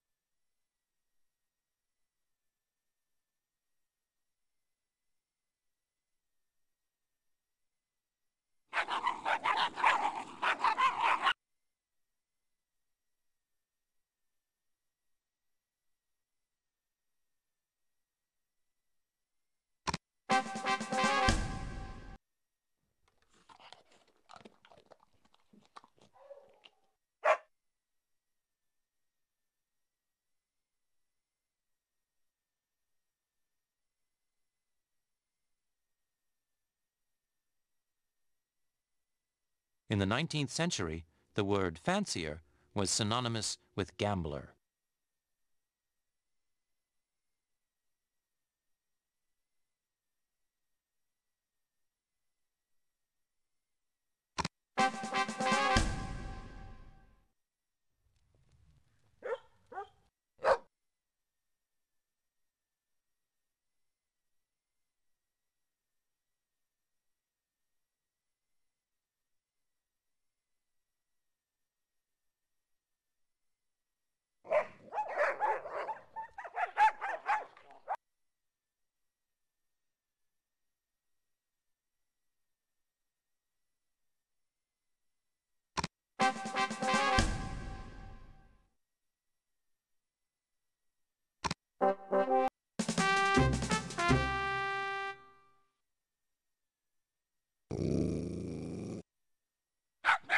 Jack Russell Terrier.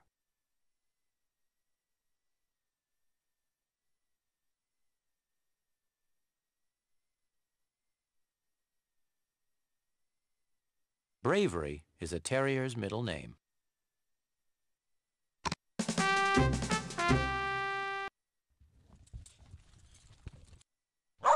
Miniature Schnauzer.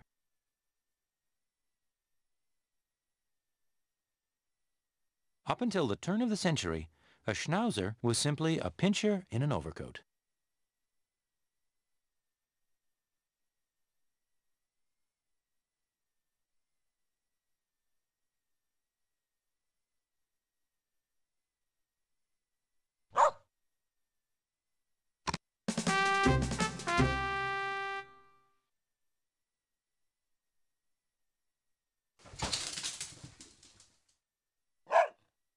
Wire Fox Terrier. History speaks of explorers and adventurers, but do you know the names of their dogs?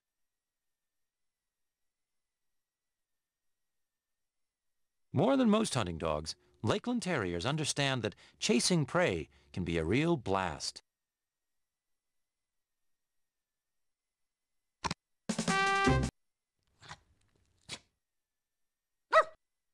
Yorkshire Terrier.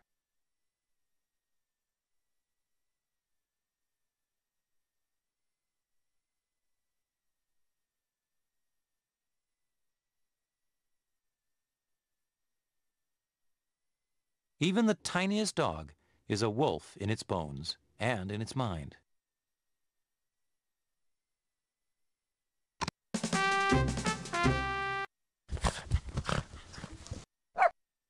Miniature Pinscher.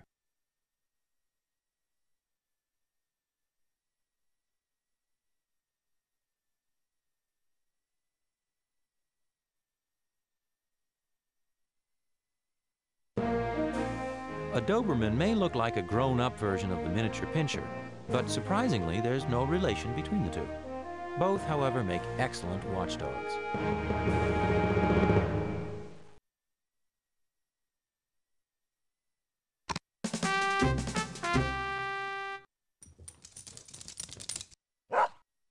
Airedale Terrier.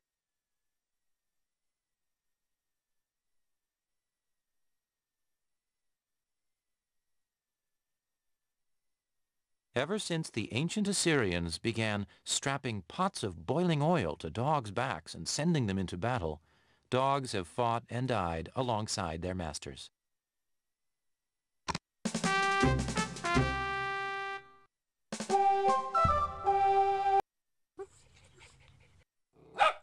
Scottish Terrier.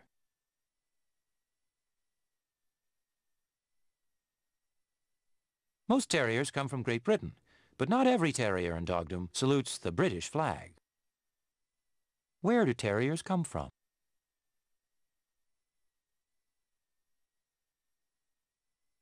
The President's official home, American headquarters for leaders of the United Nations. Here Mr. Roosevelt lives, working long hours into the night. But when 7 o'clock comes, here is one chap who usually gets his supper direct from the hand of the President. His name is Fala, a three-year-old Scottie, and the President's only pet. Fala's quite an accomplished dog, and equally fond of his master. A rare and interesting glimpse into the human qualities of the man who is President of the United States.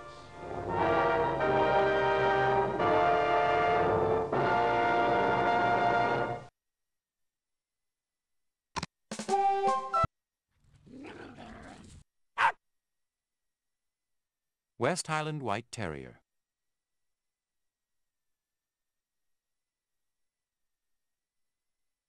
The white coats of hunters and guardians are more than just window dressing.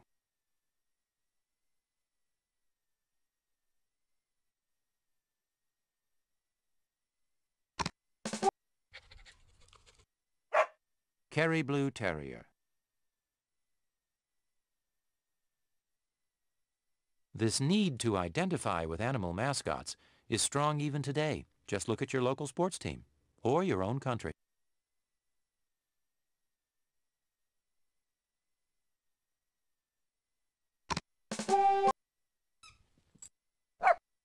Cairn Terrier.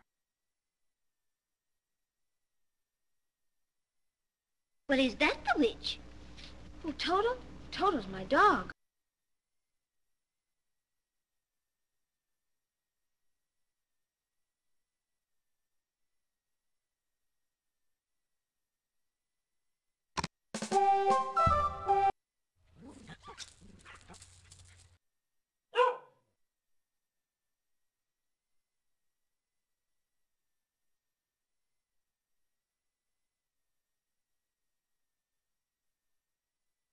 Which came first, the Irish, the Wheaten, or the Kerry Blue?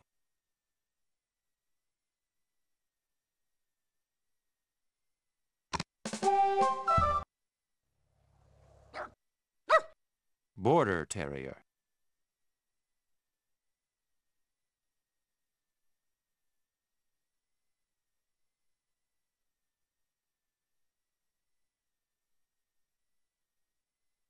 Border Terriers aren't the only dogs of indeterminate origin.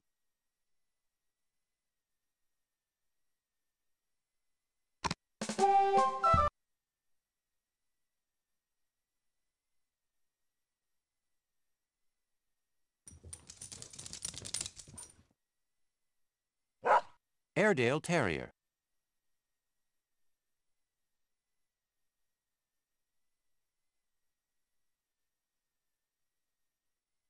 Ever since the ancient Assyrians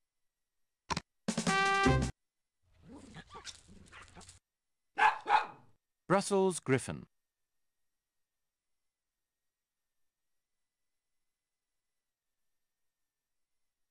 Humans sometimes bob their noses for fashion's sake, but the Brussels Griffon wasn't given a choice in the matter.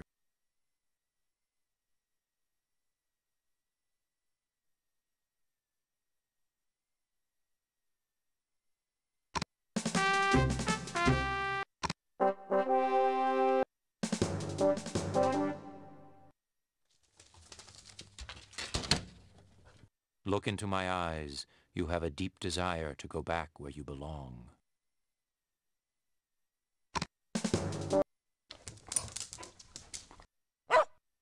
Pembroke Welsh Corgi. Comical as low-slung dogs may look, their short legs always serve a purpose.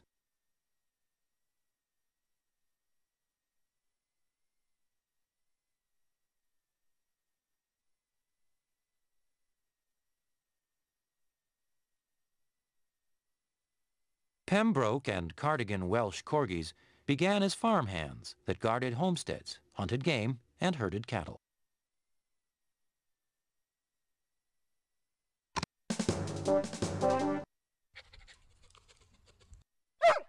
Belgian Sheepdog Until the late 19th century, Belgian Shepherd dogs were bred for their herding ability, not for how they looked.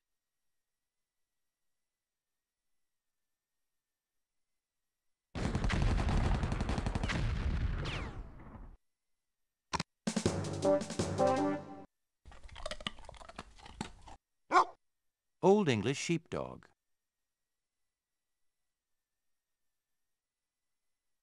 Farmers began docking the tails of Old English sheepdogs for economics, not aesthetics.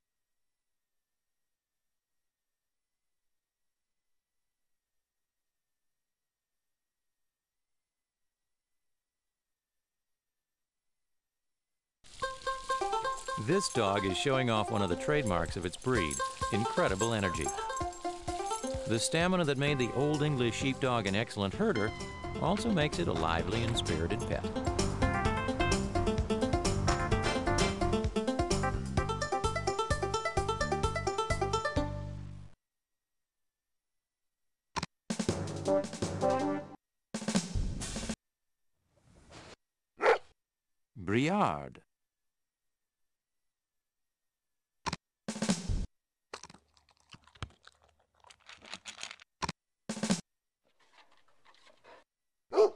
Great Pyrenees.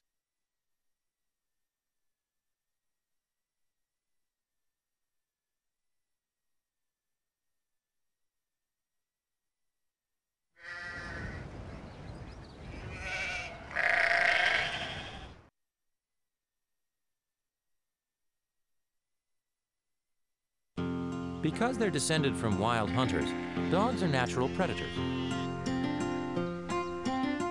Once they were trained to round up animals rather than attack them, some became herding and guardian dogs. Early on, farmers saw the value of having white dogs in the field. White dogs stood less chance of being mistaken for a predator and accidentally killed.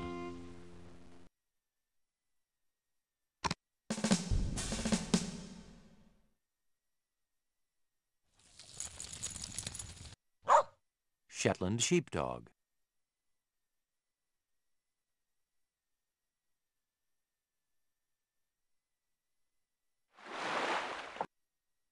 The Shetland Sheepdog's size was determined by where it originated.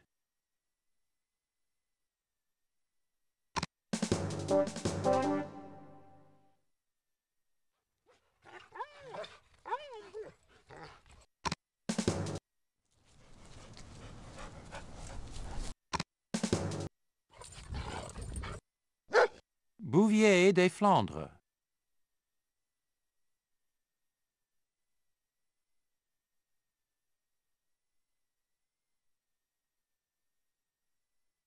The name Bouvier means bovine herder.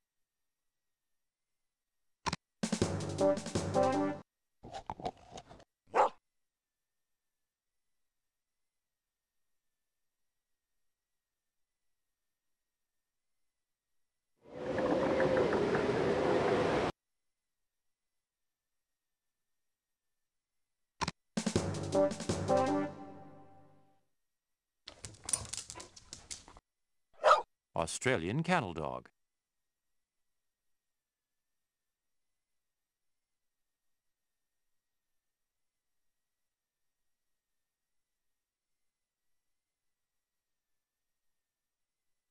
The Australian cattle dog's bark is definitely not worse than its bite. Herding dogs probably developed at the same time animals like sheep and goats were domesticated. Although almost every nation has its particular breed of herding dog, they all possess similar qualities. They're obedient, reliable, and hardworking.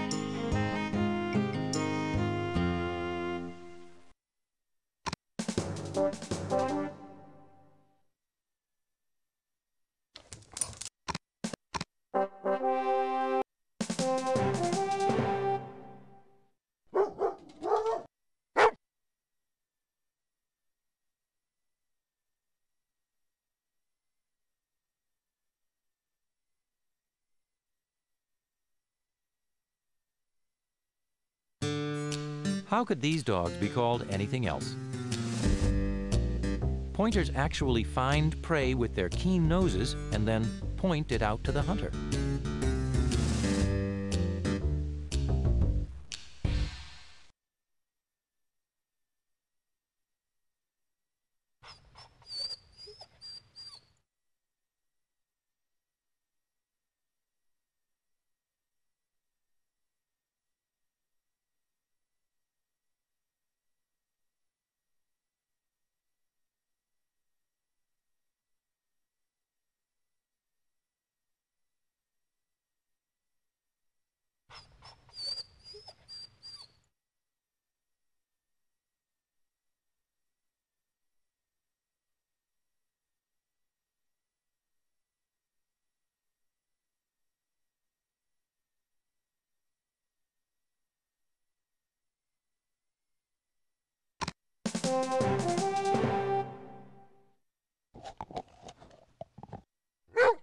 Irish Setter.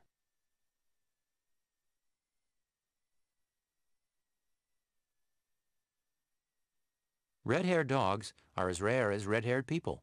Perhaps that's why flame-colored canines have figured in the mythologies of so many cultures.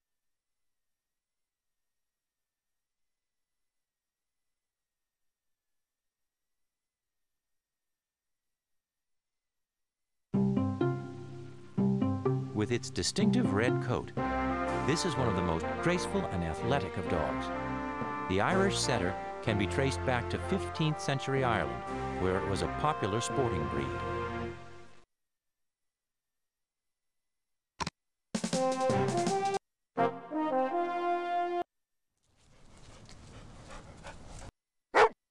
Labrador Retriever Although water retrievers originated in Canada, it was in England that they developed into the labs we know today.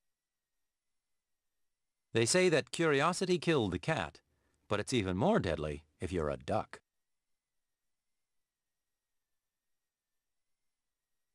The Labrador is one of the most versatile dogs around. Although still popular with hunters, the lab's drug-sniffing abilities have made it a favorite of law enforcement officials.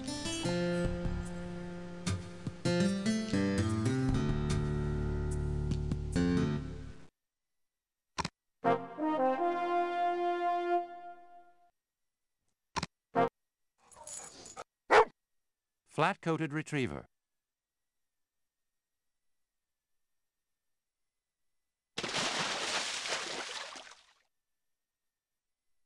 Because flat-coated retrievers have never been enduringly popular, they've escaped from some of the problems that plague more common breeds.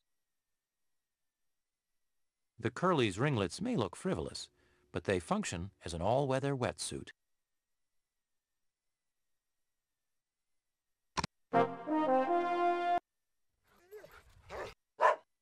Portuguese water dog. Fishermen considered their Portuguese water dog so valuable it was illegal to harm one.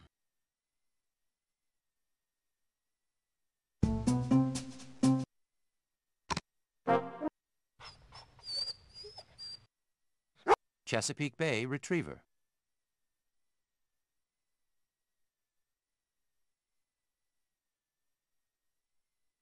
Throughout history, traveling people have taken their dogs with them. Some hunting dogs were bred to blend with their surroundings. Others were bred to stand out.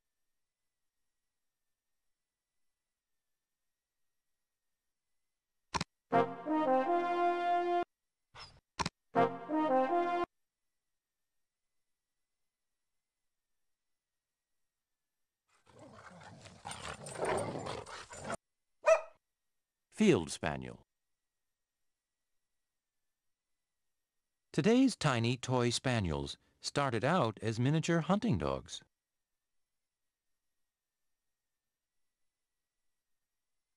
Joy Freer, who saved Sussex Spaniels from extinction during World War II, compared the tawniness of their coats to the color of lions.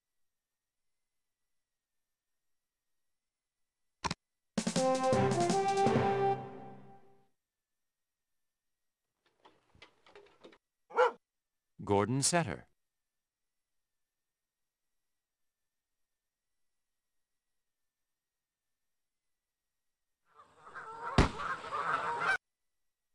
If you hear the baying of ghostly hounds ringing through the winter air, beware, the wild hunt is unleashed.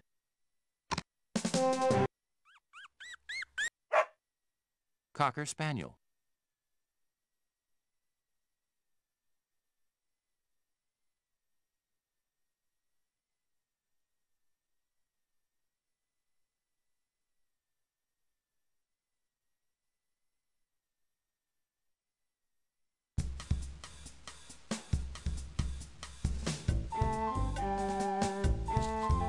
Don't be fooled by its looks. This pup has the instincts of a keen hunter. Today, however, the Cocker Spaniel is best known as an affectionate pet.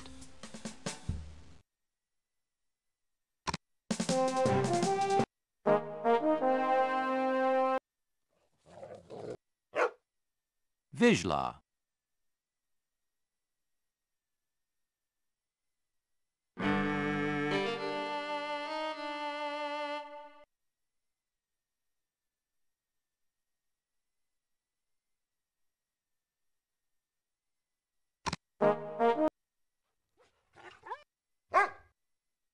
German wire-haired pointer.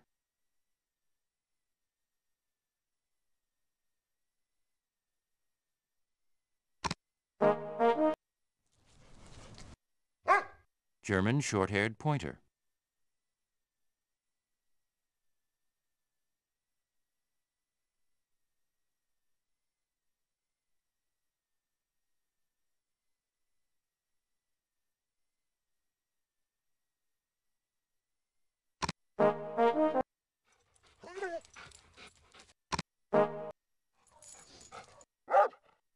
Weimaraner. The Germans felt the same way about Weimaraners as the Chinese did about Pekingese. The dogs were too special for foreigners to breed.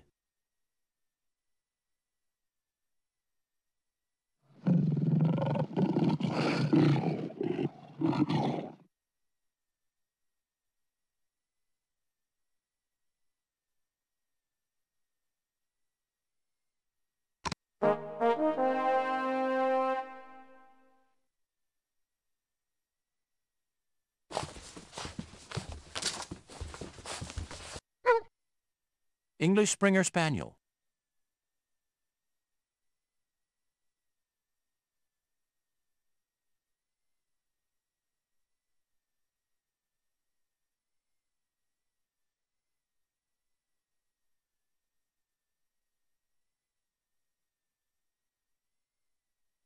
Springer Spaniels are indefatigable hunting dogs, even in the backyard.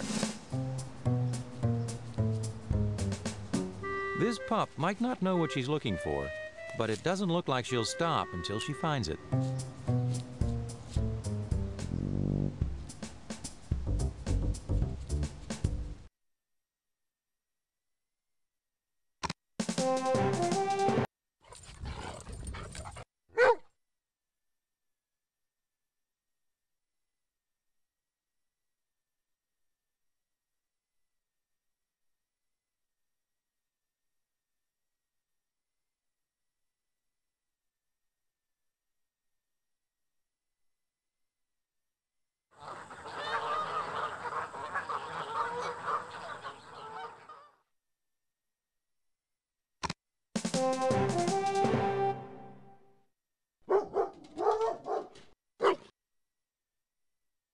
Golden Retriever.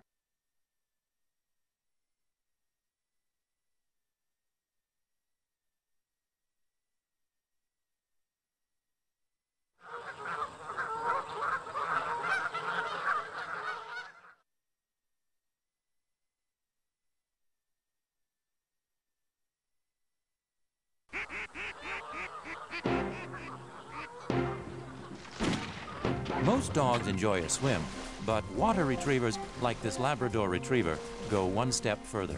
A favorite of hunters, a retriever can carry a dead bird in its mouth without taking a bite. Retrievers are gentle, loyal, and dependable pets, too.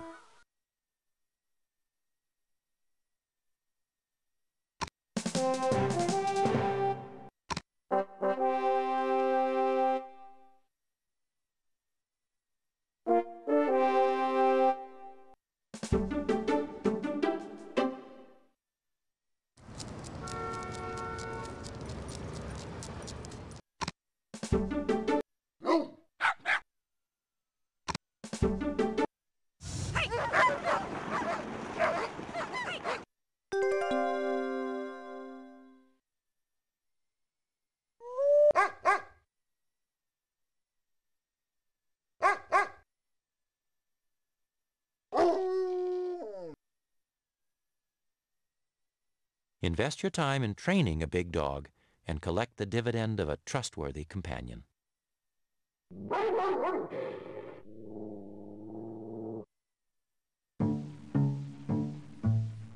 Don't be fooled by their looks. Poodles were once known as exceptional sporting dogs. Intelligent and friendly, poodles today are good pets and useful companions. Like this loyal guide, a poodle terrier cross who works as a walking aid for disabled adults.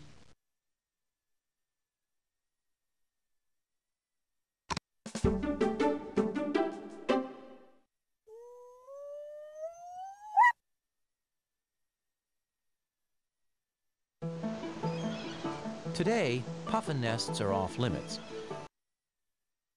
If you're tired of vacuuming pet hair off the furniture, make your next dog one of the hairless breeds.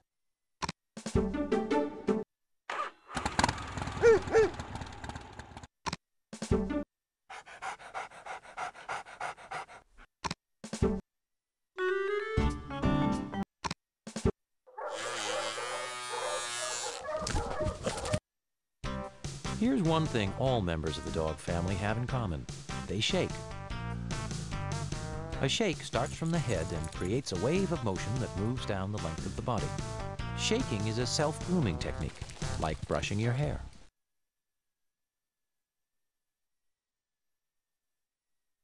You'll either need to become an expert groomer or hire one if you have a dog that requires special coat care. Growing, grown, gone. Shedding dogs' coats include hair in all three stages.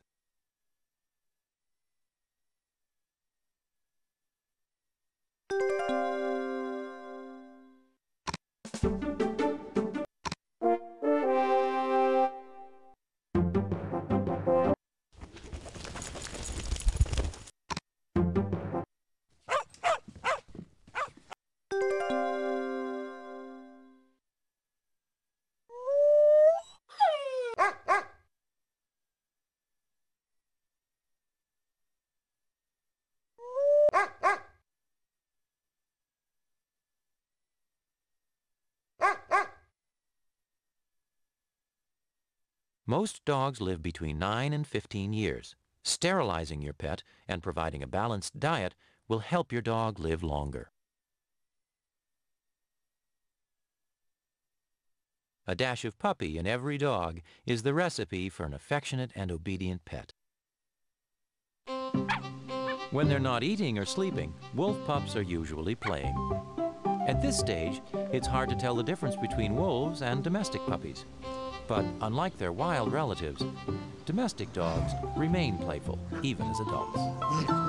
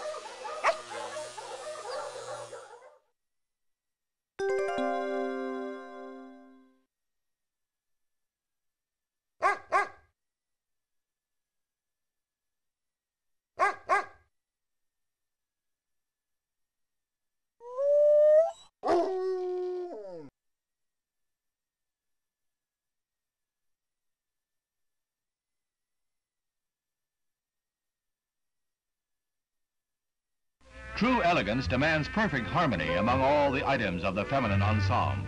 For instance, a superb hairdo would be wasted if Milady walks a shaggy dog. So,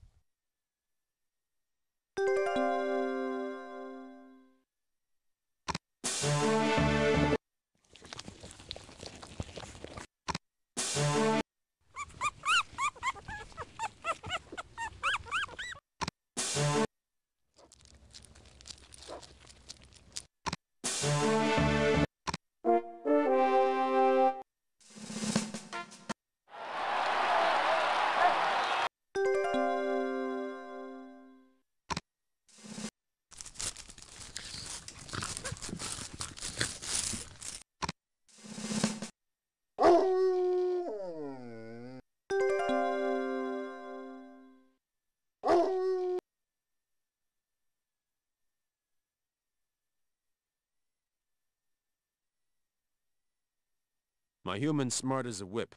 All I have to do is pick up my dish and she knows it's time for dinner.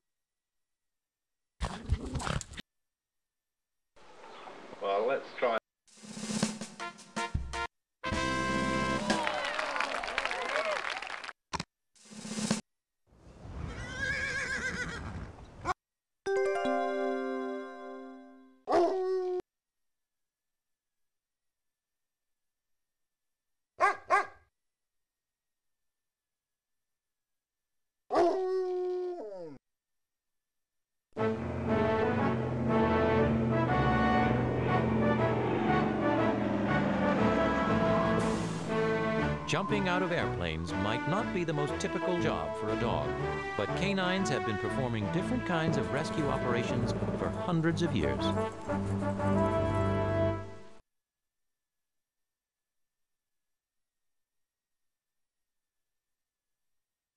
Little Bo Peep is just the kind of shepherd who would benefit from a flock guardian.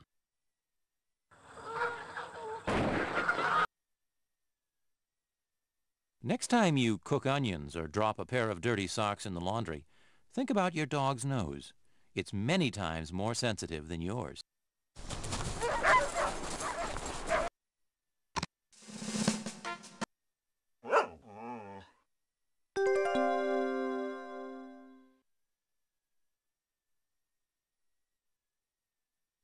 Here, over.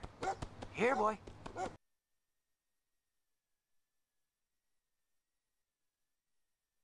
Their methods may vary, but most successful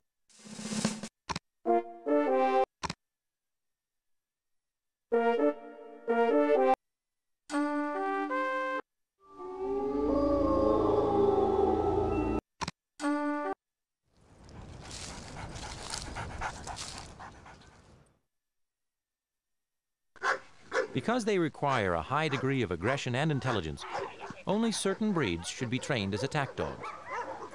Perfect obedience is a must. If the dog can't stop on command, it should not be trained to attack.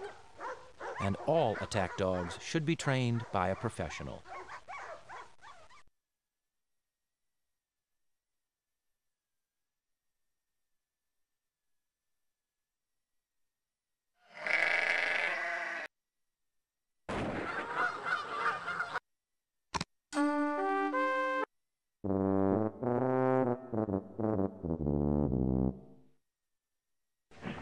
German shepherd named Rin Tin Tin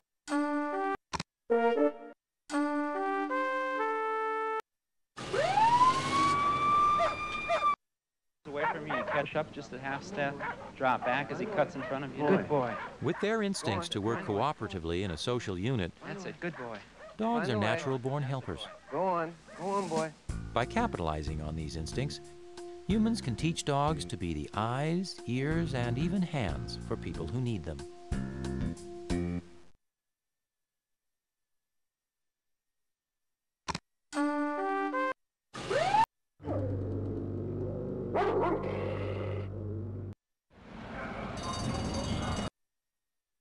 Dogs' superior sense of smell and their ability to go where humans cannot have made them essential to search and rescue efforts around the world.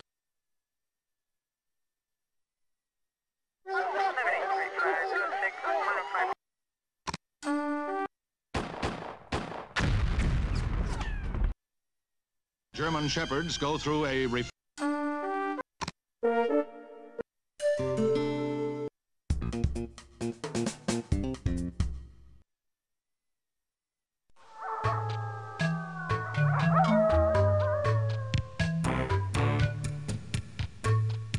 their size, shape, coloring, temperament, and personality. But looks aren't everything. Even the smallest, fluffiest dog has the mind and instincts of its ancestor, the wolf.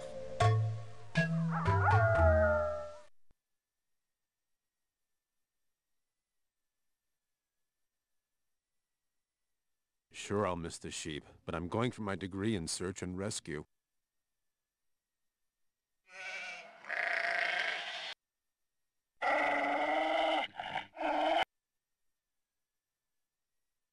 Adding fresh stock keeps the gene pool from getting stagnant and protects dogs from inherited health problems.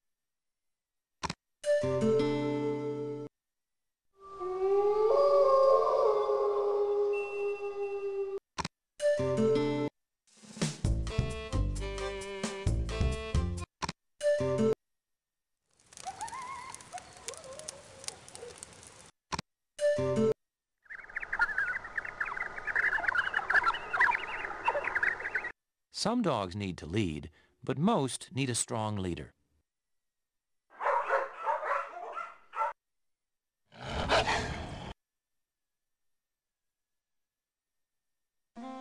Wolves are social hunters, working together to bring down game much larger than themselves. Domestic dogs were bred to be successful hunters by capitalizing on their wolf instincts. Scent hounds, for example, work in a pack to trail their prey until it's cornered.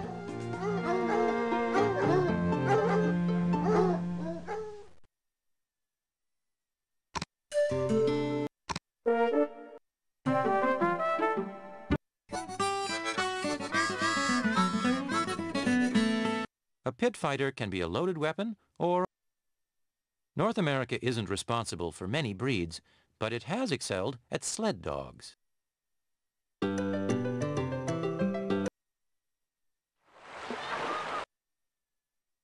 Raccoon hunting was once a top sport in many parts of the southeastern United States. Coon hounds could follow a trail for hours, covering large areas of countryside.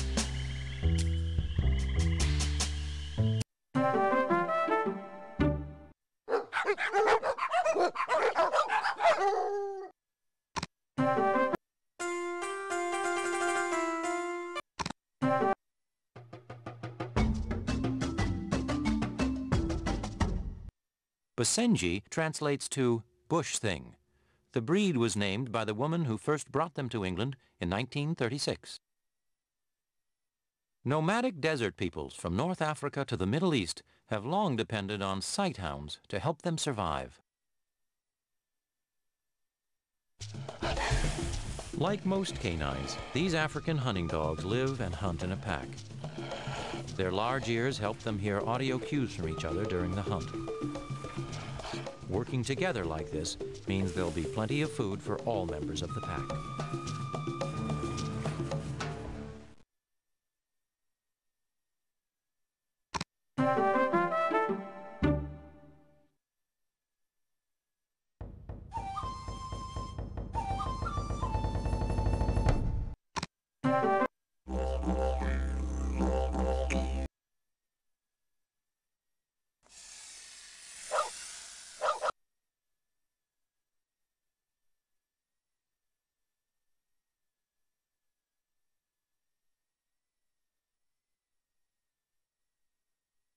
The history of herding and sheepdogs can be traced as far back as 1000 BC, when farmers began to breed large numbers of sheep and cattle.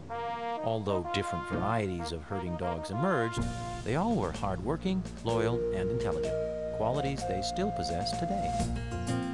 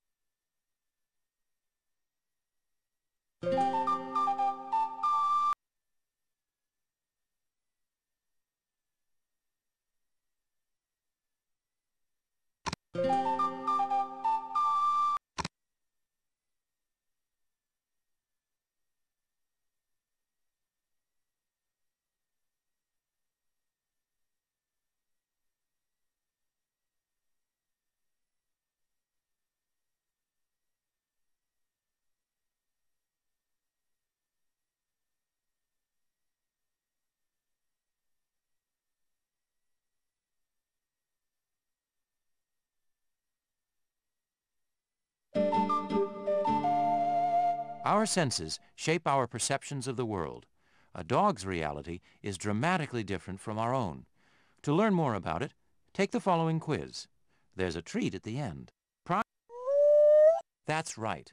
Light reflected off a structure called the tapetum lucidum has a second chance of being detected by the light-sensitive cells, or rods and cones, in the retina. This enhances night vision. It also makes dogs' eyes appear to glow in the dark. Thousands of taste buds on a dog's tongue send chemical data to the brain for analysis. The brain processes the information and gives its verdict instantaneously. That's right. The back of the tongue hosts thousands of taste-sensitive nerve endings. Touch information relies upon physical contact between an animal's body and the surrounding environment. The brain decides whether the contact brings pleasure or pain. Correct. Animals hear because disturbances in the surrounding air exert a series of rapid touches on the eardrum. Know how a stuffed-up nose keeps you from tasting dinner? Even though in mammals taste has its own special apparatus, it's greatly enhanced by input from other senses. Right. Dogs learn less about food value than humans do from how something looks. Smell and texture are important information, though, when it comes to deciding what's good to eat. Scent information may be days old. Its source might be a mile away. But the data that comes from touching is very much about the here and now. That's correct. Dog skin, like ours, is a sense organ that collects information about the immediate environment.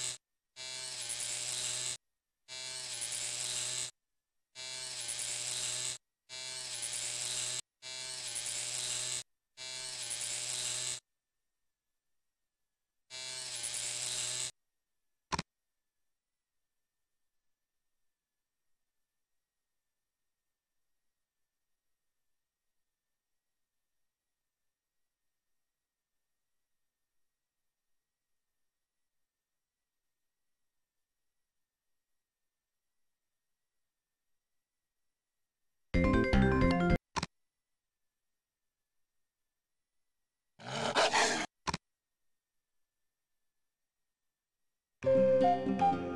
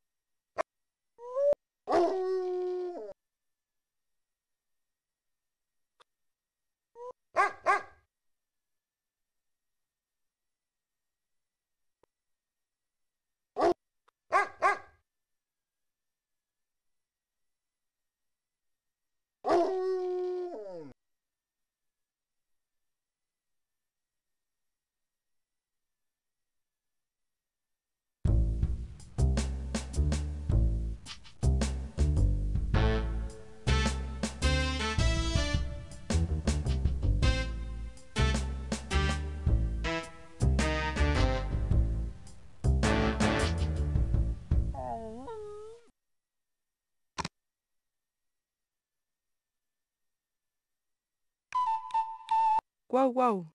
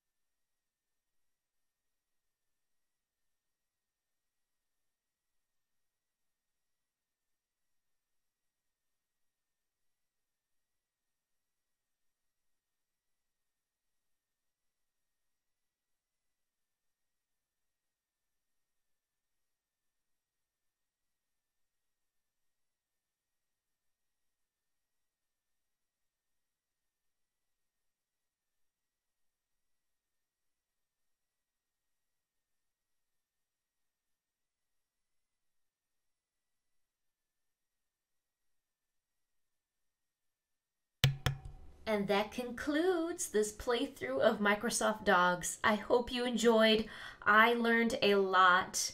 If you enjoyed the video, please give it a thumbs up. Leave a comment down below sharing your thoughts. And of course, if you're new, why not subscribe for more nostalgic content? Check out the playlist in the description box to see the other Microsoft learning games. So far, I have Dangerous Creatures and Oceans up there, and more are coming soon. Remember, you are special and loved, you are never alone, and you're always welcome to come back and hang out anytime. Until the next video, God bless. I'll see you all later. Bye bye, my friends.